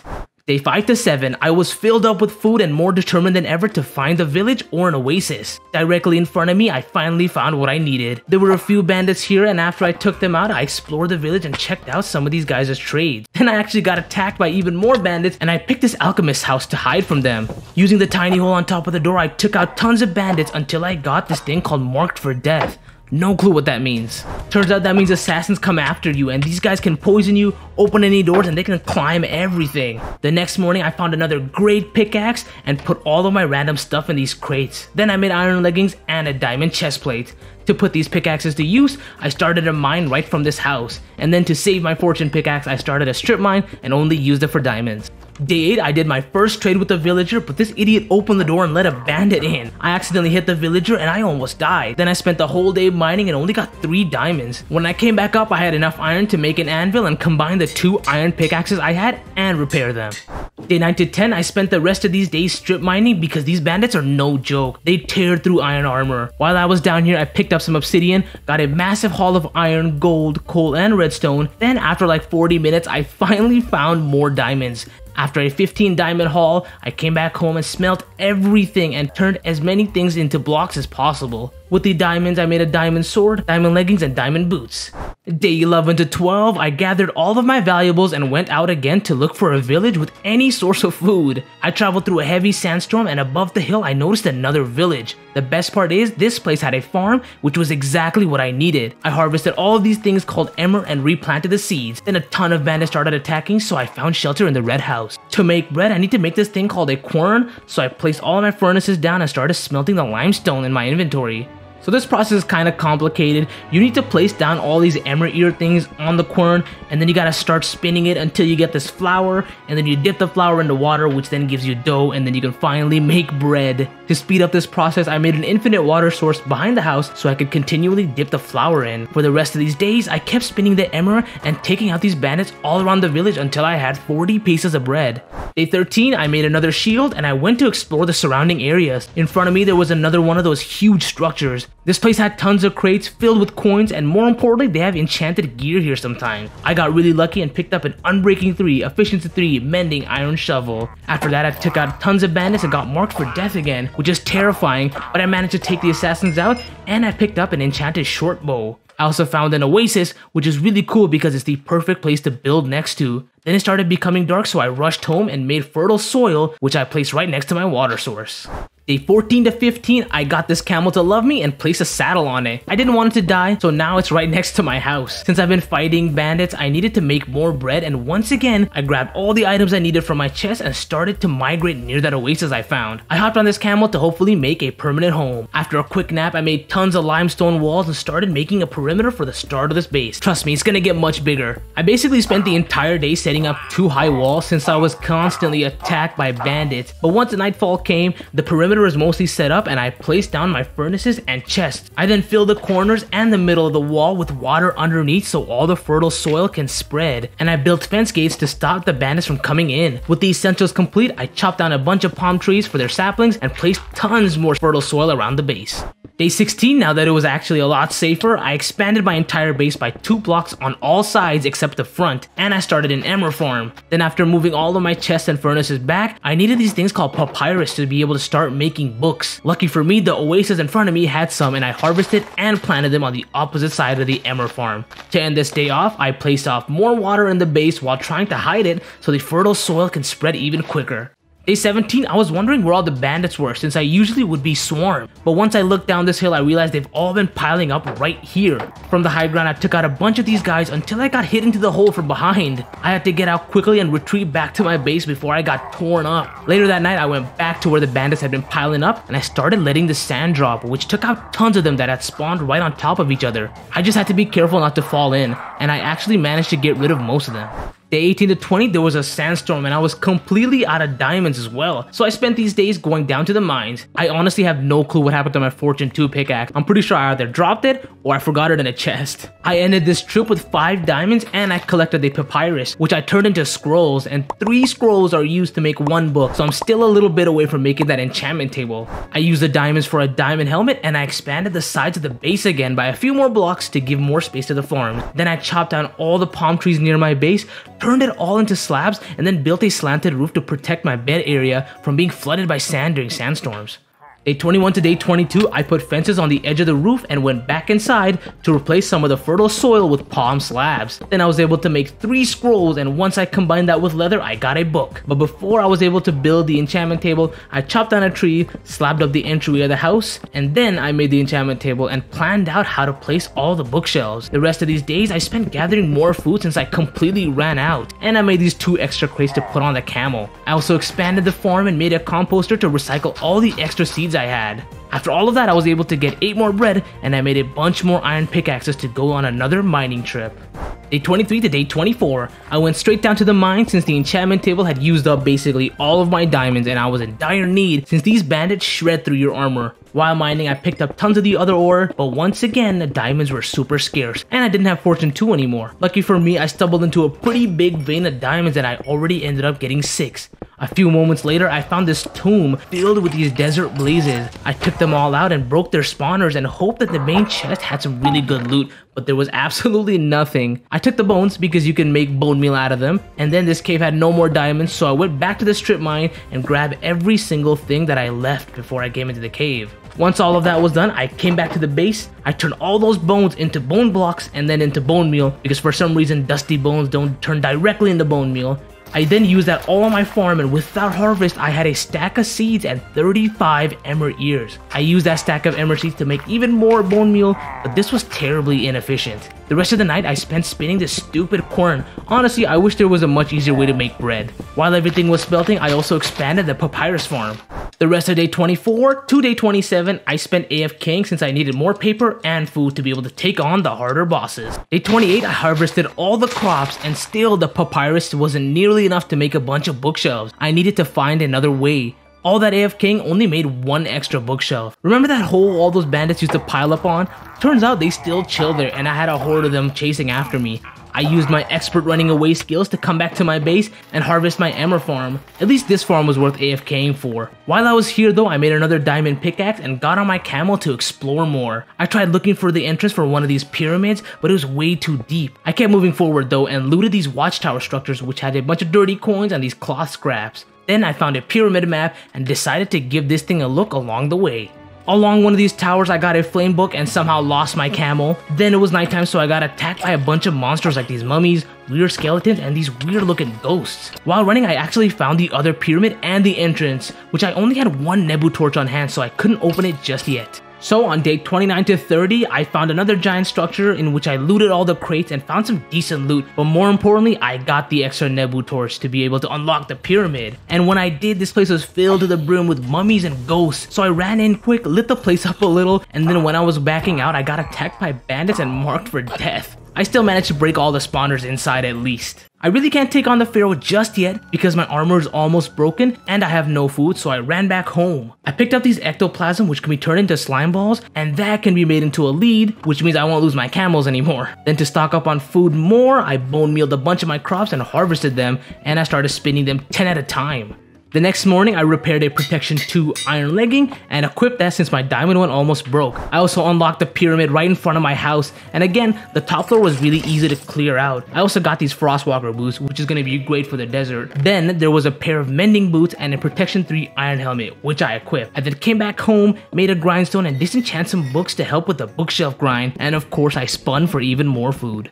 Day 31, I grabbed another sacrificial camel and went back to one of the village. I left some really good stuff in the chest which I grabbed, but the main goal was to actually stock up on food. I had tons of these gold coins, so I bought a stack of emmer bread from the farmer over here. None of the other villagers had anything else to offer, so I came right back home to make a lead. Now I for sure won't lose my camel, I hope. I then explored pretty far. I got an enchanted golden date, which is like an enchanted golden apple. And if that wasn't insane luck, I also got a sharpness 3 mending greatsword, and this thing was crazy good. On day 32, I lost another camel, so I jacked a random one and tore apart another structure. This place had a full Fire Aspect 2 book, which was definitely going on the greatsword. I also found a relic bow, which says fully charged arrows fly straight, and I got wombo comboed by these bandits, so I had to run away from this pyramid that I was gonna try and take. I was able to hide in another village where I took all of their crops and sold it back to them, and I also found an efficiency 4 pickaxe. Day 33, I came back home, repaired the iron armor I was wearing, and put fire aspect 2 on my greatsword. After that, I made some more chests and an automatic composter. Once it was all operational, I put all the seeds into it. Then I went back into the pyramid in front of my base to challenge the pharaoh. First, I wanted to clear out all the traps and loot whatever I can in the bottom floor, hoping to get some better armor pieces.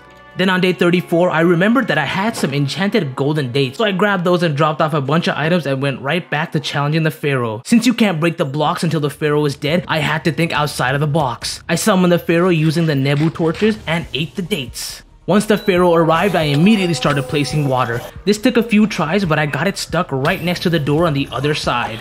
Now that the pharaoh can't really move, I was able to chip away at its health and by being very careful of the mummies that spawned behind me. After I ate the second golden date, I started swinging wildly, and before I knew it, I took down my first pharaoh and got a legendary item. There was also a Protection 3 book in the sarcophagus, and getting out there was pretty easy now that you can break the pyramid blocks. Day 35 to day 36, I killed a ton of bandits around the base and collected these dirty coins. I then grabbed all of my coins that I had stored and went over to the other village hoping to get a book trade. I didn't find a book trade, but I found something better. I found actual bookshelves, and these are going to be huge help for me. I also tried to get a librarian and a cartographer, but these guys took their jobs but somehow didn't offer trades. So I stole their camel and made my way home to place these bookshelves. In total, I was able to make 11 more bookshelves, and my enchants are up to level 26 now. Day 37 to day 38, I enchanted my pickaxe and got silk touch, so I started enchanting this iron pickaxe instead until I saw the fortune enchantment. I got efficiency 4 and unbreaking 3, but no fortune on the diamond pickaxe. I did manage to get fortune 2 on the iron pickaxe though. So since my diamond arm was almost broken and I had barely any diamonds left, it was time to put this fortune 2 to use. I went down to the mines and picked a different direction and then got to work. I used the fortune pickaxe on anything that dropped XP because I wanted to enchant even more things and then I stumbled into another mine shaft which was pretty deep and I collected everything here and killed more of these stone guys. Once I cleared the mine shaft, I moved back to the strip mine and I started finding tons of diamonds. The haul was crazy. I got tons of lapis, iron, and diamonds. As soon as I got back to the base, I enchanted the chest plate, which now has protection 3. I also repaired it and I repaired the rest of my armor pieces as well as disenchanting the old armor. Day 39 to 40, I needed more levels to enchant my equipment, so I started taking out these bandits and trying not to damage my armor a lot. After spending the entire day killing bandits, I got up to level 24, so I grabbed my coins and went over to the old village to grab more XP. Turns out this place also had a library, I was just super blind and I missed it. I couldn't find those farmers to trade with, but I did find some spawners and grinded out a ton more bandits and got up to level 28. Yeah, I'm pretty sure I went to the wrong village because of the sandstorm, because this place did not have the farmers I needed. Eventually, I got up to level 30 and got some really terrible leggings. Then when I was out grinding more mobs, I found another relic sword in these crates, and this sword apparently gets stronger as you kill more mobs. So I slaughtered tons more mobs trying to level this sword up. I re-enchanted my leggings and got Unbreaking 2, but I already had a Protection 3 book, which I combined it with. Day 41, I made more golden dates to use against the pharaoh and I started stocking up on more food. Then I got up to level 31 and enchanted my diamond helmet, which again was an awful enchantment. I did get to enchant this new though and it got power 4 and flame. Then that night the new sword Anubis' Wrath was very close to leveling up. After I got 50 kills it powered up and now it does 1 more attack damage. I also enchanted it and got smite 4 which means this sword is perfect for pharaohs. With all this new gear I wanted to take out another pharaoh so I grabbed my camel and headed off to find another pyramid. I found one that I already cleared the top floor of and made my way down to the bottom floor where I disarmed all the traps. I picked up a totem of undying, ate an enchanted golden date and summoned this pharaoh. I thought I trapped this pharaoh too, but it ended up just looping around the other side and I had to fight this thing head on. I ran around the entire tomb, hitting the pharaoh and hoping it would get trapped until his health was low enough that I could use brute force to take it out. Once the pharaoh died, I got a sword called Nephthys' Blessing. It looked cool, but it's still weaker than all of my other swords. Then I fought the real boss, these stupid assassins, but I managed to make it out and come home with my armor barely hanging on. Day 43 to day 44, I used half of my levels to repair all of the armor, and then I enchanted this new sword, which is still worse than my old ones. That night I went right back to leveling up Anubis' Wrath, and I managed to get up to 150 kills, and the attack damage is actually pretty high now. Then I enchanted a bunch of books trying to get unbreaking enchantments, and I got unbreaking 2 on my chest plate and completely ran out of levels. So I found the local farmer and gave him all of my coins for bread and levels. Day 45 to day 46. While I was looking for more pyramids, I found another big structure and one of the crates had another enchanted great sword. I then followed a map that led to a pyramid and I cleared the first floor. I then jumped down to disable all the traps and summon the pharaoh. Smite 4 and this new sword made this fight super easy. Also the water trick is like the best thing ever. I was easily able to take out this pharaoh. It did take all of my golden dates though, and my reward was another bow which wasn't even that good. Day 47 to day 48. Right after that, I went to find another pyramid, and there was one that was really close to this one. I also had this enchanted golden date just for emergencies. I made it down to the tomb again and summoned another pharaoh. Now this fight was really easy because I managed to trap the pharaoh right in the corner, and this sword did wonders. The drop was something I already had, but the sarcophagus had a protection 3 unbreaking 3 book. Oh, and I found this thing called Tefnut's Call, which was a trident. I think it's a tradition now to lose my camel, so I had to run back home. As soon as I got home, I combined the two great swords together to make make one insane sword. Day 49 to day 50, I repaired my Fortune 2 pickaxe because all of my armor is broken again, and I started a new mine to hopefully get tons more diamonds. I completely ransacked through the caves and picked up tons of ores. This time though, I got diamonds almost immediately. I also started collecting this gravel because flint is very hard to find. All in all, this mining trip gave me 47 diamonds, which will surely be enough. I also used all the flint to make tons of arrows just in case. Then I remade diamond armor and got really good enchants for especially for the leggings and the chest plate. My helmet also had protection 4 and the next enchantments were for the boots. Day 51, I stocked up on bread and more importantly, I needed to get to level 30 for the boots. So I slaughtered the bandits around the base, then when I got to level 30, I put protection 4 on my boots and combined that with the Unbreaking 3 book. Next I made a spinning wheel to hopefully make desert armor, but first the spinning of the cloth scrap took forever and it turns out that turning my diamond armor into diamond desert armor removes all the enchants I put onto it. Day 52 to day 53, the base was starting to feel cramped so I removed the roof first and expanded the sides and back by 2 blocks blocks to give even more space. Then I moved the farms, enchantment table, and the furnaces all the way to the corners. After that, I chopped down the trees to rebuild the roof and I planted back even more saplings. Day 54, I grabbed even more food and started replacing some of the walls to match each other better. I then had a bunch of these khnumites, so I used these blocks plus a face to summon this golem, and then I thought it would protect me from the bandits, but once I let this dude out, he was gone forever. Then I got another sacrificial camel and brought it into the base for future traveling. I also made tons of golden dates just in case. I spent the rest of this night repairing the shovel and preparing even more food. Day 55 to day 56. With all protection 3 and 4 gear, it was time to ruin all these pharaohs all around me. Turns out I did a real good job taking down the pyramids near me, but thankfully I found a map leading to another pyramid. I found the next victim and opened the doors up, and the top floor was obviously filled to the brim with mobs again, but I handled that pretty easily, and once I made it down to the bottom floor, I was more prepared than ever to take this pharaoh down. This time I didn't even need a water bucket to cheese it. I was able to take the fight straight to the pharaoh and destroy it. Of course, it's another bow and not a piece of Atem. Day 57 to day 59, I was marked for death, and these assassins are harder to fight than the pharaohs sometimes, but I just got back on my camel and dipped. I noticed another pyramid that night, so that was the next challenge. Once again, I got to the bottom and summoned the pharaoh. This time, the pharaoh did tons more knockback damage, and it was kind of really challenging. It wasn't a breeze like last time, and there were some moments where I had to run, but once I focused my attack, I was able to take this pharaoh out. And I'm pretty sure I've gotten this artifact like three times already. Then I came back home to repair my armor, I enchanted this new bow with power for, and next I went over to the village to spend the coins I've been collecting, meaning I just bought a ton of bread. Also, I used up most of my gold to make the golden dates. I was fully prepared again to take on another pharaoh. So I summoned this bad boy and kept hitting it towards the corner. I only needed to heal once, but after I got some distance, I came back to put this pharaoh back to rest. My reward was finally something new, a new weapon which turned out to not be that good. For the rest of these days, I killed tons of bandits because I wanted to enchant this pickaxe, and it ended up being really stacked. Day 60 to day 61, I went mining one more time with this new Fortune 3 pickaxe and another one that I just enchanted. After about a day of mining, I left the mines with a huge haul, 35 diamonds and tons of coal and lapis. Funniest thing is that I was looking for gold to make golden dates and I barely got any from this mining trip. Day 62 to day 64, I made an extra bed which I put on the camel storage so now I was fully ready to get the pieces of Atem. I summoned the first pharaoh of this expedition and absolutely demolished them. This pharaoh dropped a bow which was not what I was looking for at all. Then the next pyramid I raided, I got an efficiency 4 unbreaking 3 mending axe. I then went to summon this pharaoh and this time I had to retreat a little and take this fight a little bit slower. I finally got a new artifact artifact, and this was a necklace that keeps your enchantments when you die, but it's hardcore so I can't even benefit off of it. After that, I used another map to locate the next pyramid I wanted to raid, but this place was way too far away. Lucky for me, I found a pyramid pretty close and made my way to the bottom. I ate my last golden date and summoned this pharaoh. This time, it was an actual challenge. This pharaoh almost killed me and kept me at a distance, so I had to hide a bunch of times to heal. After gaining some health back and equipping a totem, I managed to kill this pharaoh while my totem popped. The reward was a sick axe and now I need to recoup all the items I used up during the fight with the pharaohs. So I went back home.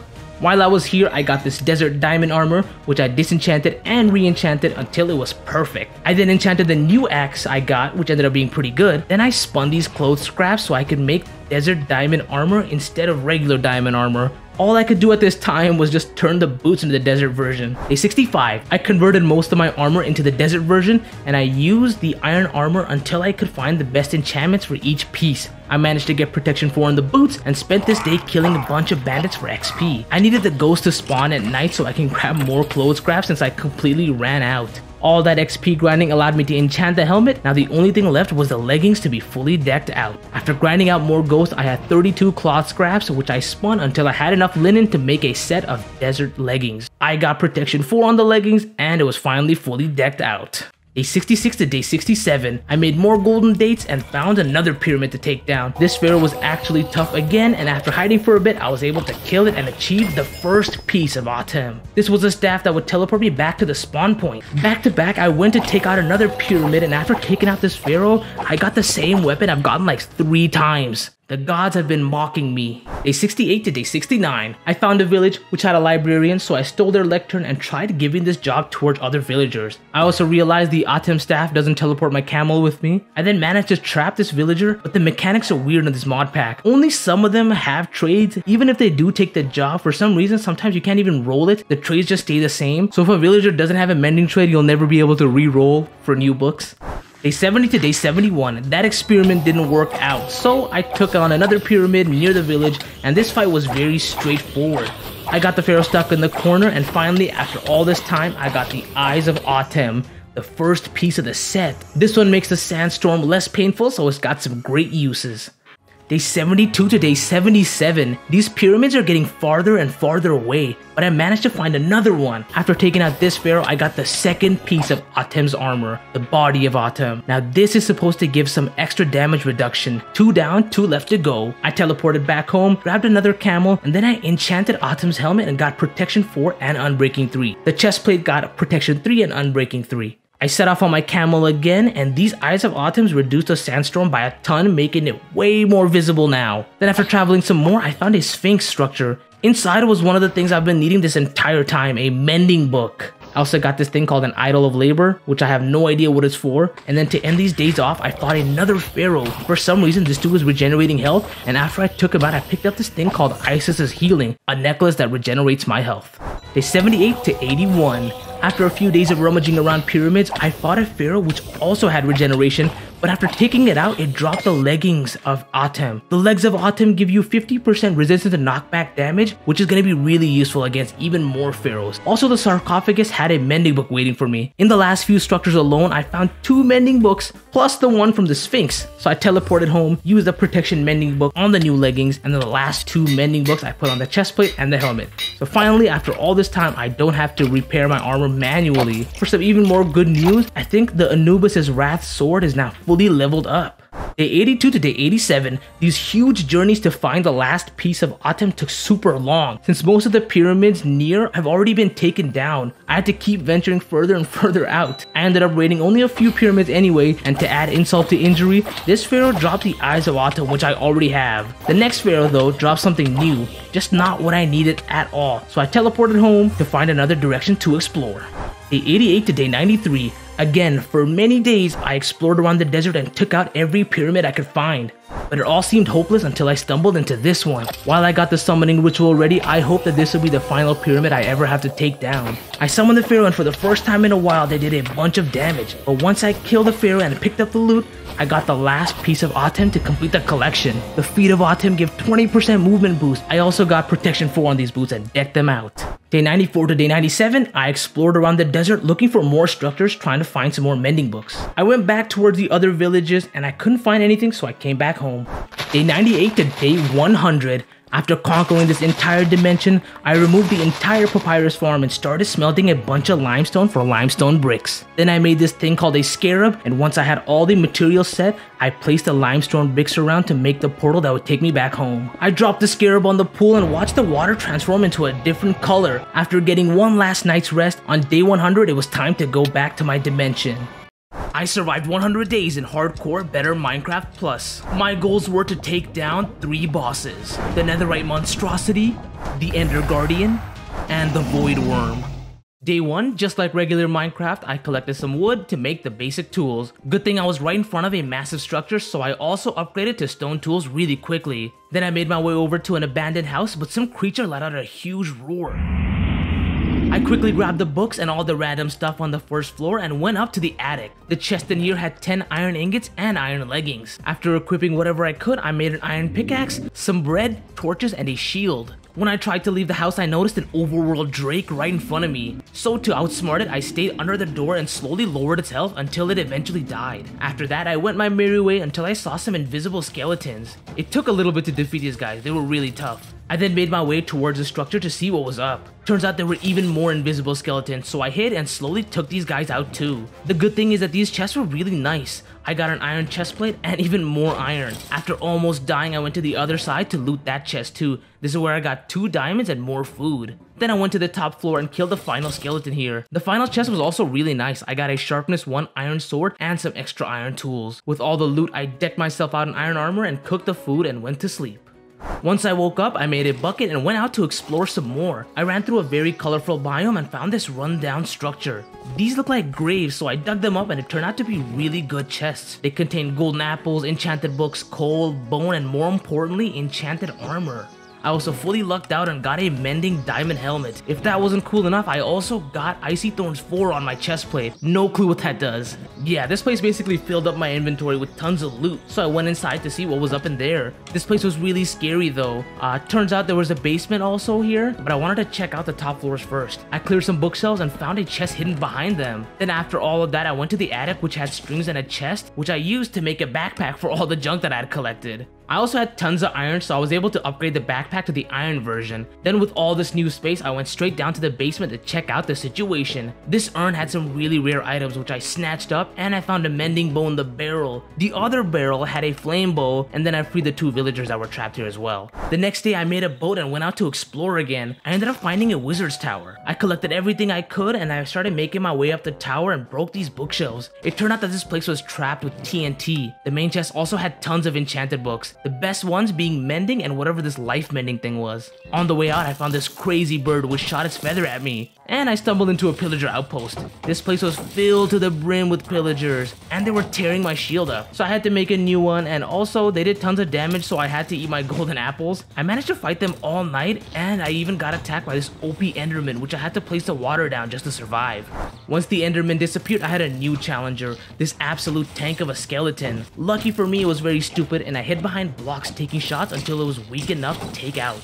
The reward though was incredible. I got a Protection 7 iron chestplate. Now that I was better equipped, I went to ruin this pillager outpost. Uh, yeah, turns out they were still kind of strong, so I retreated, made a sleeping bag, and went to sleep. Day 5, it was time for a different strategy. I mined some cobblestone to make some furnaces, and then I chopped down this tree for sticks. I needed to cook some more food and remake some iron armor though. Once I stocked up, I went right back to the outpost. This time it was no mercy. I managed to take them all out on the bottom floor and even remade my shield. Then I went into the tower and the first chest had these things called tattered tomes and like a bunch of other random stuff. The next floor had even more food, plus some arrows, and the top floor basically had the same stuff. I got tons of wheat, carrots, and some iron. I used these tomes to get like 8 levels, and plus you can turn these things right back into paper. Then that night I found this really weird ocean monument structure which had a portal frame in the center. After waking up I realized I had the bad omen effect, so I ran to find some cows. Then after running through this entire swamp I found another one of those creepy houses. These places tend to have tons of really good loot, so I was already filling up my backpack really quickly. The upstairs chest had the best loot ever,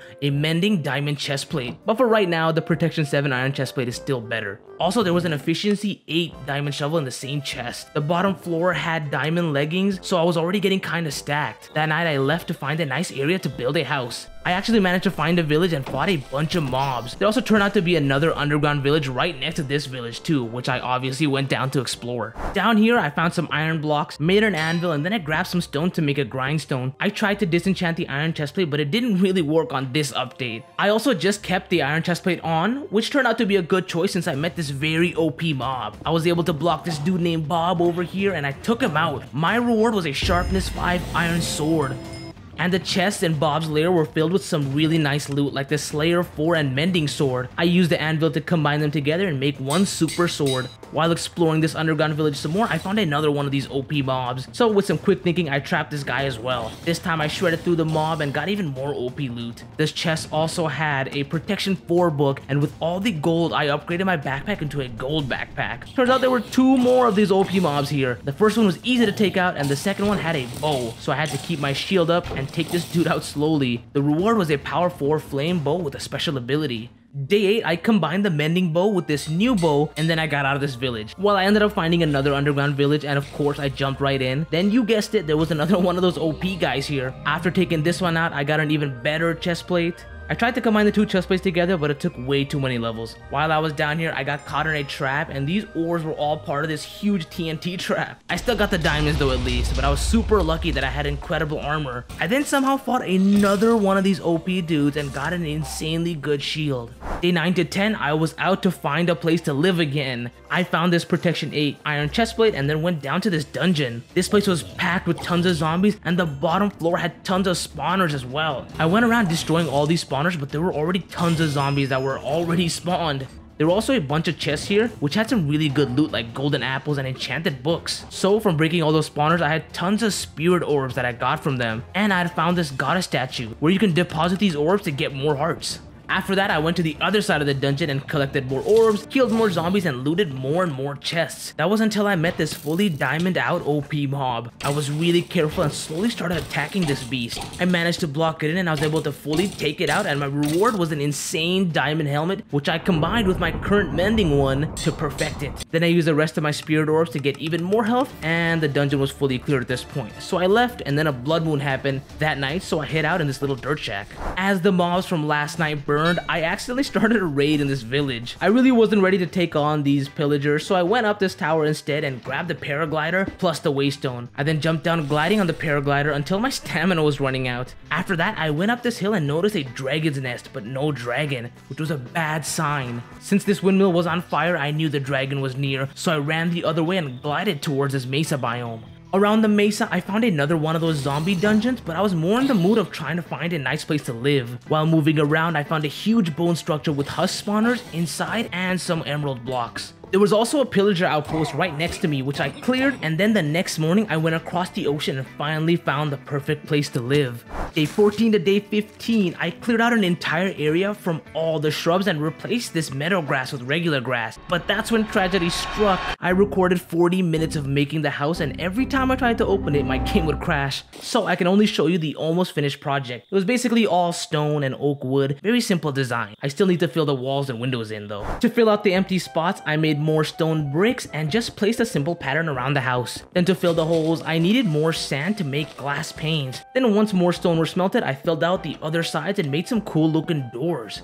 After that, I went to collect some squid ink. With that, I was able to make tons of black stained glass panes and filled every spot with that. I also started a mine for more stone and I made a pathway. This process took really long because I was looking for more squid ink while gathering even more stone. Eventually, I had most of the house done and made some bookshelves which I placed on the top floor. Then I needed a storage area, so for now, I just use the bottom floor to place all of my junk. To finally solidify this as my base, I set this goddess statue down and then the waystone down. For the rest of these days, I sprinkled lanterns around and placed a grindstone and an anvil near the enchantment setup. I also really tried looking for more squid ink, but no luck. Instead, I made an enchantment table. Day 18 to 19, I used some diamonds to make boots and a pickaxe. I enchanted the pickaxe and got a pretty nice enchantment. The boots also got some really good enchants too. I had a looting 3 sword, which I combined with my old sword to enhance my super sword. Then, to make the base nicer, I bone meal the flat area around my house. Also, this way I can get purple dye from the lavenders. After the housework, I gathered my golden apples and found an underground village right next to my base. I ended up finding one of those OP mobs again and swiftly took them down. Again, I got some more really good armor pieces plus a really nice bow. Aside from that, there was nothing else here, so I went to hunt more squids.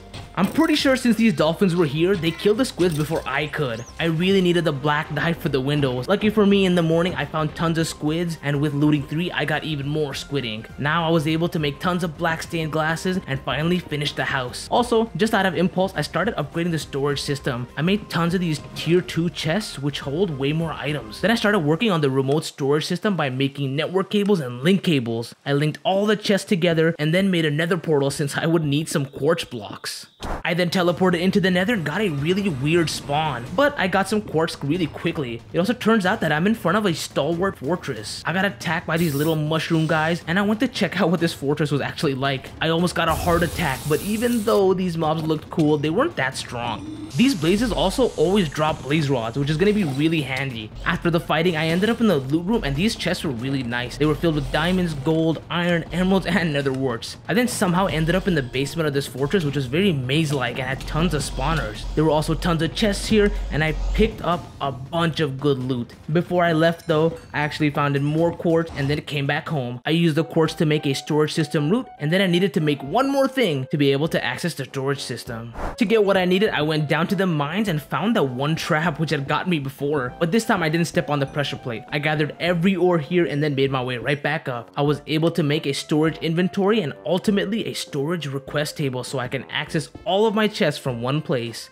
Now that the basics were set up, I made more tier 2 chests and placed those in the storage system for more space. Then last but not least, I needed to make the remote. The last ingredient I needed was glowstone dust, so I dove straight into the nether again. I built up pretty quickly, gathered tons of glowstone, and then popped right back home. This really wasn't the remote I wanted, but it'll have to do for now. I then connected it to the storage route and then force loaded my chunks. So I should be able to access these chests from everywhere. With all that set up, I started a wheat farm. I built the outline with cobblestone and sprinkled water all around. Then to make sure mobs don't drop in, I placed walls, slabs, and more blocks around the perimeter for more texture and of course safety. Once morning came, I hoed all the land inside and replaced a bunch of cobblestone for stone and stone walls. Then I topped it off with a fence gate. Oh yeah, and the main reason for the wheat farm is to actually plant the seeds, which of course I did. Plus I used a bunch of bone meal to fill out as much of the farm as I can. Later that night, I killed this mob, which gave me a pretty stacked shield. I spent the next day making warp scrolls because I couldn't find any endermen to make the warp stone. And I disenchanted some armor that I wasn't gonna use. I also have some mending books which I used on my boots and I slept in the house for the first time ever. Day 25, I picked a direction and went off to explore. I then noticed on the minimap that I was right above a boss. So I dug straight down to take this boss on. It took me a little bit to find the dude's lair, but it turned out to be the Ferrous Wroughtnaut. I made a little panic shelter and then went to swing at this behemoth. Once it woke up, it swung its giant axe and threw me across the room.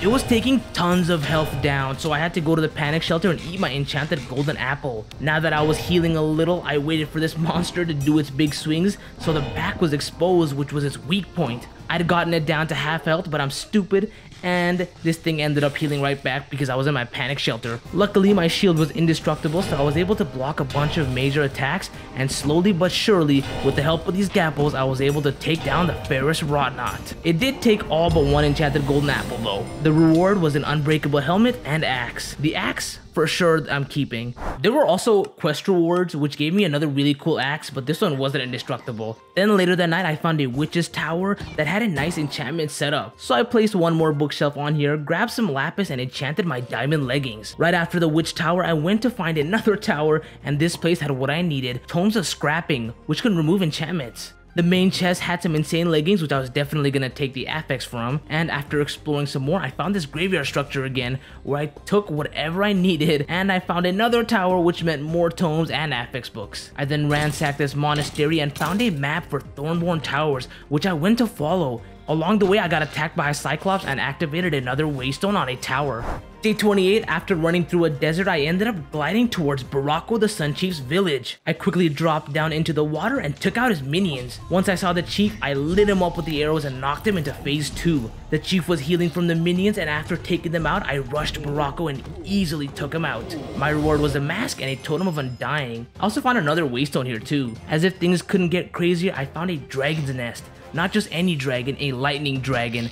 This one wasn't too big, so I started dumping arrows towards it. Once it caught on fire, I ate my gapple and took this dragon on toe to toe. I picked up the scales and bones and then went forward following the map. That night I found a ruined battle tower and went to the top floor which had blocks of iron and gold just laying there.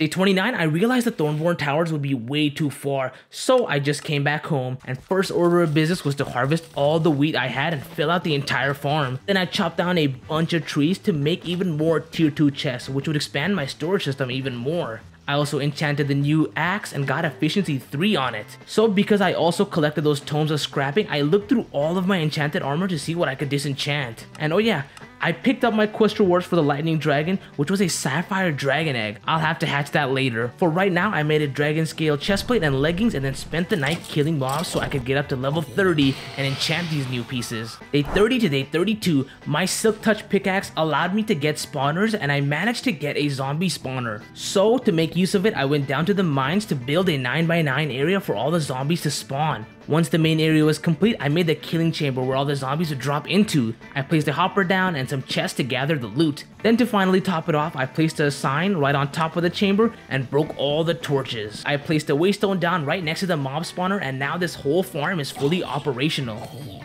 I also started decorating the area by placing stone bricks on the floor and placing these oak logs as support beams. When mining out the walls, I dug right into the mines which made it way easier to go back and forth. Last but not least, I placed some stone brick stairs and lanterns around the chamber. I then placed a fence so baby zombies don't sneak through, and then I fixed up the mine entrance. On the way down, I placed even more stone brick stairs too. The weed farm was also working super nicely, so I made an automatic composter for all the leftover seeds. To end these days off, I had enough levels to enchant the dragon scale armor pieces, and the chestplate had protection 3 and projectile protection 4. The leggings had protection 4 and fire protection 4. I used one mending book for the leggings and then scrapped my diamond leggings and put that book on the chestplate. And of course, I finally put a mending book on the chest chestplate as well. I wanted to scrap my iron chestplate, so I made more tomes and then went down to the spawner to get some more XP. I spent a good little bit grinding the mobs out and I noticed I got tons of rotten flesh. I moved the rotten flesh to the other chest too. I got up to level 21 and looked through my inventory for more armor to scrap. I picked one with protection 8 and tried putting that on my dragon scale chestplate, but I needed even more levels. After grinding out tons more zombies, I made a little area for a cleric villager to be right next to the spawners. This way I could trade rotten flesh. But to grab the villager, I needed to go down to the mines and get some arcane crystal blocks. I actually ended up getting a decent amount of them. Day 34, since my pickaxe was Silk Touch, I placed them all outside of my house and made another pickaxe to mine it. I got exactly 9 and made an arcane crystal block. Then I combined it with some spawner scrap to make a quantum catcher. Now I was able to kidnap a villager and placed it right behind my brewing stand. I used like 8 stacks of rotten flesh to get like 15 emeralds. Anyway, I had tons of emerald blocks and I had started advancing the villagers trades first by buying lapis and then trading the rabbit's foot I had collected. Last but not least, I also bought tons of ender pearls, which is exactly what I needed to make a warpstone for myself. I then got up to level 23, I put the protection 8 book on my chest plate, and since I had collected tons of silk touch blocks, I mined them all. The rest of the night I made glass bottles and brewed potions of fire resistance which I put in my backpack. Oh yeah, and some mob dropped a banner which I placed on my shield. Day 35, the goal was simple, make these hell shelf things. First I drank my potions of fire resistance and then I went over to this stalwart fortress to grab loads of nether bricks. I then came right back home and started making tons of glass bottles which needed to be turned into potions of regeneration. Lucky for me, I had tons of ghast tears. With all that set up, I made my first 5 hell shelves. So I removed some of the old bookshelves and placed these bad boys instead. With 5 of these, I could already enchant with 35 levels instead of 30. I spent the rest of this day making even more potions of regeneration, grabbing more sand for glass, and chopping down trees for bookshelves just to fill out the enchantment area with hell shelves. It was all worth it though, since now I can enchant tools with 42 levels instead of 30. The only issue now was getting the levels, which is why the mob grinder is a lifesaver. Day 36 to day 37, I teleported around to the waypoints I had discovered and I found a tower which had even more gold and iron blocks for me. Then I found this tower where I got more tomes and the top chest had a sword with a cool affix. I went into a Myrmex colony and the only thing that was there was the queen, so I took care of that very easily. I then found even more tomes and enchanted books, and then the next morning I fought this tank in diamond armor. This fight took a little bit, but I got some insane diamond boots and a diamond chestplate. While exploring some more, I ransacked the village for their food and picked up this empty spawner, then came back home. Since I'd also picked up this enderman spawn egg, I had the idea of making an enderman spawner, but obviously it wouldn't work in this cave since there's water down there. Instead, I doubled up the zombie spawner to increase the rates, and boy did it work. There were now more zombies flooding through. So while grinding these mobs out, I had a Witherbone which I used to make a Dragonbone sword. I then got up to level 32 and combined two of my boots together. At 38, I grinded up to level 19 again and then I had a genius idea. I just needed a Knowledge of the Ages book. So I grabbed a lectern and set up an area to place the villager in for now. Of course, I had to kidnap the locals and bring them back to the chamber. Once I trapped this guy, I was in a really weird position since I got a mending trade. But for now, I think it was better to get the Knowledge of the Ages trade. It took a little bit of rolling, but I managed to get Knowledge of the Ages 4, which means mob drops turn into XP. I quickly grabbed this book and went to put it on my sword. I picked the Dragonbone sword to put it on since the enchantment already gave me looting too. Now I was getting loads of XP every time one zombie died. In about no time I got up to level 46, but I kept going until I got up to level 60. With all this new XP, I made another Dragonbone sword and wanted to make this one OP. So I rolled through a few enchantments until I got a Sharpness 5-1 with Bane of the Illagers. After that, I enchanted some books and went right back to grinding levels. Then I hit level 60 again, enchanted this new pickaxe and got Fortune 2 and Efficiency 5. Then I enchanted a book and got Looting 2, which I combined with a Mending book and put that on the new Dragonbone sword. A 39 to 40, I grinded more levels, obviously, and traded some gold to the Cleric. I then got up to level 64 and enchanted tons of books. I also placed these skulls on the bookshelves and I grinded for more levels and mined down lower to get some ores. I used my potions of fire resistance and basically mined every single thing I could. I ended up with a huge haul of just random stuff and this Stellarite piece. Before I stopped mining, I tore through this amethyst geode. Once I came home, I made even more chests to fit into the storage system and I smelted basically everything I collected. Then, with some spare emeralds, I wanted to advance this librarian's trades, so I started buying some bookshelves and lanterns. To end these days off, I made a few obsidian with iron and turned those into obsidian ingots and all of that into an obsidian skull. Luckily, I had a stellarite piece, but I needed one more Xpetrified orb, so I went back down to the mines and ended up finding the last one I needed. With all of that, I made an eternal stella and combined that with the obsidian skull to get permanent fire resistance. Now, I wanted a new bow, so I made a Dragonbone bow and got really lucky on the enchantment. I put infinity on it, but I didn't know that regular arrows don't work with the Dragonbone bow. After that, I grabbed some ender pearls from my cleric and went into the nether. The first thing I checked out was this new structure. So this was a stalwart dungeon and it was filled with these reinforced blazes and incomplete wither skeletons. The blazes dropped tons of weird ingots and I picked up some of these tungsten ore too. The real kicker here were these incomplete withers who always managed to drop wither skeleton heads. So this gave me a great idea. I silk touched two incomplete wither skeleton spawners that I wanted to farm. I then killed tons more blazes and found the center where there was an awful ghast altar that needed a nether star to activate. Once I was done with the dungeon, I ender pearled around looking for more cool structures. I ended up in this piglin tower thing which was filled with piglin brutes and tons of gold blocks. I also made the dragonbone arrow somewhere around here. From one of these structures alone, I got like 16 gold blocks and the top floor had 5 more gold blocks and a netherite ingot. After that, I found a nether boat, which had even more gold blocks and the bottom floor, I got a Piglin Divinity Gem. From this one trip, I got like 40 gold blocks. And I found a waystone, which I used to come back home. Day 44 to day 45, I removed my nether portal and smelted tons of tungsten ore to make the armor. Then all that gold was used to get even more emeralds from the cleric. While I was down here, I got the idea to make an oceanographer. This way I could get tons of sea lantern and make the crafting remote instead of the basic remote I had. After that, I placed these incomplete wither skeleton spawners instead of the zombie spawners and made the killing chamber one block higher. I basically killed a few of these skeletons and I already have 13 wither skeleton heads. These dudes had some insane loot. I now basically have infinite wither skeleton heads and coal. Also, the Knowledge of the Ages sword is now even more overpowered. After a whole day of grinding, I got up to level 84 with like two stacks of wither skeleton heads. I had enough wither skeleton heads for an entire lifetime, so I removed those spawners for now and I teleported far away to build a new nether portal here.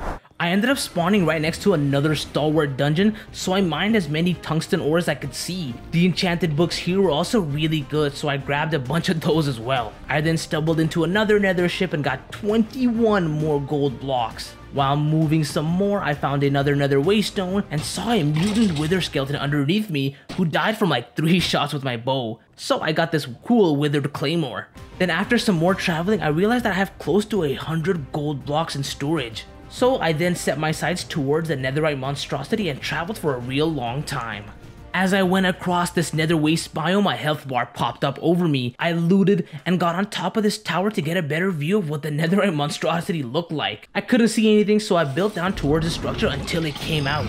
Immediately this monster started launching magma blocks and I had to grab my golden apples. I managed to get some hits in, but it kept deactivating my shield so I had to be really careful. This guy was ferocious, but once I realized that it was kind of weak to arrows, I managed to do tons of damage and eventually, after keeping my distance and eating the apples, I took down the netherite monstrosity. This behemoth dropped a hammer called Infernal Forge and a monstrous horn. I then picked up the leftover ancient debris and collected my quest reward, which was a nether star. So I came back home, rebuilt the portal in front of my house, and I wanted to take on this awful ghast while I was here. I made my way over to the center of the dungeon and placed the nether star into the altar. Then the awful ghast summoned. At first, I thought how hard can this boss be, but my god, this thing keeps disabling all of your weapons and I had to retreat. While I was out here, I found out that you could just cheese the boss very easily, so I took it down using my bow. The reward was this thing called an awful done. I also grabbed all the tungsten ore here as well. I couldn't end it there, I needed to fight one more boss, and this one was the Wither. I went very deep underground, cleared an area to fight this Wither. I summoned this bad boy and lasered it with my bow, and in no time I managed to defeat this guy too. My reward was also a nether star and a heart container which I can't even use because I'm maxed out on hearts, and I ended up getting a witherite ingot. To end these days, I made a full set of tungsten armor and I started enchanting it. I got protection 4 on the helmet, protection 3 on the chest plate, and protection 4 on the boots and the leggings. Then I made a tungsten shield which looks sick but can only have the unbreaking enchantment actually realized that my diamond armor was just so much better than tungsten stuff, so I made netherite ingots instead and upgraded the helmets and boots. So the cool thing you can do with the netherite helmet and the monstrous horn is to combine them together to make the monstrous helm, which was even cooler. So for the tungsten armor, I just placed it on the armor stand since I'm probably not going to use them at all. I decided I'm gonna keep this helmet and that means everything else has to match, which means I enchanted this diamond armor and scrapped the enchantments off the dragon scale armor to put on the diamond ones instead. I also had a mending book for the chest plate and I turned it into a netherite chest plate. Then I needed more levels to scrap the dragon scale leggings so it was time to grind even more levels. I ended up getting up to level 47 and scrapped everything off the dragon stuff and moved it to the diamond stuff. I also put mending on it too. I then got up to level 49 again and wanted to remove some of the affixes from this crazy iron armor.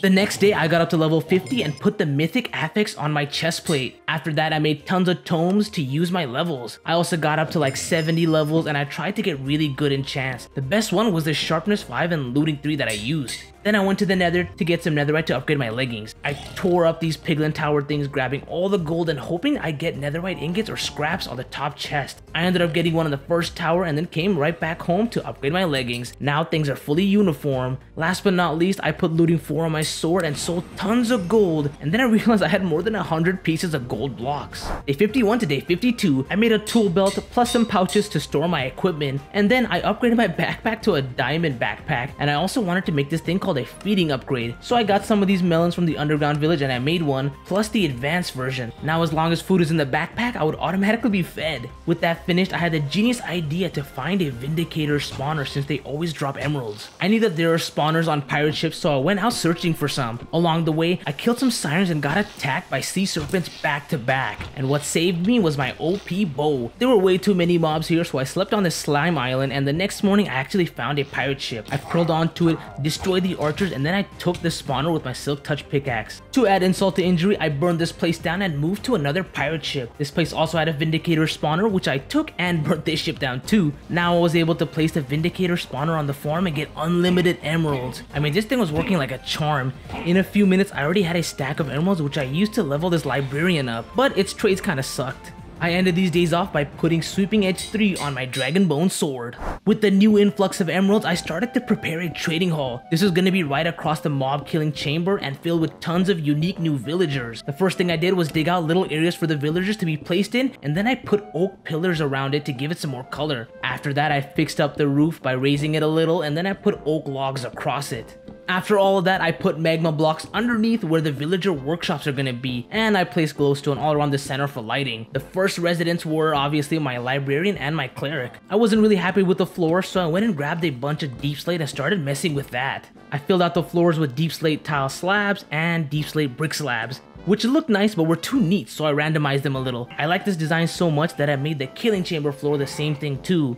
The final thing I did was fix the back wall and match the ceilings up. After that, I just started filling up the trading hall with a bunch of villagers. First guy was an oceanographer, the second villager was a weaponsmith, the fourth was a farmer, and on the other side I put another librarian plus a hunter. This time I was also leveling up the guys as well, and I ended up getting a mending trade. Day 56 to day 58, I made a stairway all the way down to bedrock and I collected some cold deep stone, which took me way too long to get. I then used all of my spirit orbs to max out on the paragliding stamina, which apparently is a big deal, and I made a light and dark chest which I placed on bedrock. This way I could go to the deep dark dimension. It just took one diamond. I had this cool remote that shows you where these mobs are, which is really helpful because I'm trying to get tons of diamonds and kill all the wardens here. After collecting some diamonds in the spawn room, I followed the silhouettes of these mobs until I reached a cave. Inside the cave, I got even more diamonds and ended up alerting a warden. I stayed on top of these few blocks and I was able to take down this regular version of the warden without losing any health. Almost immediately another warden saw me and oh my god this guy packed a punch. It basically took most of my hearts every single hit. I tried to climb out these blocks, but I was blinded. Eventually, after slowly hitting this warden, I took out the big warden type, but I almost died. There was one more variant here, which was the bone type, and this one was nowhere near as bad because I managed to get it on high ground, and just like that, I completed the entire Deep Dark Dimension in like 30 minutes. The reward was a netherite ingot, and I got a bunch of the ores that I mined here too. I then came home, placed pedestals around the main bedroom, and then put some cool artifacts and rewards down on top of the pedestals and the armor stands. Day 59, I unlocked this chainsaw trade from the other librarian and I put it on my giant axe. Now I can tear these trees apart from one log. I also basically got master trades from all the other villagers. Day 60 to day 61, I turned these Piglin Divinity Gems into Piglin Divinity Essences and went to the nether to grab even more netherite. I prolled around the nether looking for the structures that give those netherite ingots. I found a tower first and got a netherite ingot plus tons more gold blocks and then I made it to a ship which had even more gold blocks and then finally a second ship where I managed to get some extra netherite scrap and an ingot. I made one too many of these Divinity Nether ingots, but I upgraded all of my armor except the helmet to the Divinity Netherite version, which just makes it stronger and matches to the sick helmet even more. I also made a bunk bed because I'm no longer a peasant now. Day 62 to day 64, I grabbed a waystone and went to find a stronghold. This ended up taking a few days, but eventually I found the stronghold which was underwater. I broke in through a staircase and started looting these barracks for every single thing they had. It was just a lot of food and sticks. I ended up finding the treasure room where I snatched everything up and then eventually found the portal room. I placed the waystone down and made more Eyes of Ender to finish the portal. Before I jumped in, I came right back home to make more golden apples and then get some more ender pearls. I then enchanted a new pickaxe which I combined with my old one and added mending to it. Now that I was fully set up, I teleported to the end portal and jumped in. I spawned on a platform and built up until I could pearl to the main island. Then I started raining arrows at the crystals. Some of them were highly protected, so I got the ones that were exposed first. Once most of the crystals were gone, I pearled up to the tower and started destroying some of the protected ones. With that, it was just me versus the dragon, and my bow did tons of damage, basically reducing its health down to half until it perched again. This cycle, I managed to get it to a third of its health, and then I took it out using the bow. I picked up like 8 dragon scales and got the ender dragon egg. Now came the annoying part of finding the end city. This is also why the ender pearls were very important. I built over to the end gateway and then checked my quest rewards, which gave me a black dragon egg. Also, one of the quests was to defeat a mutant enderman, and lucky for me, there was one right here. This guy was a freak though, doing more damage than the ender dragon. I had to eat my golden apple, but I tanked it and took this guy down. The reward was a nether star, and then I went onwards to find the end cities. For the next few days, I pearled around looking for any structure, and I ended up finding one which had tons of shulker boxes filled with some insane loot. Basically every enchantment you could want on a piece of gear plus void totems and these orbs of temporary flight. After basically forever, I found an end city but no end ship. I still started making my way up the tower though, breaking these shulker spawners and looting these stacked chests. I got to the top floor and got even more shulker boxes, void totems, and enchanted gear. I did however get this Eye of Nebula soul stone, which seemed way too complicated since it teleported me out. A while later, I found another end city and went directly up to the end ship and picked up the elytra wings. I also got whatever was good in the chests, made some fireworks, and flew back to the main island. Before I left, I wanted to collect tons of end stone, and as soon as I got home, I made a purple altar so I could get an Endarian villager. Day 71, I started trying to hatch this ice dragon egg, and I didn't have any more dragon bones to keep this thing safe, so I made the quantum catchers again. I also made an eternal stella and put that on my elytra so it's indestructible now. While waiting, I made tons of dragon meals and fed this dragon as soon as it hatched, and I snatched this little guy up to keep him safe. After that, I leveled up this Endirian to unlock the firework trade, and eventually the dragon breath trade. With that, I could make a bunch of end shelves, so I upgraded from the hell shelves to the end shelves. This meant that I could enchant items with 80 levels. I ended up getting some nice enchantments on a spear sword and put knowledge of ages on another sword. After that I grinded a bunch more levels so that I can use level 80 enchants and it was not good at all. So instead I made the trading hall a few blocks wider so I could sneak in two more villagers. One of the guys I needed was a scribe because I thought they sold dragon bones. While I was traveling to another village I met a fire dragon. This dude had already noticed me so I swapped to the bow and started firing. It took only a few arrows and I managed to take it out. This time I grabbed my glass bottles to take the blood. As if that wasn't enough, while flying some more I landed on an ice dragon's nest. Now these guys are super annoying since they slow you down to a crawl but I still managed to take it out and grab the scales. With these bones, I made a dragon horn and placed my dragon in there instead. I also grabbed the quest rewards, which was a gem that bounded dragons to you and a wand. Then I noticed a forest on fire and saw another dragon, but this one was very different. It was a royal red dragon. Oh yeah, I found this stupid lectern, which makes scribes, and here's where I messed up a little. I disenchanted my leggings, they got some really nice enchantments, but it had life mending, which I thought worked just like mending, but it did not repair my armor at all. I had no idea, so I did the same thing to my chest plate as well, and it had some really good enchants, but no mending. Then I went to fight mobs and realized that these pieces were not healing at all. Found these weird underwater creatures named Mother of the Maze, and then I found the Thornborn Towers where I took all the loot on the top floor. Last but not least, I found a shipwreck where I got the shell horn. This horn allowed me to summon the ghost of Captain Cornelia, and just the way this boss moved and attacked was super cool. The ice floor would constantly raise and launch me back, but at the end of the day, it wasn't nearly strong enough to handle me and I took it out without losing much health. My reward was a cool helmet and a submarine. Day 76 to day 77, my armor was torn up, so I put some mending books on them and then I wanted to take on these ender golems next. So I looked up the ruined citadel on my explorer's compass and flew over to it. I reached the citadel and fought these weird bugs, and then when I made it inside, I kept stepping on these trapped blocks. I eventually found these golems and I thought it was the boss since it had some really cool moves and its own chamber, but after I took it out I realized it was just the beginning. I looted all the chests around and found these trapdoors which led underground. And yeah, it turns out those golems are protecting something way bigger because I had to fight about two more of them. My hunch was right because I found some more trapdoors and dropped even lower. Turns out this was the altar for the Elder Guardian and this guy had all the moves of the Ender Golems plus double health. I tried using my bow but eventually that stopped working so I went head first and started slicing at the monster. I slowly got it at half health and it broke the platform we were standing on and knocked us down to the bottom floor. But for now it was way too weak. I was able to fly away from its pull and start lighting it up with the arrows to kill it.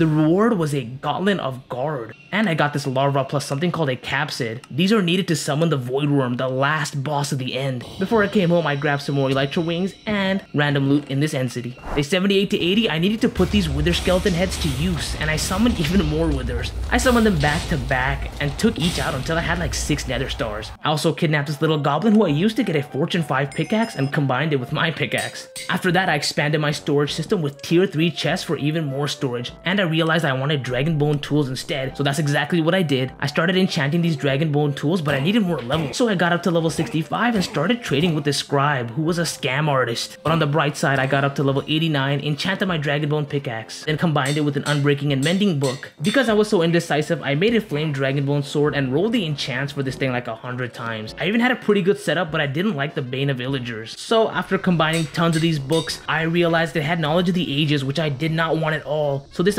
amazingly beautiful sword had to be disenchanted. Day 81, I spent this entire day grinding levels and got some sick enchantments on the Flame Dragonbone sword. Only problem was the Bane of Arthropods. I really didn't want to grind levels again, so I enchanted some tomes and combined those books on this sword to make an absolute super sword. Day 82 to day 83, I went to the nether to collect more gold and netherite scraps and also hopefully find a mutant blaze. This elytra helped me reach tons of places I never could, and the gold from these structures were insane. I'm pretty sure I can build a few beacons with just the gold blocks alone. I started with around 170 gold blocks and ended with more than 300. With all this new gold, I got another cleric to sell more gold into, and I made a netherite shield which I upgraded to blazerite, and then got some really decent enchants on the shield. I still had to combine it with some leftover books to make it perfect. Day 84 to day 88, for these days I flew around these ice biomes looking for dread dungeons. This is because they have Dragon Forge stuff in them. I found one of those dungeons and killed a Dread Lich who dropped a key. I was able to get into the dungeon, but my god was it packed with mobs. I swear these spawners were like supercharged because they really never stopped spawning. I was on the staircase thinning the herd for the longest time ever. I did manage to get down, break the spawners, and then come right back up, which worked like a charm. And then that meant I could go to the main room and pick up all the Dragon Forge blocks. I found another Dread dungeon and did the exact same thing. This place was a nightmare, but I got through and picked up even more blocks and left. Later that day, I killed two Ice Dragons and got some more Ice Dragon blood. To finish these days off, I hunted tons of cows and sheep to make dragon meal and grow my Ice Dragon. Also to help with that, I made a pen for sheep. Before summoning the Void Worm, I wanted to level up my dragon first, so I started breeding the sheep like crazy. Then I made tons of backpack upgrades like this crafting upgrade and a stonecutter upgrade. Also, I turned the backpack into the netherite version as well. So the stonecutter has very useful features like you can turn these emerald blocks into these rough emerald shards, which fully restocks villagers. Using that, I was able to sell tons of gold and iron I had piled up. Then I fed my dragon some more with all the sheep. I also made this straw golem guy and a chest with a hopper to see how effective they were. They were useless. Then I had a great idea to remove a bunch of affixes from the loot I had been collecting. Day 91 to day 94, I learned how to summon the Void Worm. You put the larva into the capsid and it spits out a mysterious worm. After that, you need to drop this bad boy in the void. So I flew to the end and found the perfect place to start the fight. There weren't tons of endermen at the beginning, so I dropped the mysterious worm into the void. This summoned a portal which allowed the void worm to come through. This crazy boss did not stop attacking, and once I shot it, it split into two. If that's not bad enough, I shot it again and it split into three. Luckily, I managed to just get the main worm by itself and then only took a few more shots to wipe out the void worm.